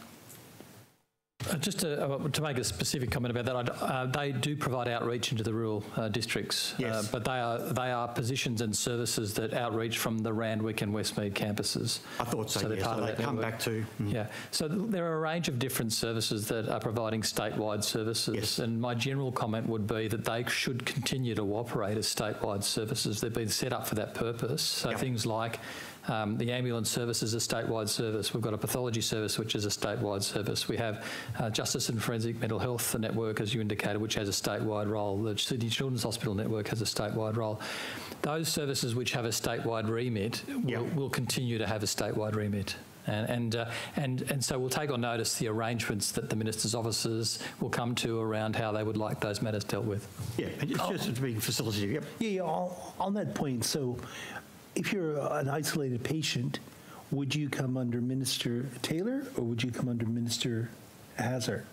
Getting treatment in Sydney. And in fact, I remember from personal experience encountering um, when my daughter had surgery years, almost 30 years ago, that there were people from the country, from Tamworth and things like that, who were in Sydney and they were clearly country patients, but they were in Sydney receiving services. So these are, I think, the matters that the minister indicated are being worked with, through between the two offices, and uh, I think we take it on notice until those uh, decisions are completed and uh, everyone's clear. And it's, thank you for that. Uh, appreciate that. And I do understand that this is a complex area in terms of, um, but and one who could take on uh, notice uh, uh, a, a question which specifically uh, seeks whether or not there is um, a reasonably clear timetable set down for which we will be able to have an understanding of, of what these new arrangements are. Um, uh, Can I move on to the, uh, just briefly, the the question of the the the third review of the the plan that ended in 2021? Uh, uh, That, um, no no doubt, I'm not asking you to comment on it, although I'm- sure you've got some familiarity with its preparation, that it's going to be, uh, as a review, fully informed by all the evidence that's come forth from the inquiry into health services and health outcomes in regional, rural and remote New South Wales? So let, let me uh, clarify that the third progress report is on progress of the plan that was the 10-year plan till 2021. Yes. So it's been uh, taken with a view that the plan that was put in place in um, 2011 for the 10 years to 2021 uh, has completed, and this is the third progress report on what has been achieved during that period of time. So it reflects the previous plan and the achievements in that time frame. Um, we are very conscious that during the course of that plan, the inquiry commenced, and we started to hear evidence about the inquiry. What we felt was most important is that in the new plan, which we are now about to develop for the next 10 years, that that plan incorporates all of the evidence we heard, and in particular, any recommendations that might come out from the committee in relation to the evidence and, and uh, recommendations the committee feels uh, would be appropriate to respond, and that we incorporate uh, how health will respond to the inquiry issues and recommendations in a way that then is brought into the plan to ensure that we are delivering on the things which the community has fed through the committee as being issues that they think believe that, that they believe need to be addressed. Now, I, I understand that, uh, but uh, the point is that all this evidence, which is uh, being collected through um, um, submissions, oral evidence, supplementary questions, and questions on notice, uh, uh, brought together and synthesised into a report yet to be produced, collected over a 12-month period. Uh, that all fell, all that evidence fell uh, during uh, what was the existence of a plan uh, that uh, completed uh, in 2021. So my question goes to when I say informing the review, that, that now all that information is on the table about what we now have found out through through all that evidence, that that's going to inform the thinking around the review. Well, uh, sorry, Chair, I, I- maybe I wasn't clear, but that's absolutely what we're proposing to do. It's not about the review of the progress to the previous plan. It's about saying those need to absolutely inform what we're going to do in future to ensure that we're responding to the issues that were raised and that we have got actions in place to address any recommendations as well that might come out of the inquiry process. So that's the purpose of the establishment of the new plan. It will be brand new. It will involve all of that as inputs as well as a lot of consultation we'll do with our uh, com- communities across, uh, the rural communities across the state. Because one of the other things that came out quite clearly, and you heard that as we did, that a lot of communities don't feel like they have enough involvement or say in what happens in their local health services. So, how do we start to address some of those issues as well is going to be a really key component. Yes, perhaps I'm, I'm failing to be clear, and it's my fault. I do apologise. But clearly, what sits on the table now, as part of looking at the review of the plan that completed in 2021, is a whole lot of information that otherwise you didn't have. And what I'm saying is that I appreciate that it's a review looking back of the 10 year plan, but I'm asking that whether or not what one is looking at in terms of the achievement of that uh, 10 year plan is going to have eyes into and inform its consideration about the judgment of the, of, of the plan that completed in 2021. Uh, well, we have already completed the review of the progress, so that's already ready to be published. It's just going through the final approval processes now, and in the absence of having that documentation finalised, uh, okay. Uh, okay. I, well, well, it, it, the timing's just not quite right, Chair. Okay. Um, um, uh, on the issue of, uh, I've got one minute, so I probably won't get through this completely, but we'll return to it. On the question of uh, nursing homes uh, uh, in New South Wales, um, and specifically the interface between the New South Wales public health system and uh, nursing homes, uh, take it as read that we understand that uh, nursing homes is essentially a Commonwealth remit in terms of of it, uh, in terms of funding, support, etc. Um, the interface between uh, uh, residents in nursing homes, if I could put it that way, and the New South Wales health system would essentially be this, would it not? Uh, it would be to the extent that a resident of a nursing home uh, was required to be transferred by ambulance to a hospital to have a matter attended to or addressed. That that's where essentially the resident of the nursing home essentially at that point enters in through the emergency department. That's the interface, that's where it really takes place. But prior to that, prior, prior to uh, the call that's made, the, the triple zero, and the arrival of the ambulance, effectively they're within the domain and the responsibility of, of the Commonwealth, that is the, the nursing home and its operations, and all hangs off that. But if they were an ambulance called uh, and they were picked up by the ambulance, that's when effectively there is some discussion around the relationship between the residents of a nursing home and New South Wales Health. Is that is that a fair summary?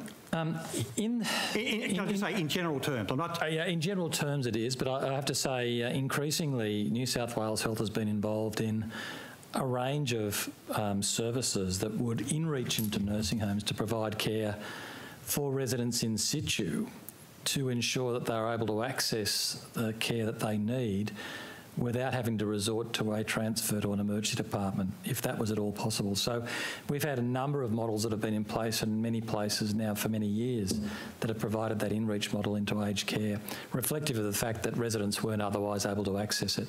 And these were issues that we raised in the Royal Commission into aged care. Uh, the concern that we had that because residents weren't able to access the care they need either from general practitioners or specialists uh, in the community settings, that they were by default being transferred to hospital emergency departments to access that care, and that that wasn't an acceptable arrangement. So we advocated very strongly that there needs to be a significant enhancement of the medical care mm. that's available and accessible to residents in aged care. Uh, and we're very, uh, we're very keen to continue to support that. During the course of the pandemic, we've done a whole lot. Of course. Which is beyond that because of the public health responsibilities, yeah. mm. including providing infection prevention and control advice uh, to ensure that residents uh, were able to be cared for in a way that minimised the chances of them uh, having COVID, you know, obtaining or, or uh, yeah, yeah, having uh, COVID and having that spread through those facilities. So I think um, there are many things that we do to support residential aged care. We see those residents as our responsibility because they are members of the local health district community and they have a, a right to access uh, care as any other member of our community. And we're very conscious of the need to support them.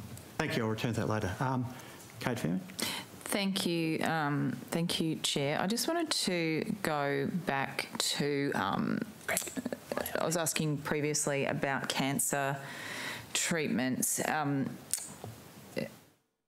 there in in the the in the government submission to the to the um, supplementary submission, I should say, to the um, regional health inquiry, it mentions that um, there is a um, the Cancer Institute is working on a pilot project around providing accommodation and travel assistance for people in remote and regional areas to participate in cancer clinical trials. That's a pilot, I understand, and it's looking at reducing the financial burden for travel and accommodation. And I, I suppose the first question is why is a pilot necessary? Um, because up until now, the IPTAS, uh, Isolated Patients Travel and Accommodation Assistance Scheme, um, has not covered patients who might be a part of a clinical research trial because it wasn't considered to be a service that was necessarily being provided by the public sector. So the, if there were just limits around uh, what was being provided in terms of the supports and subsidies under that program. Now, um, that was a pilot that the Cancer Institute uh, was instituting, and there has been strong advocacy for uh, IPTAS to be extended to, co to cover uh, cancer patients who are actually participating in clinical trials, and that is being closely looked at at the moment.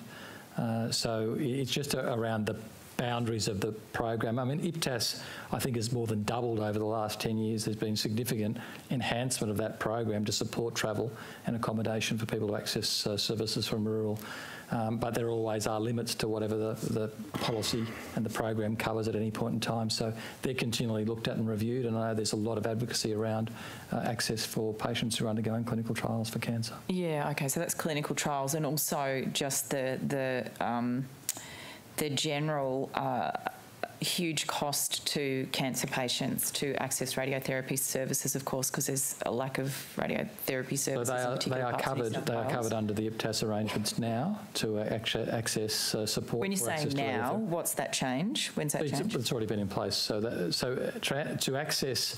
Uh, support for access to radiotherapy services. I think if it's over 100 kilometres from where the person lives, they can access support under IPTAS now. Okay, so this is despite um, groups like the um, by the Cancer Can Assist, who um, you know a fantastic organisation.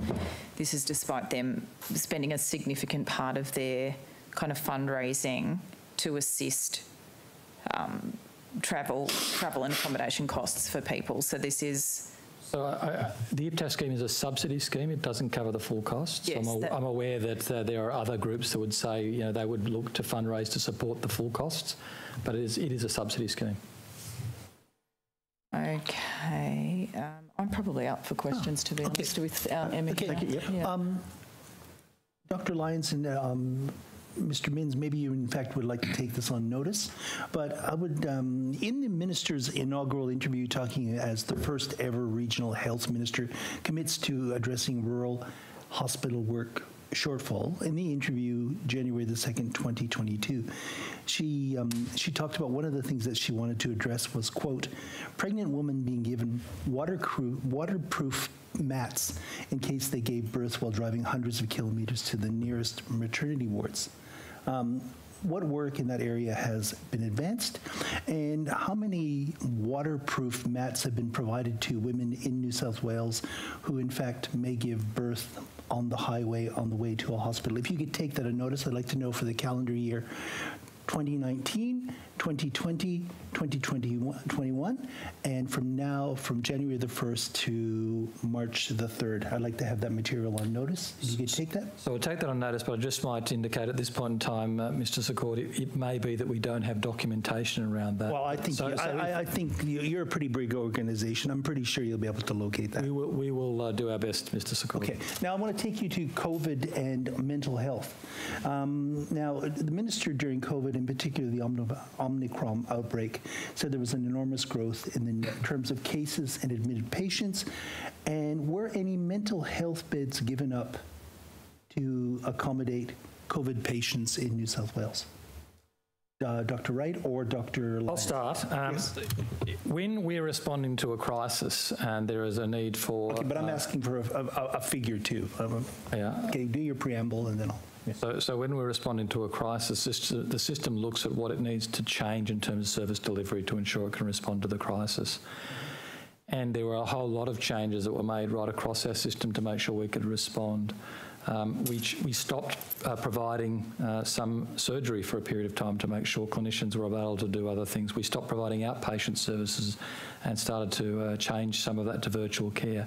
We made service configurations within our wards to convert a lots of specialist wards. Yeah, I, I think you used the phrase, and I quote, repurposed. Yeah, well, well, yeah. so, so uh, I'm just giving you the example there. So there were many specialist wards within acute hospitals, wards like those that look after respiratory patients, gastroenterology patients, cardiac patients, neurology patients, all of those types of specialties, which include mental health, which were reconfigured to be wards to accommodate COVID patients. So that occurred, uh, that occurred across the board, Mm-hmm. and there were some mental health services that were reconfigured as part of that. So I think it needs to be viewed in that context. Now, Shellharbour Subacute Mental Health Unit on the Illawarra Shellharbour was one of those ones that were, quote, by the minister, repurposed for COVID beds.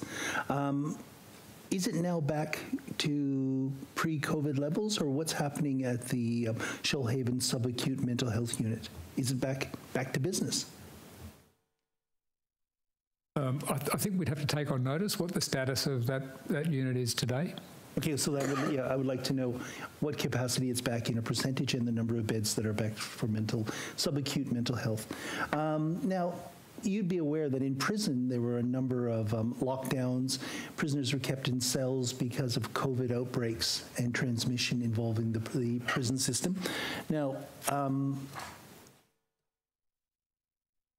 what occurred in the mental involving mental health patients? Is there data on the number of patients that contracted COVID while um, patients of the New South Wales health system? And if you, yes, Dr. Dr. Wright. I, I may give you some background, Mr. Secord, which might help. Um, it, I, I can't give you a number today, but the, But back, can you the take it on background notice is then, if yeah. But I think it's important to understand that the um, the configurations of our wards, um, even those wards which were continuously dedicated to mental health patients, were changing sometimes on a daily basis, depending on um, the issues around staff availability. Remember, we had a number of staff who were in isolation at times, and also around the um, the determination to um, be able to manage. Um, patients who um, required an admission but were also either clearly COVID positive um, or um, um, potentially COVID positive. And we categorised um, across the system people as either being um, red, amber, or green, whether green being definitely not COVID positive. The um, and and so those changes were happening on a daily basis, particularly in a couple of the, the districts with very high community prevalence. So, community prevalence translates to um, the, the challenges both in terms of um, staff infections and also patient infections. And so, those um, and and when a patient is identified as being COVID positive, there's also a, a kind of a, a, a, staged response because the decision needs to be made whether the um, environment, the mental health unit, is the appropriate environment to continue to manage that person, um, or whether their respiratory status is compromised to the degree that they then, um, in spite of the fact they need to continue with mental health treatment, get moved to a respiratory ward. So there's a lot of shifting parts um, um, to that process. I, I'm not certain that we have a number of uh, for the across the state of patients in our mental health inpatient units who tested positive for um, for COVID, um, but we can see what what figures we can provide. If you can provide those figures, if you could also provide them breakdown by local health district and by hospital, if you can do that. Thank you. Um, Dr. Wright, I'd like to return some, some earlier questions I, I asked about restraints. Um, does, does, does restraint occur involving children? Yes. Oh, it does. It does. Would you be aware that um, Sydney Children's Hospital has um, an average rate of 20 minutes for restraint for children? Yes. What would be a situation why you would, where you would need to restrain a child? The the issues around um, the um, children um, and adolescents in who require inpatient care, the vast majority of treatment for mental health conditions in children and young people takes place in the community.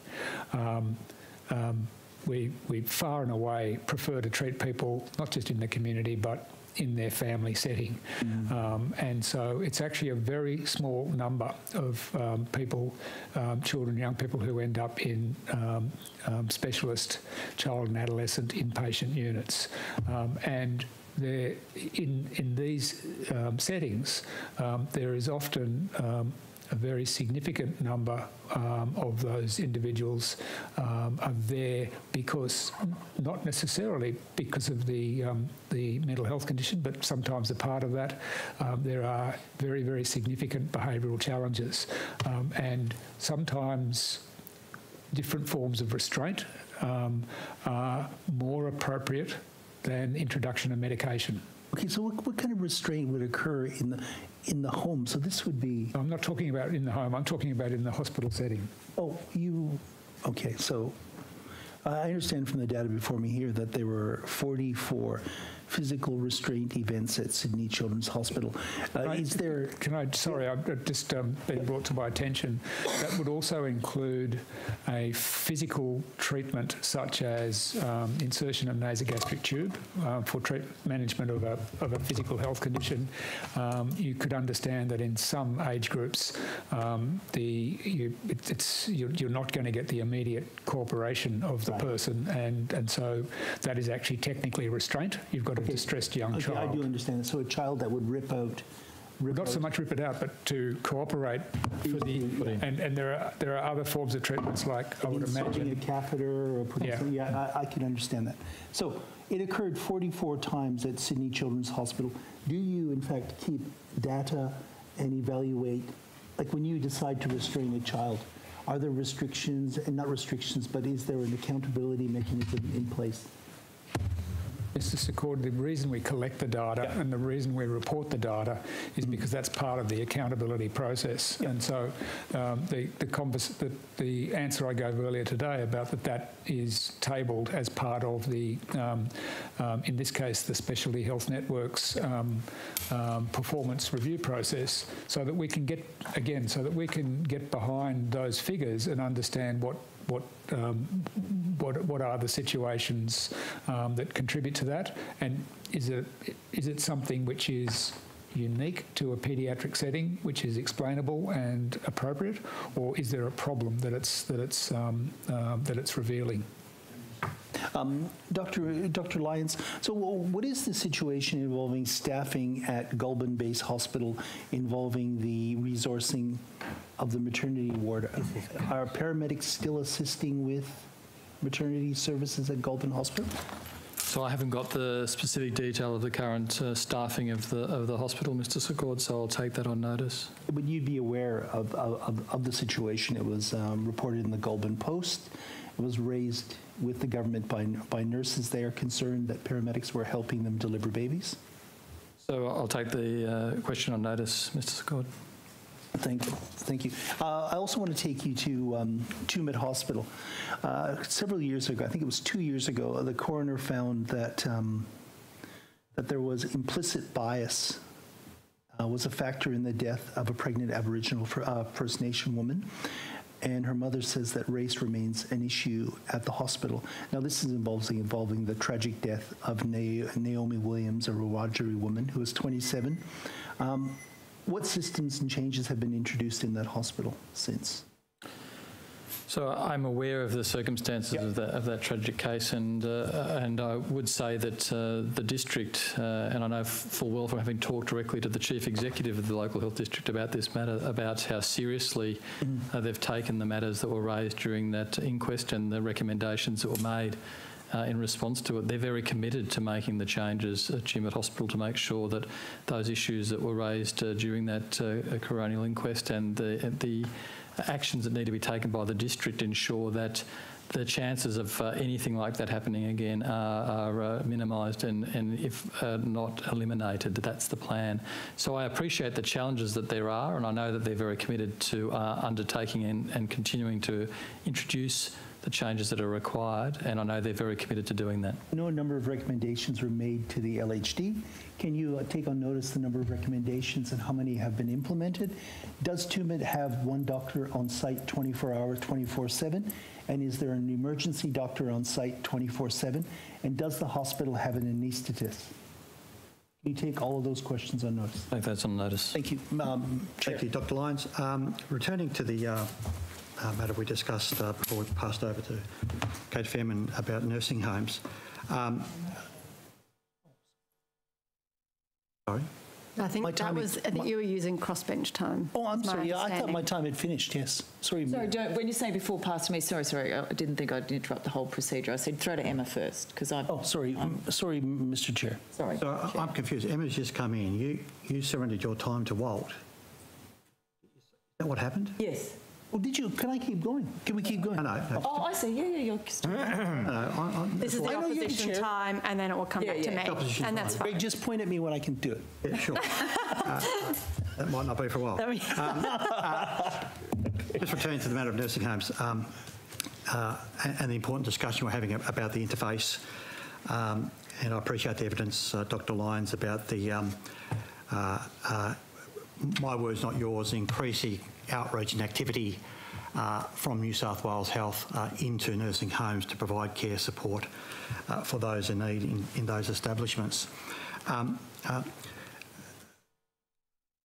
Simply say, if you haven't read it, uh, and, that's fine, I'll change my questioning um, slightly. But uh, have you read the um, report um, that was done by the Legislative Council into the provision of Public Health Amendment Registered Nurses in Nursing Homes Bill 2010? I haven't, no. 2020? No, I haven't, no. Um, in summary, it was uh, an examination about the issue about nursing homes and the provision of nurses, or, or not, as the case may be, uh, and the implications of, of a proposed piece of legislation which would effectively mandate uh, at least a, a nurse uh, in a nursing home 24 7, 365. I'm aware of that. Uh, Yes. yeah. So that's the, the, the context of the policy debate. Um, uh, in, uh, in that inquiry, in the report, and perhaps um, at another time you can have a, have a better look at the report, it's quite informative. Um, there's a number of instances of evidence um, uh, that came forth from uh, submissions uh, and, and also those that gave oral evidence at the hearing, I think hearing or hearings plural, it was over one or two days, um, about what were um, uh, situations and circumstances of, of individuals approaching the end of their life um, in most difficult circumstances whereby because there was, in other words, they're literally dying, in other, in other words, in the very foreseeable future, um, matters of hours or days at most, uh, whereby uh, there wasn't present a, a nurse in the nursing home uh, overnight or perhaps at times on weekends, the effect of which was not able to enable the provision to those uh, uh, those persons um, of, of palliative relief, uh, be it the pain relief or the relief for for stress and, and associated matters, um, uh, uh, which I think is a whole policy debate we, we need to look about how we can improve the lot of those people in nursing homes at the end of life. But to the, to the point, though, that you raised, uh, are you able to comment that, in fact, with this outreach work that New South Wales Health uh, has been increasingly doing uh, in, into our nursing homes, that some of it actually has involved uh, this work of, of providing uh, palliation and palliative care or palliative end-of-life care for, for those who are very much at the end of life? Absolutely, and, and uh, our palliative care services do provide support into residential aged care facilities, and I'm also aware the Commonwealth have made uh, an, an additional investment into uh, the residential aged care sector to support uh, end of life and palliative care in residential aged care facilities. But uh, your point around the nursing care and the availability of staff uh, is one that was uh, aired quite extensively at the Royal Commission. and there are a number of recommendations that the Commonwealth have uh, taken on, which will include increasing uh, the level of uh, clinical input into uh, the staffing of residential aged care facilities. And we're, and we're waiting to see what their response is around how much time that will be and what impact that has on registered nurses being available and being available particularly 24 7.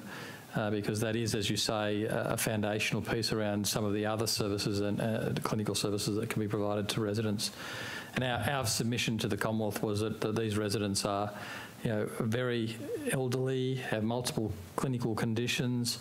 Uh, they're at a point in their life where they need ongoing uh, support for their healthcare. And uh, so it's important that we enhance uh, the availability of, of, clinical staff with the capability to provide that support to those residents and have that available 24-7. You would agree, um, being a, a, medical professional, that it's not ideal to, to, have a person who is literally about to die in the hours, maybe days ahead, to be have to be transferred by an ambulance to a, ward in a hospital via an emergency uh, department, uh, if, if in fact there was a, a way in which that palliation and end of life care could be done at the, at the, at the residence. Absolutely. I mean, our, our whole philosophy around the palliative care services we're responsible for have that, that at the heart of uh, what they do, whether that person is in their own home uh, or is in a residential aged care facility. If, uh, if they choose to have their end of life care in the place where they live, then we should do everything we can to support that. Um, in case I've, I've missed it, I, I, only sort of see that there is the, the option of sort of the provision of that care uh, in in their, their place of residence, which for many of them would be probably a preference and an ideal. That's probably a, a, general sentiment that many of them would have, as opposed to being transferred to to uh, a ward in a hospital via an emergency department. Um, but uh, there is little option though if there is not a, a, a, registered nurse or a person with qualification to administer the the pharmaceuticals to give the pain relief or the distress relief. There's little, there's little other choice though, but to really dial triple zero and contact the ambulance, is there? As, as, a, as a general statement. As a general statement, although I know our services have done a lot uh, to, to ensure that they've got, uh, and you know, the, the COVID, uh, while it's been a challenge for us, we've certainly increased substantially the interaction between our local health services and the residential aged care facilities within the footprint of their districts. Uh, so to the point where they have a greater understanding of what's available in the residential aged care facility, that the relationships are improved, the communication channels have been enhanced, the uh, looking at solutions to problems uh, you know, is being found to ensure that uh, we can do whatever we can to support the residents to uh, be cared for in their homes and in their aged care places as lo long as they possibly can. So it has been, I think, a, a benefit of the need to, to build a stronger and closer relationship with our residential aged care colleagues. But there's no doubt the interface between uh, aged care and health is and continues to be a challenge and one that we are strongly advocating for uh, improvements and uh, hopeful that the recommendations out of the Royal Commission will assist us in that regard. Uh, just returning to uh, a piece of evidence from the Minister this morning. Um, uh, and I may have got the terminology uh, wrong, uh, so please correct me, but I thought I heard the Minister uh, indicate that uh, she was uh, re-establishing um, the, the, Ministerial Advisory Committee. Um, is that what the correct terminology of the of the body that she's resuscitating? If I recall the evidence she gave, she said uh, she would be establishing a task force. Task I think she called it a task force and was talking okay. about some potential membership she was thinking of, but she hasn't yet finalised it. Okay, so um, a, a, task force. Um, I just note from um, the, the, document that uh, it, it's now obviously some years old, but nevertheless you know, irrelevant because it obviously uh, was the, uh, the, the, plan we talked about, the New South Wales Rural Health Plan towards 2021. Um, Minister Skinner talks about the establishment, and this obviously is back in 2014, um, and I'm just quoting from her, the forward to the, the, the document. Uh, I, I, established uh, the Ministerial Advisory Committee for Rural Health in February 2013. So that's on page one of, of, the document. So the, the, Ministerial Advisory Committee for Rural Health, which was established in February 2013, does that still does, does that body still exist? That advisory no, it it, uh, it transitioned into what Minister Hazzard established, which was a bilateral um, rural and regional or regional health committee, which um, he was keen to ensure that we didn't just have state representatives on the committee, that we also had uh, Commonwealth representatives on there because it is a shared responsibility. So that bilateral group has been uh, or had been meeting, uh, I think, six monthly before the, before COVID, and I think that because of the COVID uh, impact, I don't think we've had a meeting since that time. But it was looking at uh, what we could do between the Commonwealth and the state to start to address some of these issues uh, across those boundaries, those interfaces that are really important to address. And th- that that that body, have you got the name or on notice? Could you take the name? I'll get you the exact That's name, fine. but it was the And- bilateral regional yes, health. and it's, it's still on foot and it's still functioning. Yes. So, with respect to what uh, Minister Taylor referred to this morning, the, the task force, the name of which is yet to be determined, I, I gather, that, that that will be uh, uh, announced and will become something that sits separate from this body you've just referred to and will, will operate with its own remit. That's what your general understanding is? Well, I, that will be up to the minister and ministers to, to agree on what that, that body will be established to do and how it will operate and whether or not it's in addition to or replaces what was before. But that will be an issue for the ministers to decide. Okay. Um, um, Dr. Dr. Lyons, I want to take you to um, Foster Public Hospital. In April 2021, the member from Isle Lake, Stephen Bromhead, had promised to deliver a public hospital for there. Uh, he claimed that it reached a milestone on April 23rd um, with an announcement of an independent consultant. I note that the government appointed a consultant last year to make recommendations for the various location options for the hospital. Have you um, now decided on a location? I'll have to take that on notice, Mr. Secord. I haven't got that detail. As part of that, um, how many sites were shortlisted for the new hospital? Will the community be consulted prior to the preferred site being selected? And what is the expected commencement date for construction of that hospital? And what is the expected completion date of that hospital?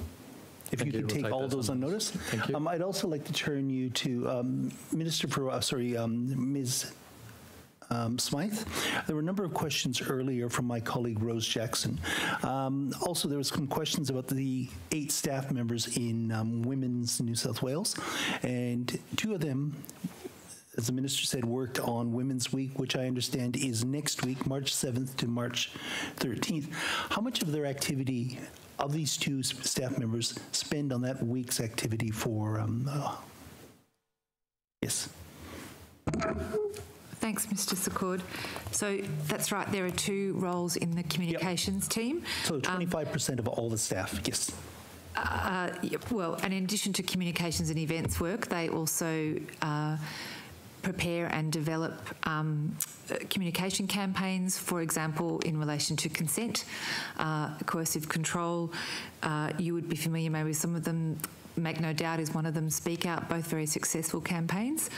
Uh, and they also do other activities such as promoting gender equality, uh, promoting grants programs, things like that. It's all very crucial work to the work of Women New South Wales. Okay, I'll be really quick. You can take this on notice if you wish.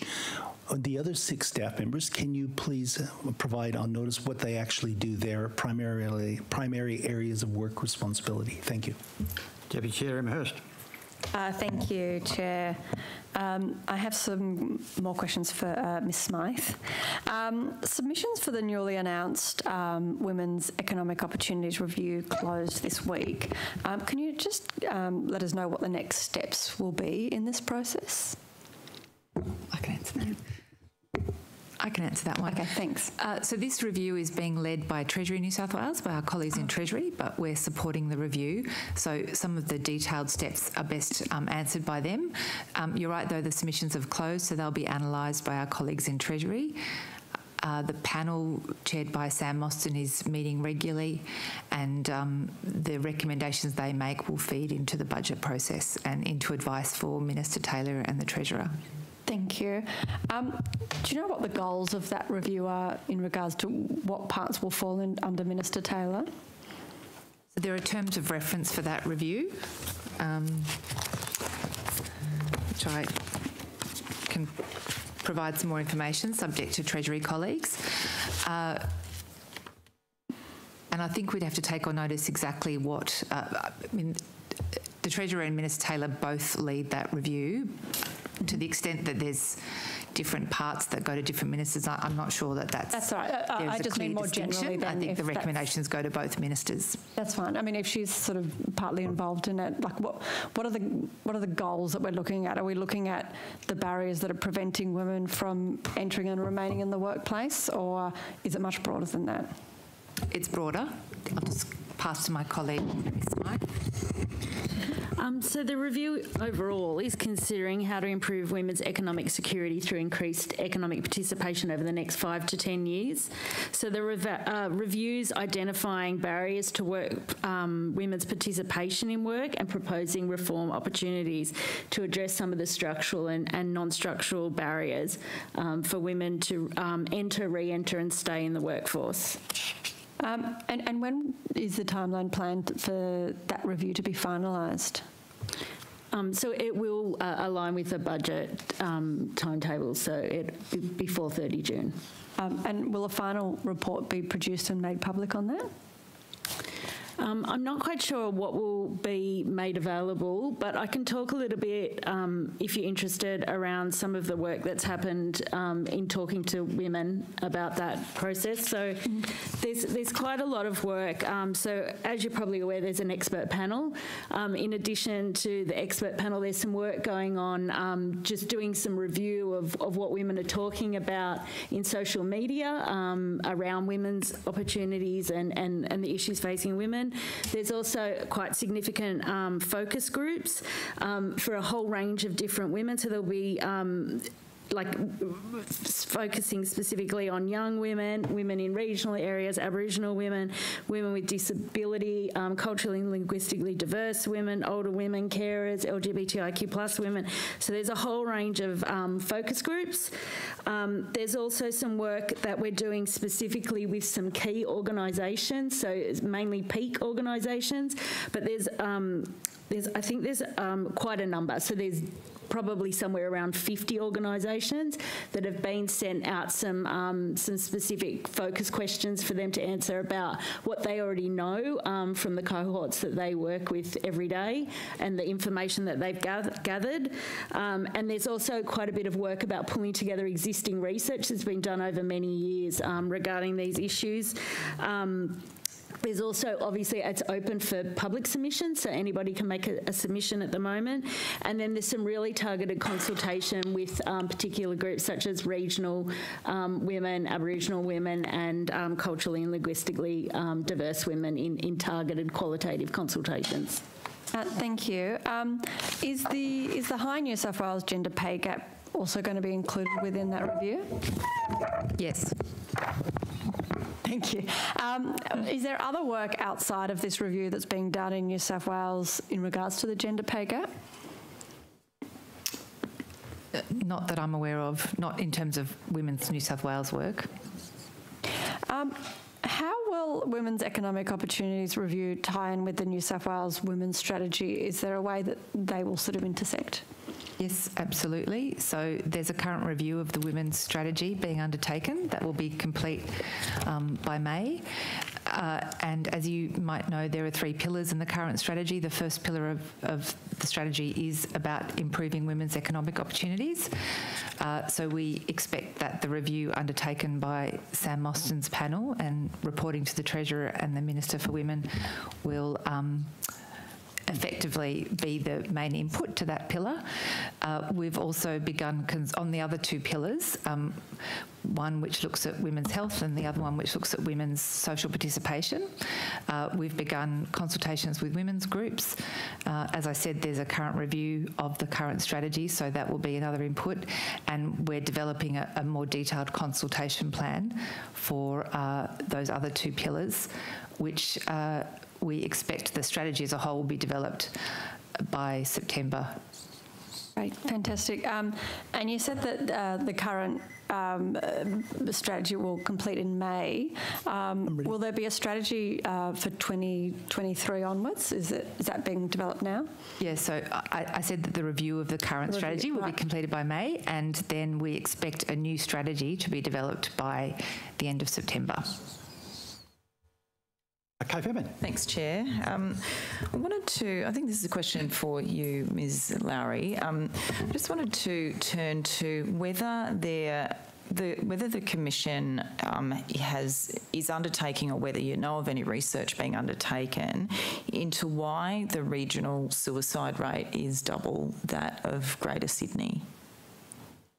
Um, no, the Commission um, is not undertaking research, but I could um, refer that to the Ministry as the Ministry um, is leading the work on towards zero suicides. Okay, Dr. Wright, do you know of any whether work's being done on that? Maureen Lewis online, and Maureen leads good, let's the bring- Towards Zero strategies. Yeah. Lewis, welcome. Hey. Hi, hi. Excellent.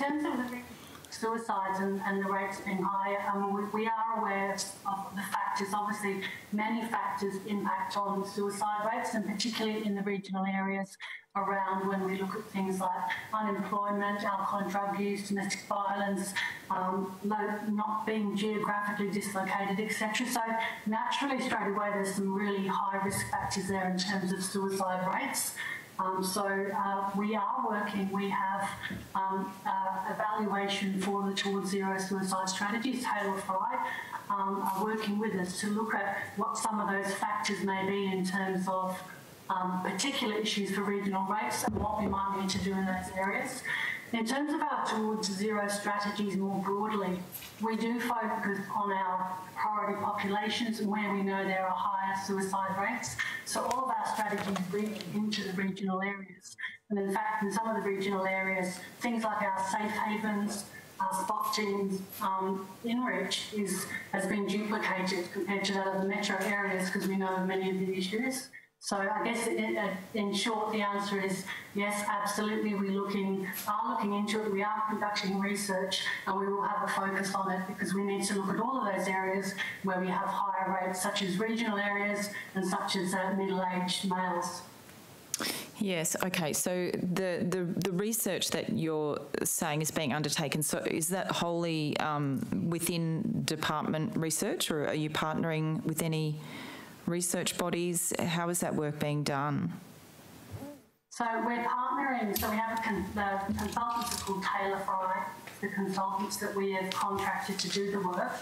Uh, and on, on it, with the actual consultants, we have an expert panel who are suicide um, experts across Australia, America, um, and they are inputting into the work that, that's been done, and certainly the evidence around issues in regional areas. So yes.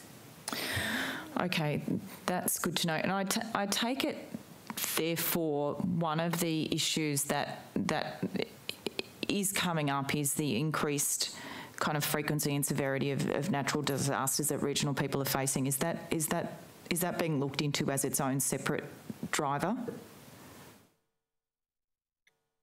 Into it being a factor, absolutely, and um, and um, Ms Lourey may be able to uh, answer to this bit as well because we're just looking at a refresh of the New South Wales Suicide Prevention Framework, which was 2018 to 2023, and the Commissioner undertaking a refresh of that work to take into account our current strategies, current um, activities, and to make sure that things that have happened since that strategy was developed, such as the pandemic, and natural disasters, that we are um, looking into that area and developing strategies. Ms Lourey, did you want to comment on that as well? Um, yes, so it's a refresh of the strategy. It's due to the Minister on the 30th of June. Um, we also have um, a um, expert panel and um, guiding that work and we are doing it in conjunction with the Ministry, obviously um, as the leadership of the Towards Zero Suicides. We're currently also about to embark upon a focused period of community consultation and I think that's really important to get those voices about people who have been through those experiences. And I think um, Dr. Wright has um, mentioned earlier that you know there is a particular air. Um, to this well-being and, and, mental health impacts. I mean, we need to be aware of that, but also to understand that general level of distress and what that um, can look like um, for future um, implications for suicide and vulnerability. Yes, um, you heard my previous question about the Intergovernmental Panel on Climate Change's report this week, the sixth assessment report, which for the first time has a significant uh, component dealing with mental health and the research around increased frequency and severity of um, natural disasters as a result of climate change and what this means for mental health. Um, will you uh, commit to uh, at least looking at that and incorporating um, some of that research or, research or ensuring that the panel that is looking at the new framework is aware of that? Absolutely, and I think um, as one in the answer that you also given um, earlier today, that is one of the issues that in our youth um, consultations, they have raised around the um, the anxiety and the concerns that they have about um, climate change and their own futures. So absolutely, that's part of our um, our, our broad remit, and I think that is the thing to really understand with suicide prevention. It's as much about um, vulnerability to your social determinants as well as your vulnerability to distress and psychological trauma. Okay, great, thank you. Um, I just wanted to turn to mental health workers in schools um, and just ask what the progress is on. I understand it was a government promise back in 2019 to place two dedicated mental health workers in every school. Where is that up to in terms of um, meeting that target? Is that you, Dr. Lyons, or? So uh, we are responsible for uh, wellbeing health in-reach nurses, but to, in relation to the other components, I think that Mental health education. workers in schools, it's not, okay. No, it's education. So Okay. I think that would need to be directed to a Department of Education. Okay, all right. Okay. There, because we're at 3.30 for a break, or?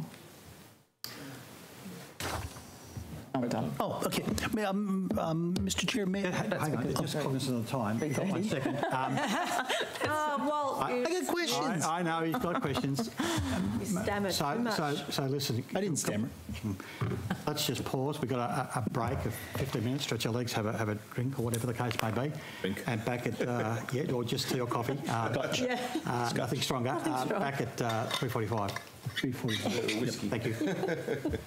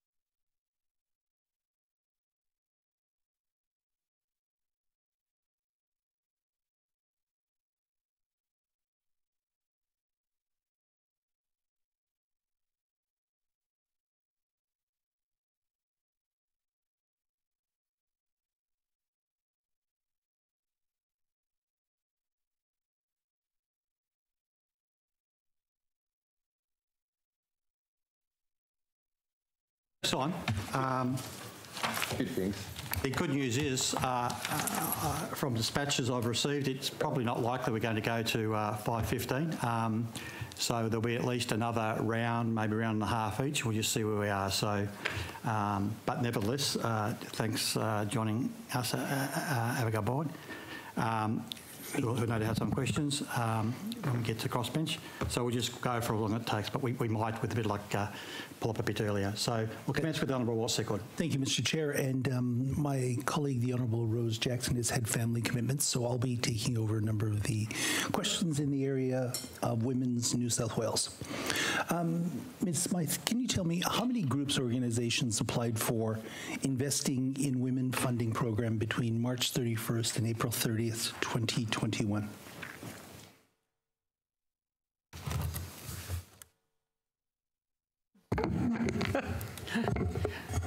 Okay. Um, so for investing in women 2021, there were 177 applications received. Okay, and um, how many of those were successful and approved of the 177? Um, 17, and they've just been published online this morning. Ah, this morning. Oh, okay, that's why. Okay, thank you. And how was the program assessed? What was the criteria? I mean, sorry, was there a panel? Who made the, uh, who, who undertook the assessments? Um, yeah, I can provide some more detail because I just want to be clear on it. But um, generally, there's a, a first panel that will do sort of an eligibility cross reference just to ones Yep. that actually have met the criteria. And then there'll be a second um, panel that will look at the quality and does it meet the, um, the priorities of the women's strategy. And then there'll be a more senior panel that will look at those um, and then develop a short list. Thank you. Now, can I take you to the expert panel chaired by um, Chief Executive Women President Sam Mostyn? Um, ah, now, is there a, is there a budget allocation provided to this to this panel? Panel. Yes. Um, that will be a matter for Treasury colleagues because they are the agency supporting the panel. Okay, so you, you're not supporting the panel. We're working with Treasury to support the panel, but Treasury have the secretariat. They they um, run the secretariat to support the panel. Okay, would you be able to take on notice to obtain what the budget allocation? I, I think you'd be able to do that. Take what is the yes. budget allocation, Yep. and of that budget allocation, how much of it actually goes? What percentage of it in total goes to supporting and funding and paying panelists on that on that group? So I want to get an indication of what percentage is actually going on payments to panelists. Yep. Can I also take you to um, the Women's Trauma Recovery Center project in the Illawarra? Now, I understand, um, Ms. Smythe, that you've had some correspondence about that, email communication, but I also understand that the the funding was contingent on the completion of a business case, which I think was completed or is completed. Um, yes, so this morning um, when Minister Taylor was talking about that, so it is related to domestic family sexual violence. So it was, um, when it was provided to me as Director Women New South Wales, it was when I had responsibility for domestic family violence.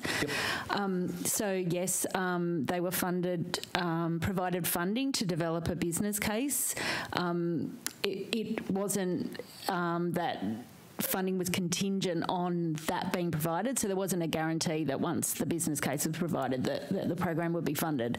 And it will be considered amongst um, a range of, of um, priorities for um, the upcoming budget regarding um, Minister Ward's portfolio. Now, what about the discussion that the funding uh, funding will be as part of a $90 million allocation? It'll, it'll be part of that.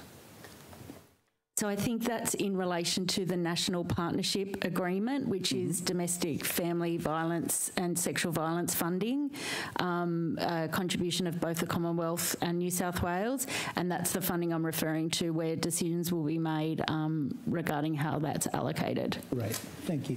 Thank you. Um, um, I think I'll turn back to, to health now. The um, how many school-based nurses have gone into New South Wales schools? You're talking about the well, uh, the The, the school nurses program. Well-being, Health in Reach nurses. The school, yeah, well, I know it as the school nurses program, but maybe there's an official title for Yeah. it. So uh, there um, are 100 of those nurses that have been announced as the election commitment to be in place uh, over the next uh, few years. There is an initial tranche of 50 that were allocated uh, for uh, recruitment, and of those, my understanding is 43 are in post. In place, okay. Uh, and then there's been an initial, tr- uh, a further tranche of 50 additional positions that have been announced in December out to the districts, and they're in the process of being recruited to at the moment. Okay, could, you- if you could take that on notice, the 43 that are in place and the allocation of the 50 that are. I can, uh, where they've been allocated to, yes, certainly happy to take that. Um, Mr. Chair? Thank you. Um, so just continuing on. Um, and just returning to this issue once again about the new restructure. Um, presently, uh, in the current circumstances, uh, so before the announcement, so going back to, I should say, before early December last year, um, with respect to a CEO of a local health district, um, who did she or he report to as their first report, their, their report up the line? Uh, they report to the Secretary, Chair. Uh, that they report to the Secretary directly? And, and also to their Board Chair. Uh, indeed, indeed, to their, their Board Chair. Now, uh, uh, that was relatively straightforward um, uh, in, in the situation where there was a, a single minister. Looking ahead, uh, or looking now and ahead with, now uh, two, two ministers, um, are you able to confirm that as part of the discussions that are going on about the new structure, uh, that uh, one of the considerations is going to be that the, uh, the CEOs of the hospitals that fall within the nine uh, mentioned by the Minister this morning, two of which are these hybrid type 1 LHDs, I'll use the word hybrid my words, that they'll be uh, uh, still reporting uh, to um, the Secretary um, and not via the Minister, as would be the case without there being a new Minister? In other words, in regards to that matter of direct report, it will still be with the Minister, irrespective of, of where the hospital is around the state. Um, Chair, I don't think that the things that are being contemplated um, play into that space at all. Uh, so, chief execs report to the board. Um, the, chair um, and the secretary are the two people who are critical in the frame for chief executives.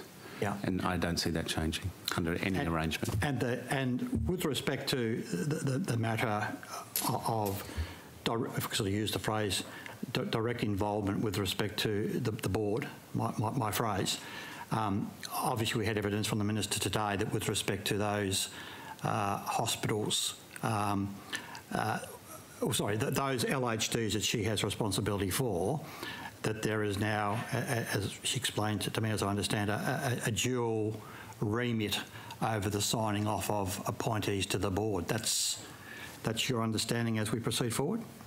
Um, if that's what the minister's advised, then that's that would be my understanding. Uh, that's uh, that's okay. Um, Dr. Wright, um, um, on the matter of suicide, uh, the tragedy, the utter tragedy of suicide, um, and we, we've we've covered that in questions earlier uh, today, and you've been very helpful with um, with information in that regard. Uh, are you able to explain to us that, with respect to suicide, and this is a technical question, I suppose, that there are different types of suicide or categories of suicide that we recognise um, fr- from a from a an official medical point of view, or is is suicide effectively recorded as a as a single matter? Um,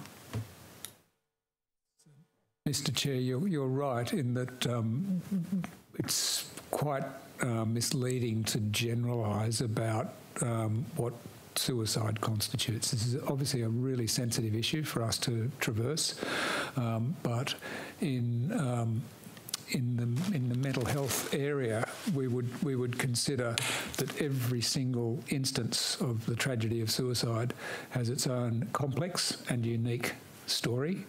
Um, and in many, many instances, um, there are significant but diverse mental health issues, um, but there are a number of other factors that come into play.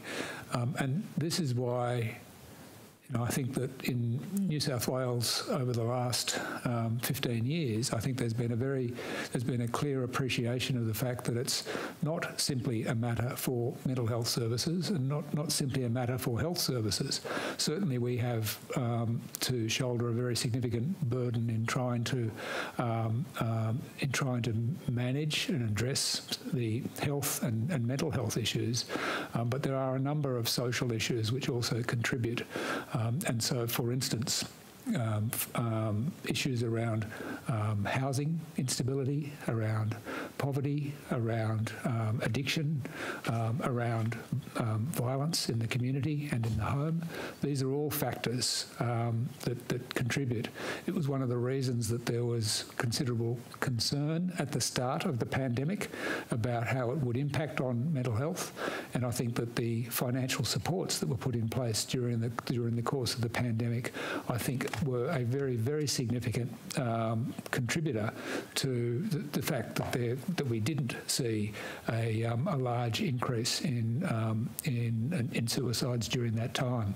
So, um, so, so, I think that it's, um, and there's such a thing as a psychological post-mortem, and, and, and, and, I think that the, that's actually what happens when in, during a coronial inquest following a, um, a suicide is that they try to understand what are the various different factors which have contributed, not just for that particular individual and their family, um, and but, but also so that we can learn as a system as and, and, and as whole of community um, how we can uh, prevent such things happening again. Further to that, and forgive me for not knowing this, I probably should, that with respect to all suicides, using the phrase or the word suicide, are they all, all suicides subject to a coronial inquest? Um, all suicides, I believe, are reported to the coroner. Re reported to the coroner, yes. So, um, with respect to, and this is obviously for the purposes of the collection of the data and the interrogation of that data to see how trends are, are moving or not, as the case may be. What is the definition that's actually, you may ask, what's and if you don't know, we take it a notice, the actual definition of what suicide is? Um, and I'm, I'm, I'm, not being clever about that. I mean, there's a dictionary definition, but for the purposes of data collection, is there a particular definition that's used for the purposes of, because obviously there's a, an official record kept uh, by the state, the Office of Birth, Deaths and, and Marriages. So there's a, a death record. Uh, is that informed, that death record informed by a definition that comes from somewhere?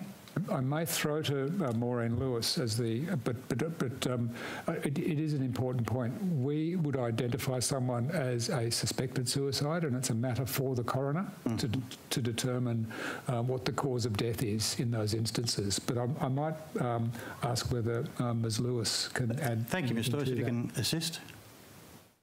Thank, thank you. Yeah. So in terms of um, uh, the first point about whether a, a, suicide has been classified as a suicide, that's done by uh, New South Wales Police.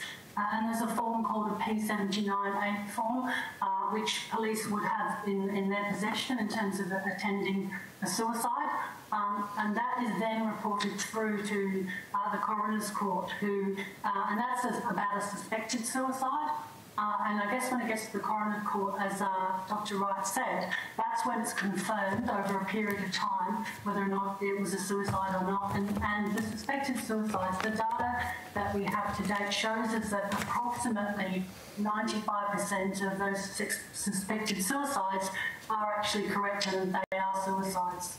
And then later on, some data, the reason the numbers change slightly is once the coronial process happens, um, what can happen is that this came to the coroner's, uh, uh, I guess, attention or the coronial process that during the course of someone's death that they found uh, additional information to uh, be able to then classify the death as a suicide. So further to that, I'm just conscious my time's about to expire, that if an attending police officer attends uh, uh, an incident um, and has doubt about whether or not what's being observed and looked at is a suicide or, or not, the, the, there would not be a default position of assuming it's a suicide. I presume that if there's doubt, uh, it would need to be recorded on another form.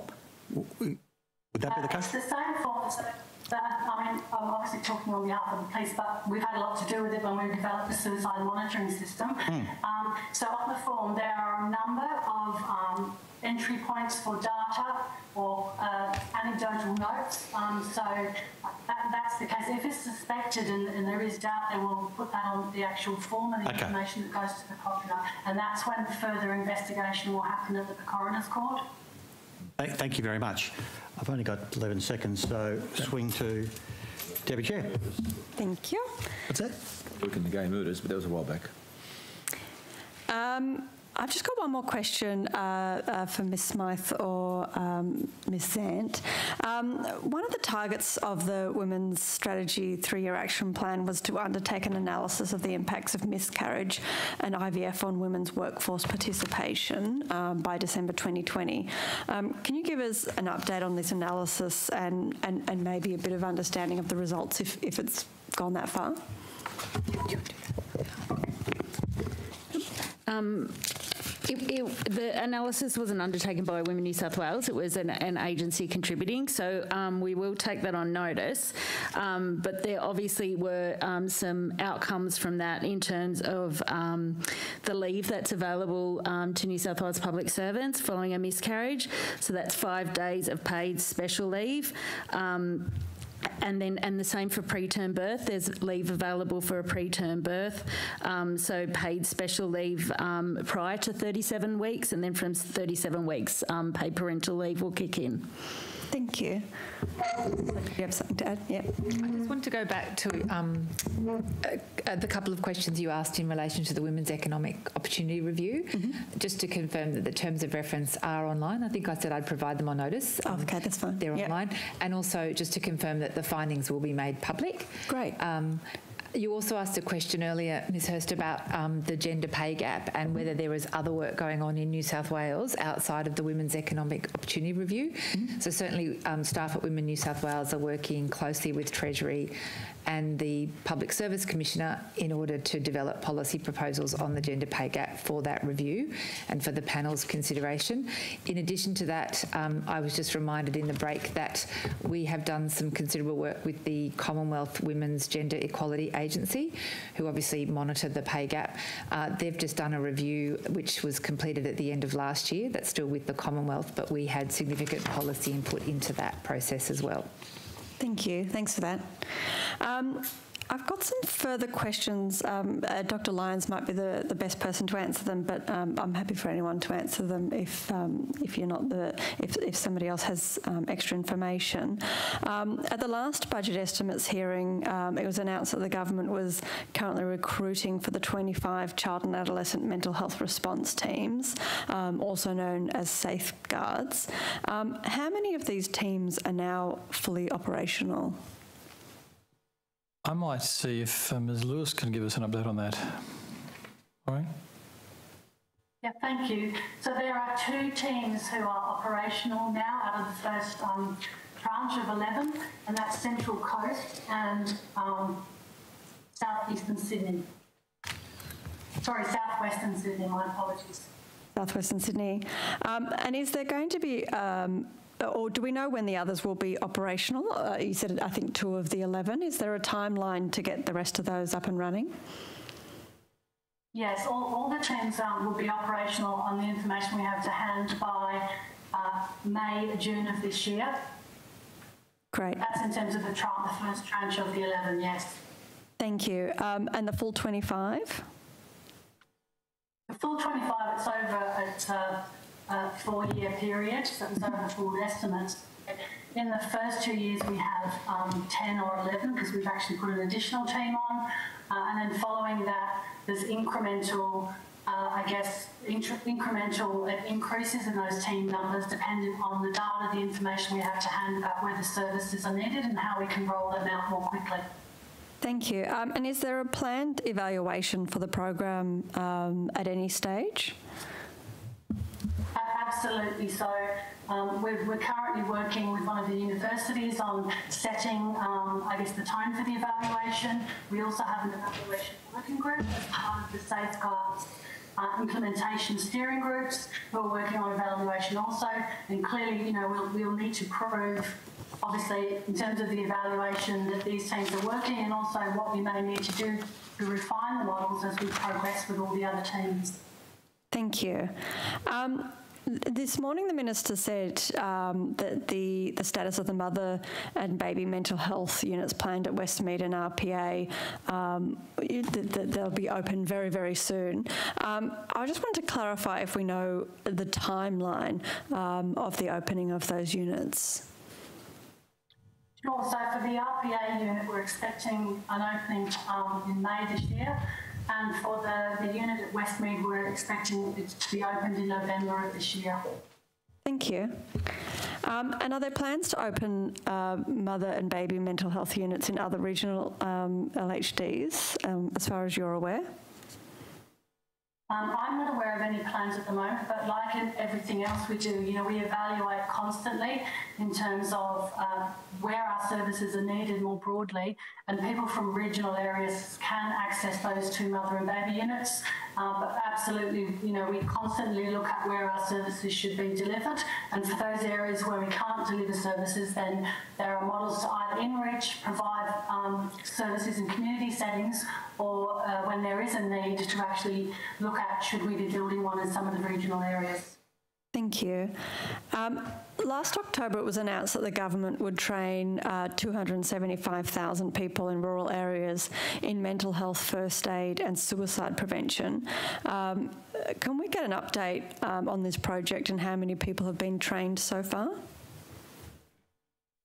Sure. So I think we're talking about the um, the 270,000 people in the initiative, that's $14 million over two years um, under the recovery package for LivingWorks.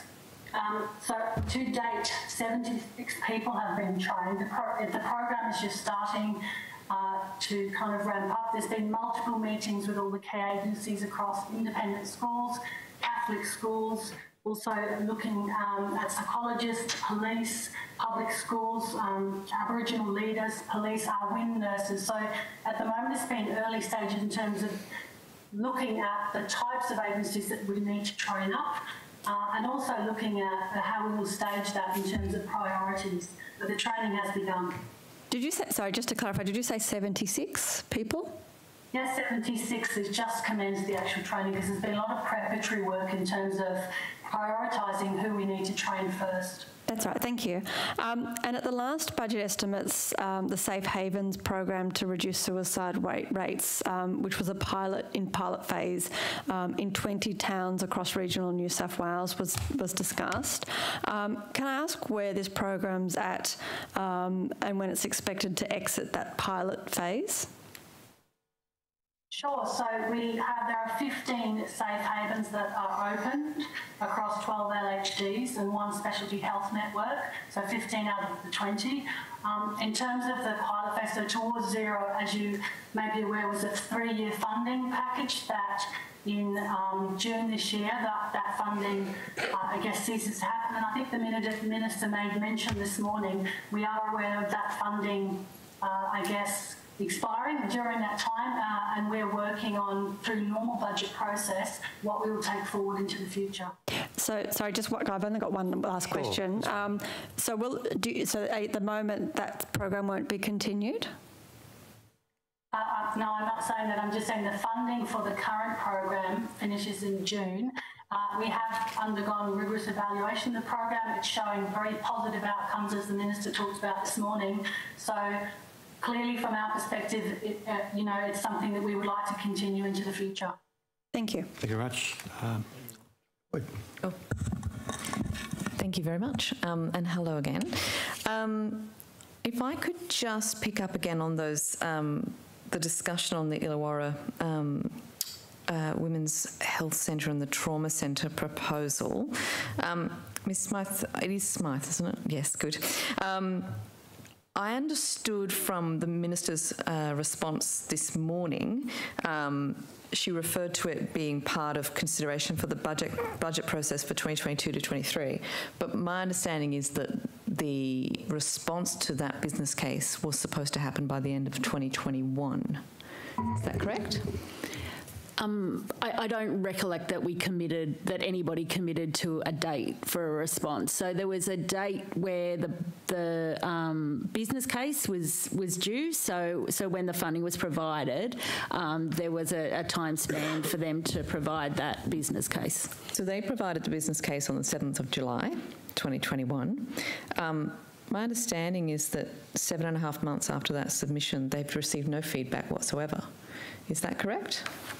Um, we, we have done an analysis of that, but no, we haven't um, responded in terms of sharing um, thoughts about whether that proposal is something that will be considered um, and because it is part of that budget process and all of the um, broader priorities for domestic sexual and um, family violence. Under the receipt, um, sorry, under the arrangements where the business case was funded um, from the Ministry of Health, um, that arrangement obliged um, a coordination of you know, basically New South Wales government was supposed to co coordinate cross-agency input on the proposal for consideration by the Domestic and Family Violence Reforms Delivery Board. Has that bit happened? So again, it will go with a range of um, of proposals and, and, and project um, submissions um, to the board um, for consideration um, for for future funding. Is it normal to not respond to someone who's put in to an, an organisation that's put in a business case to just I mean, we, silent? We, have responded in terms of it's been received, but we haven't responded in terms of providing any advice about whether it, it will be funded. No, but you also haven't responded to say it is still being decided upon or there's been no response at all. Well, we have communicated, but we haven't given anything definitive about the next steps, no. Um, in in relation to, I think you said before that your your role um, uh, is now Director of Women New South Wales. Um, previously, you were working under Domestic and Family Violence Minister. Is that correct? So um, I am responsible for sexual violence, um, women, seniors, and carers. Mm -hmm. Previously, I was also responsible for domestic family violence. Got it. That's very useful. So, in I guess two questions. The first one is: Is any of this delay a cause of change in roles or a change in, you know, having a new minister? Did that disrupt the processing of this business case? I, I think it remains uh, that, that it, it, the funding that it, if it is funded, it, the funding that will be part of the National Partnership Agreement mm -hmm. and the decisions made on the allocation of that haven't occurred okay. um, for, for that tranche. Um, in relation to that National Partnership Agreement money, I understand that the 20 million that was announced last, is it October or November? Um, the entire amount went to um, domestic and family violence frontline services. Um, but as you know, the partnership agreement does cover sexual violence services as well. Um, are you able to shed light on why none of that went to the sexual violence frontline responders? Uh, so they were the decisions made last year in relation to payment one of the National Partnership Agreement. There's three further payments that um, will come from the Commonwealth. We're currently considering payment two, and um, we expect to fund some sexual violence related initiatives in that payment.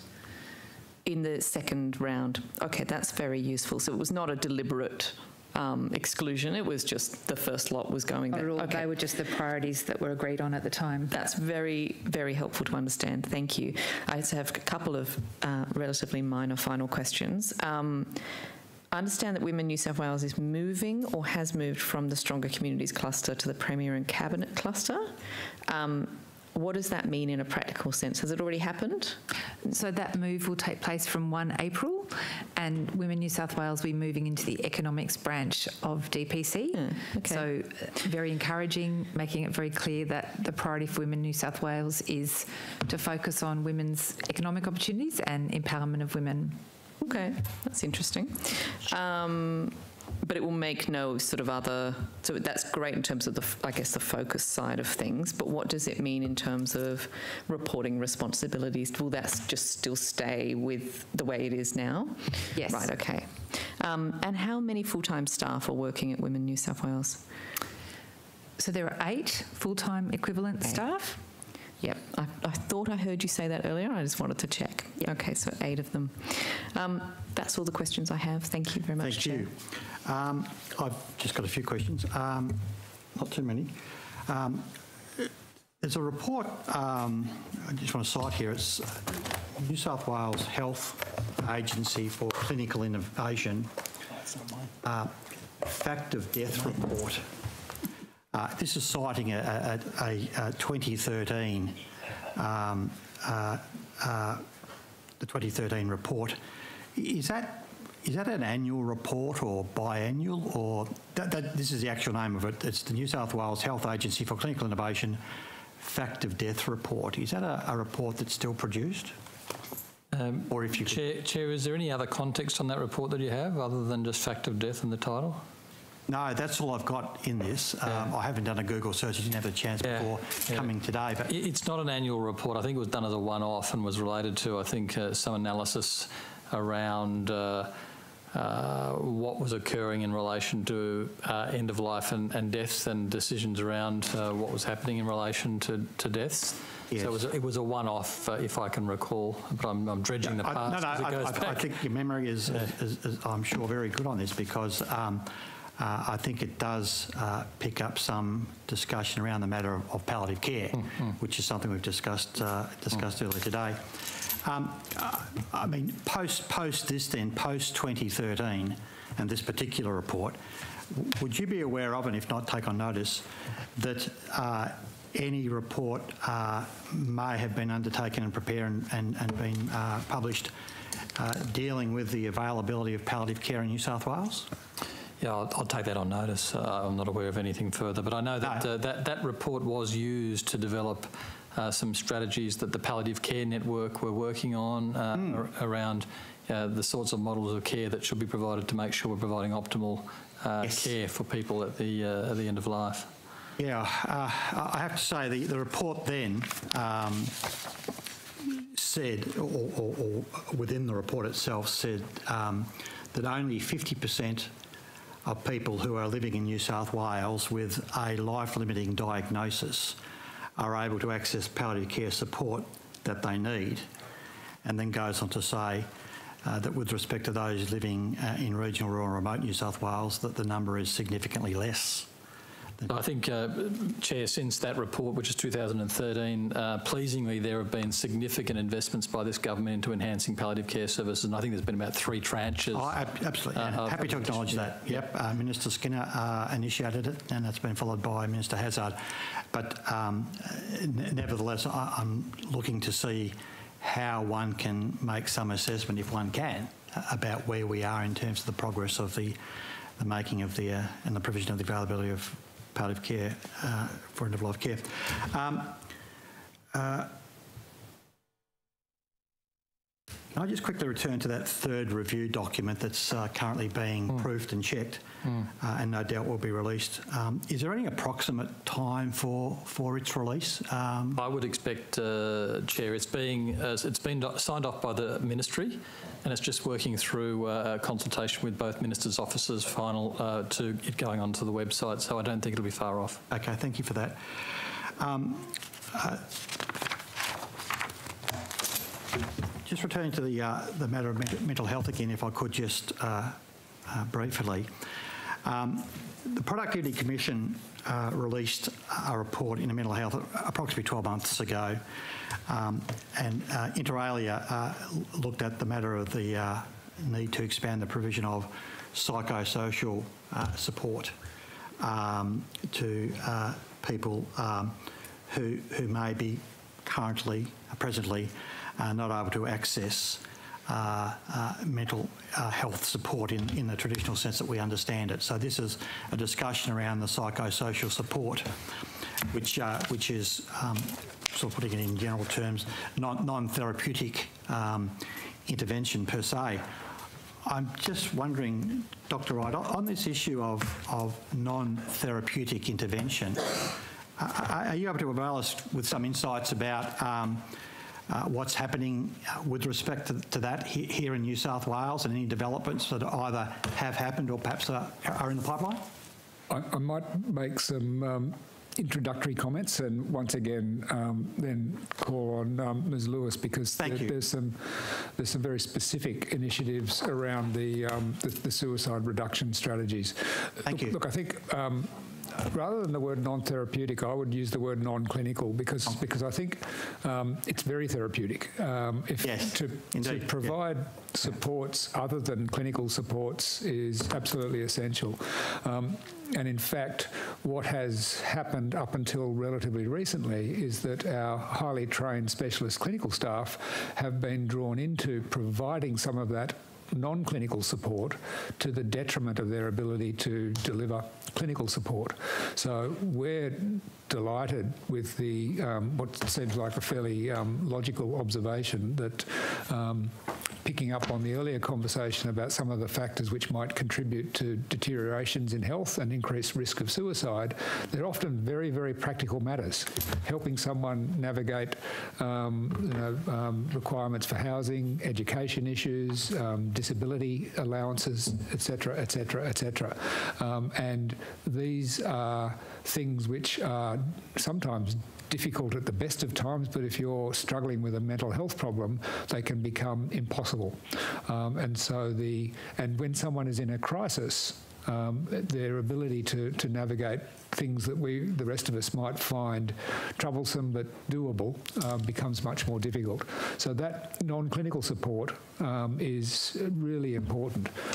Um, and it's important in all sorts of different mental health conditions. It's particularly important to people who present in crisis. And Thank I think that it's been helpful. picked up um, specifically around the suicide reduction. And I, and I may ask um, Ms Lewis to elaborate on that. Thanks, Ms Lewis. Um, so just more broadly in terms of what New South Wales are doing in this space, um, amid 2020, um, we've spent over $3.3 million in projects that have been funded to help people with psychosocial disability across New South Wales to help connect with the supports they need. And, and that's on top of what's going on from a Commonwealth level with the NDIS. Uh, as of 30th of September in 2021, there are 149,702 active NDIS participants in New South Wales, and 10% of them, which is approximately um, 15,000, uh, have a psychosocial disability.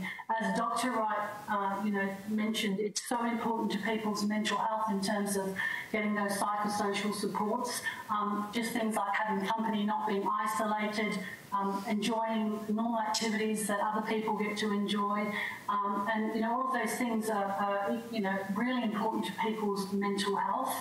Um, so there, there are a number of things New South Wales is doing in this uh, in this space um, across across both metro and regional areas. Thank you. So, Dr. Wright, am- I to take that, um, that not, not specifically looking at New South Wales here, but as a, as a statement that there is uh, an enhanced and growing recognition of the importance of the state um, providing some focus on this non-clinical support as a way of, of mitigating and pushing back against, you know, the, the mental health I use the word plague, I suppose, advisedly, but the, the mental health problems that are experienced by, by many, many people within this state or any state. I think that what it represents is a more sophisticated understanding of the, the fact that um, that good care constitutes things other than just um, clinical treatment. Yes. Um, and and that um, um, care based on a collaboration between clinicians, between carers, between the broader community and in, in the instances such as outlined by Ms Lewis, um, professional um, psychosocial support to help, um, I, I guess, to provide that more comprehensive care for the, for the most vulnerable people in the community. And my last question um, to Dr. Lyons. Um, telehealth, and um, this is not meant to be a statement, but um, it might end up being a bit of a statement, but I welcome any thoughts about it. That as we travel the, the state uh, with our inquiry and, and, and talking to um, uh, uh, some nurses, um, as I did uh, on the matter of, of telehealth, uh, uh, there was an expression of concern by, by some, I don't sort of overstate, understate making this as an observation, that there were circumstances where they were placed in with respect to the telehealth uh, that was being uh, delivered to the patient uh, before them, that the, the nature of the uh, assessment that was being done was such that um, they felt anyway that there was additional onus on them to be in effect to use the phrase to, to make the call or, or make an assessment uh, and communicate that back to the, the clinician, whoever that might be, wherever that person may be, in terms of dealing with the matter before them. In other words, to, to, to sort of use this base example, which I, have to say was used on more than one occasion, matters to do with feeling the, the person's skin and just the complexion and those sorts of things. I mean, I'm not a doctor myself, but the, the things that one would do if one was there as, as automatic, uh, which is no doubt just intuitive for a, for a medical practitioner, that they felt that they were, in a sense, being placed in having to make a bit of a call on some of these issues. And, and to take it a step further, some of them said that what they had the most difficulty with was to then be signing off on um, a, a, a, report uh, or, a, or, or a, status on what the person's condition was and felt that at the end of the day they aren't doctors. The doctor is delivering the obviously the telehealth, but but they felt that there was perhaps a, a difficulty for them in, in, being placed in a position of, of perhaps making some assessment or or making some judgment that, quite frankly, they said they weren't qualified to do so.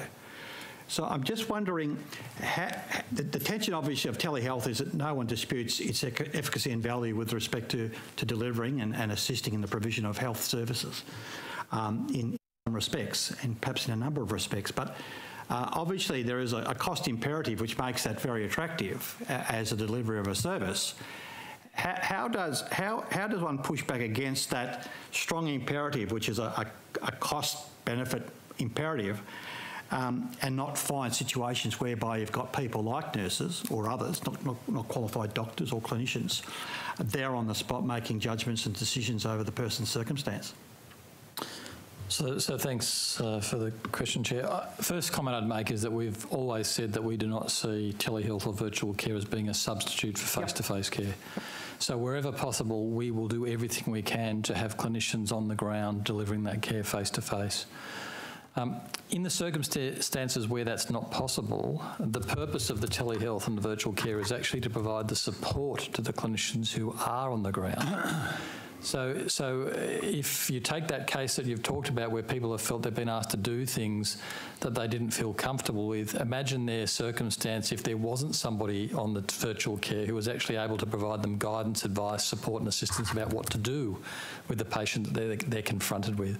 The purpose is actually to provide that support to the staff who are there and provide that expert advice about what actions they can take, what they can do, but nobody should be asked to do things beyond their capability. So the purpose we, we need to have, and, and we do this already, we invest very much in giving our nurses in emergency departments in rural environments advanced skills.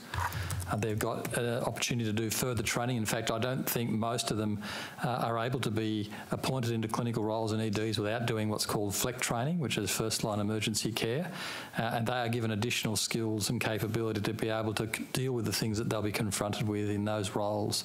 But if there's more that we need to do to give the staff the support to make sure that they are feeling comfortable with what they're doing in those contexts.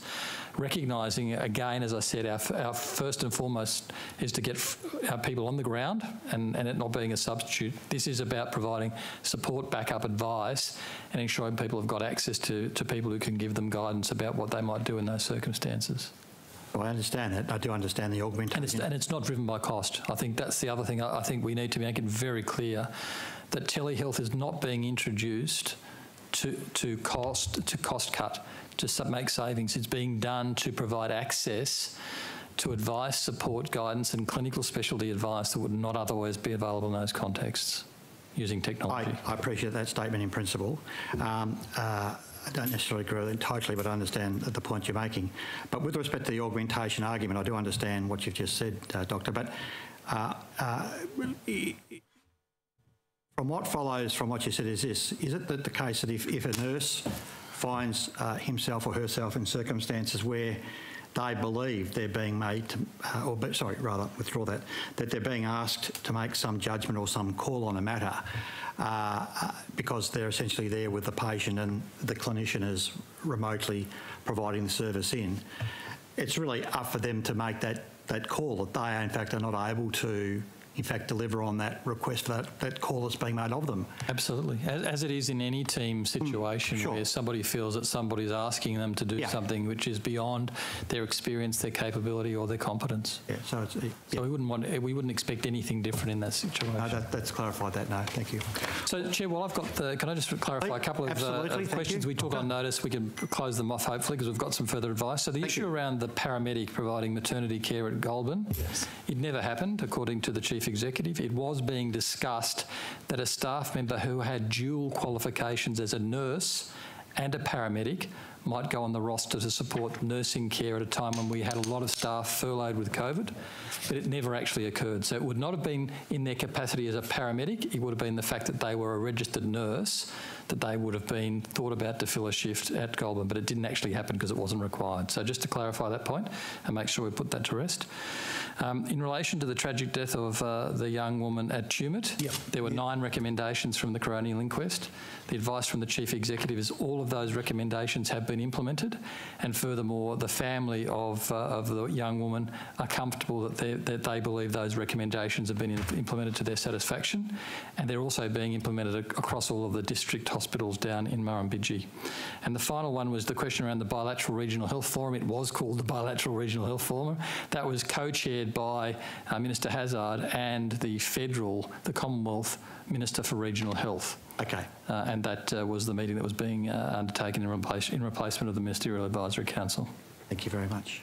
So uh, I thought we'd do. Uh, No, no, out. absolutely. This, this is um, this is the time to do it. It uh, makes a lot of sense to do so. So uh, I'm not sure if the. Yes, please. Sorry, Mr.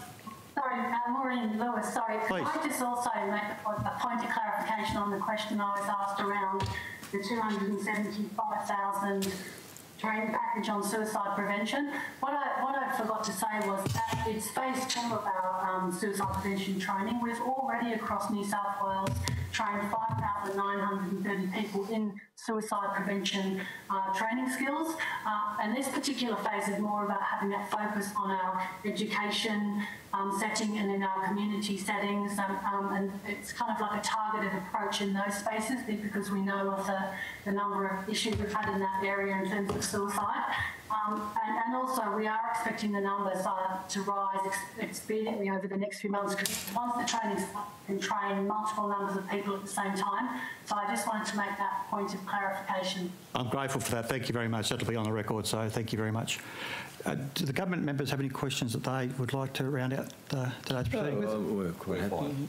Thank. Honourable gentlemen, So uh, thank fine. you for Um, you all being here today. So on that note, can I, uh, on behalf of the committee, thank you all very much for uh, doing the hard yards across the whole course of the day. It's been a long day. Thank you. I know we've, we've put up a bit short, but I don't think there's too many complaints about that. It's been a, a full day and a productive day, and uh, there will be questions on notice that have been taken, uh, or have been, and uh, the committee secretariat. So once again, thank you all very much for coming, uh, and thank uh, New South Wales Health for the, the great work they've done looking after us through COVID, and now dealing with, uh, uh, obviously, the immediacy of the issue of the the, uh, the great emergency we have around uh, rain and water and related matters. So thank you all very much. Thank you, Chair. Thank, you. Thank you so. Thank you very much.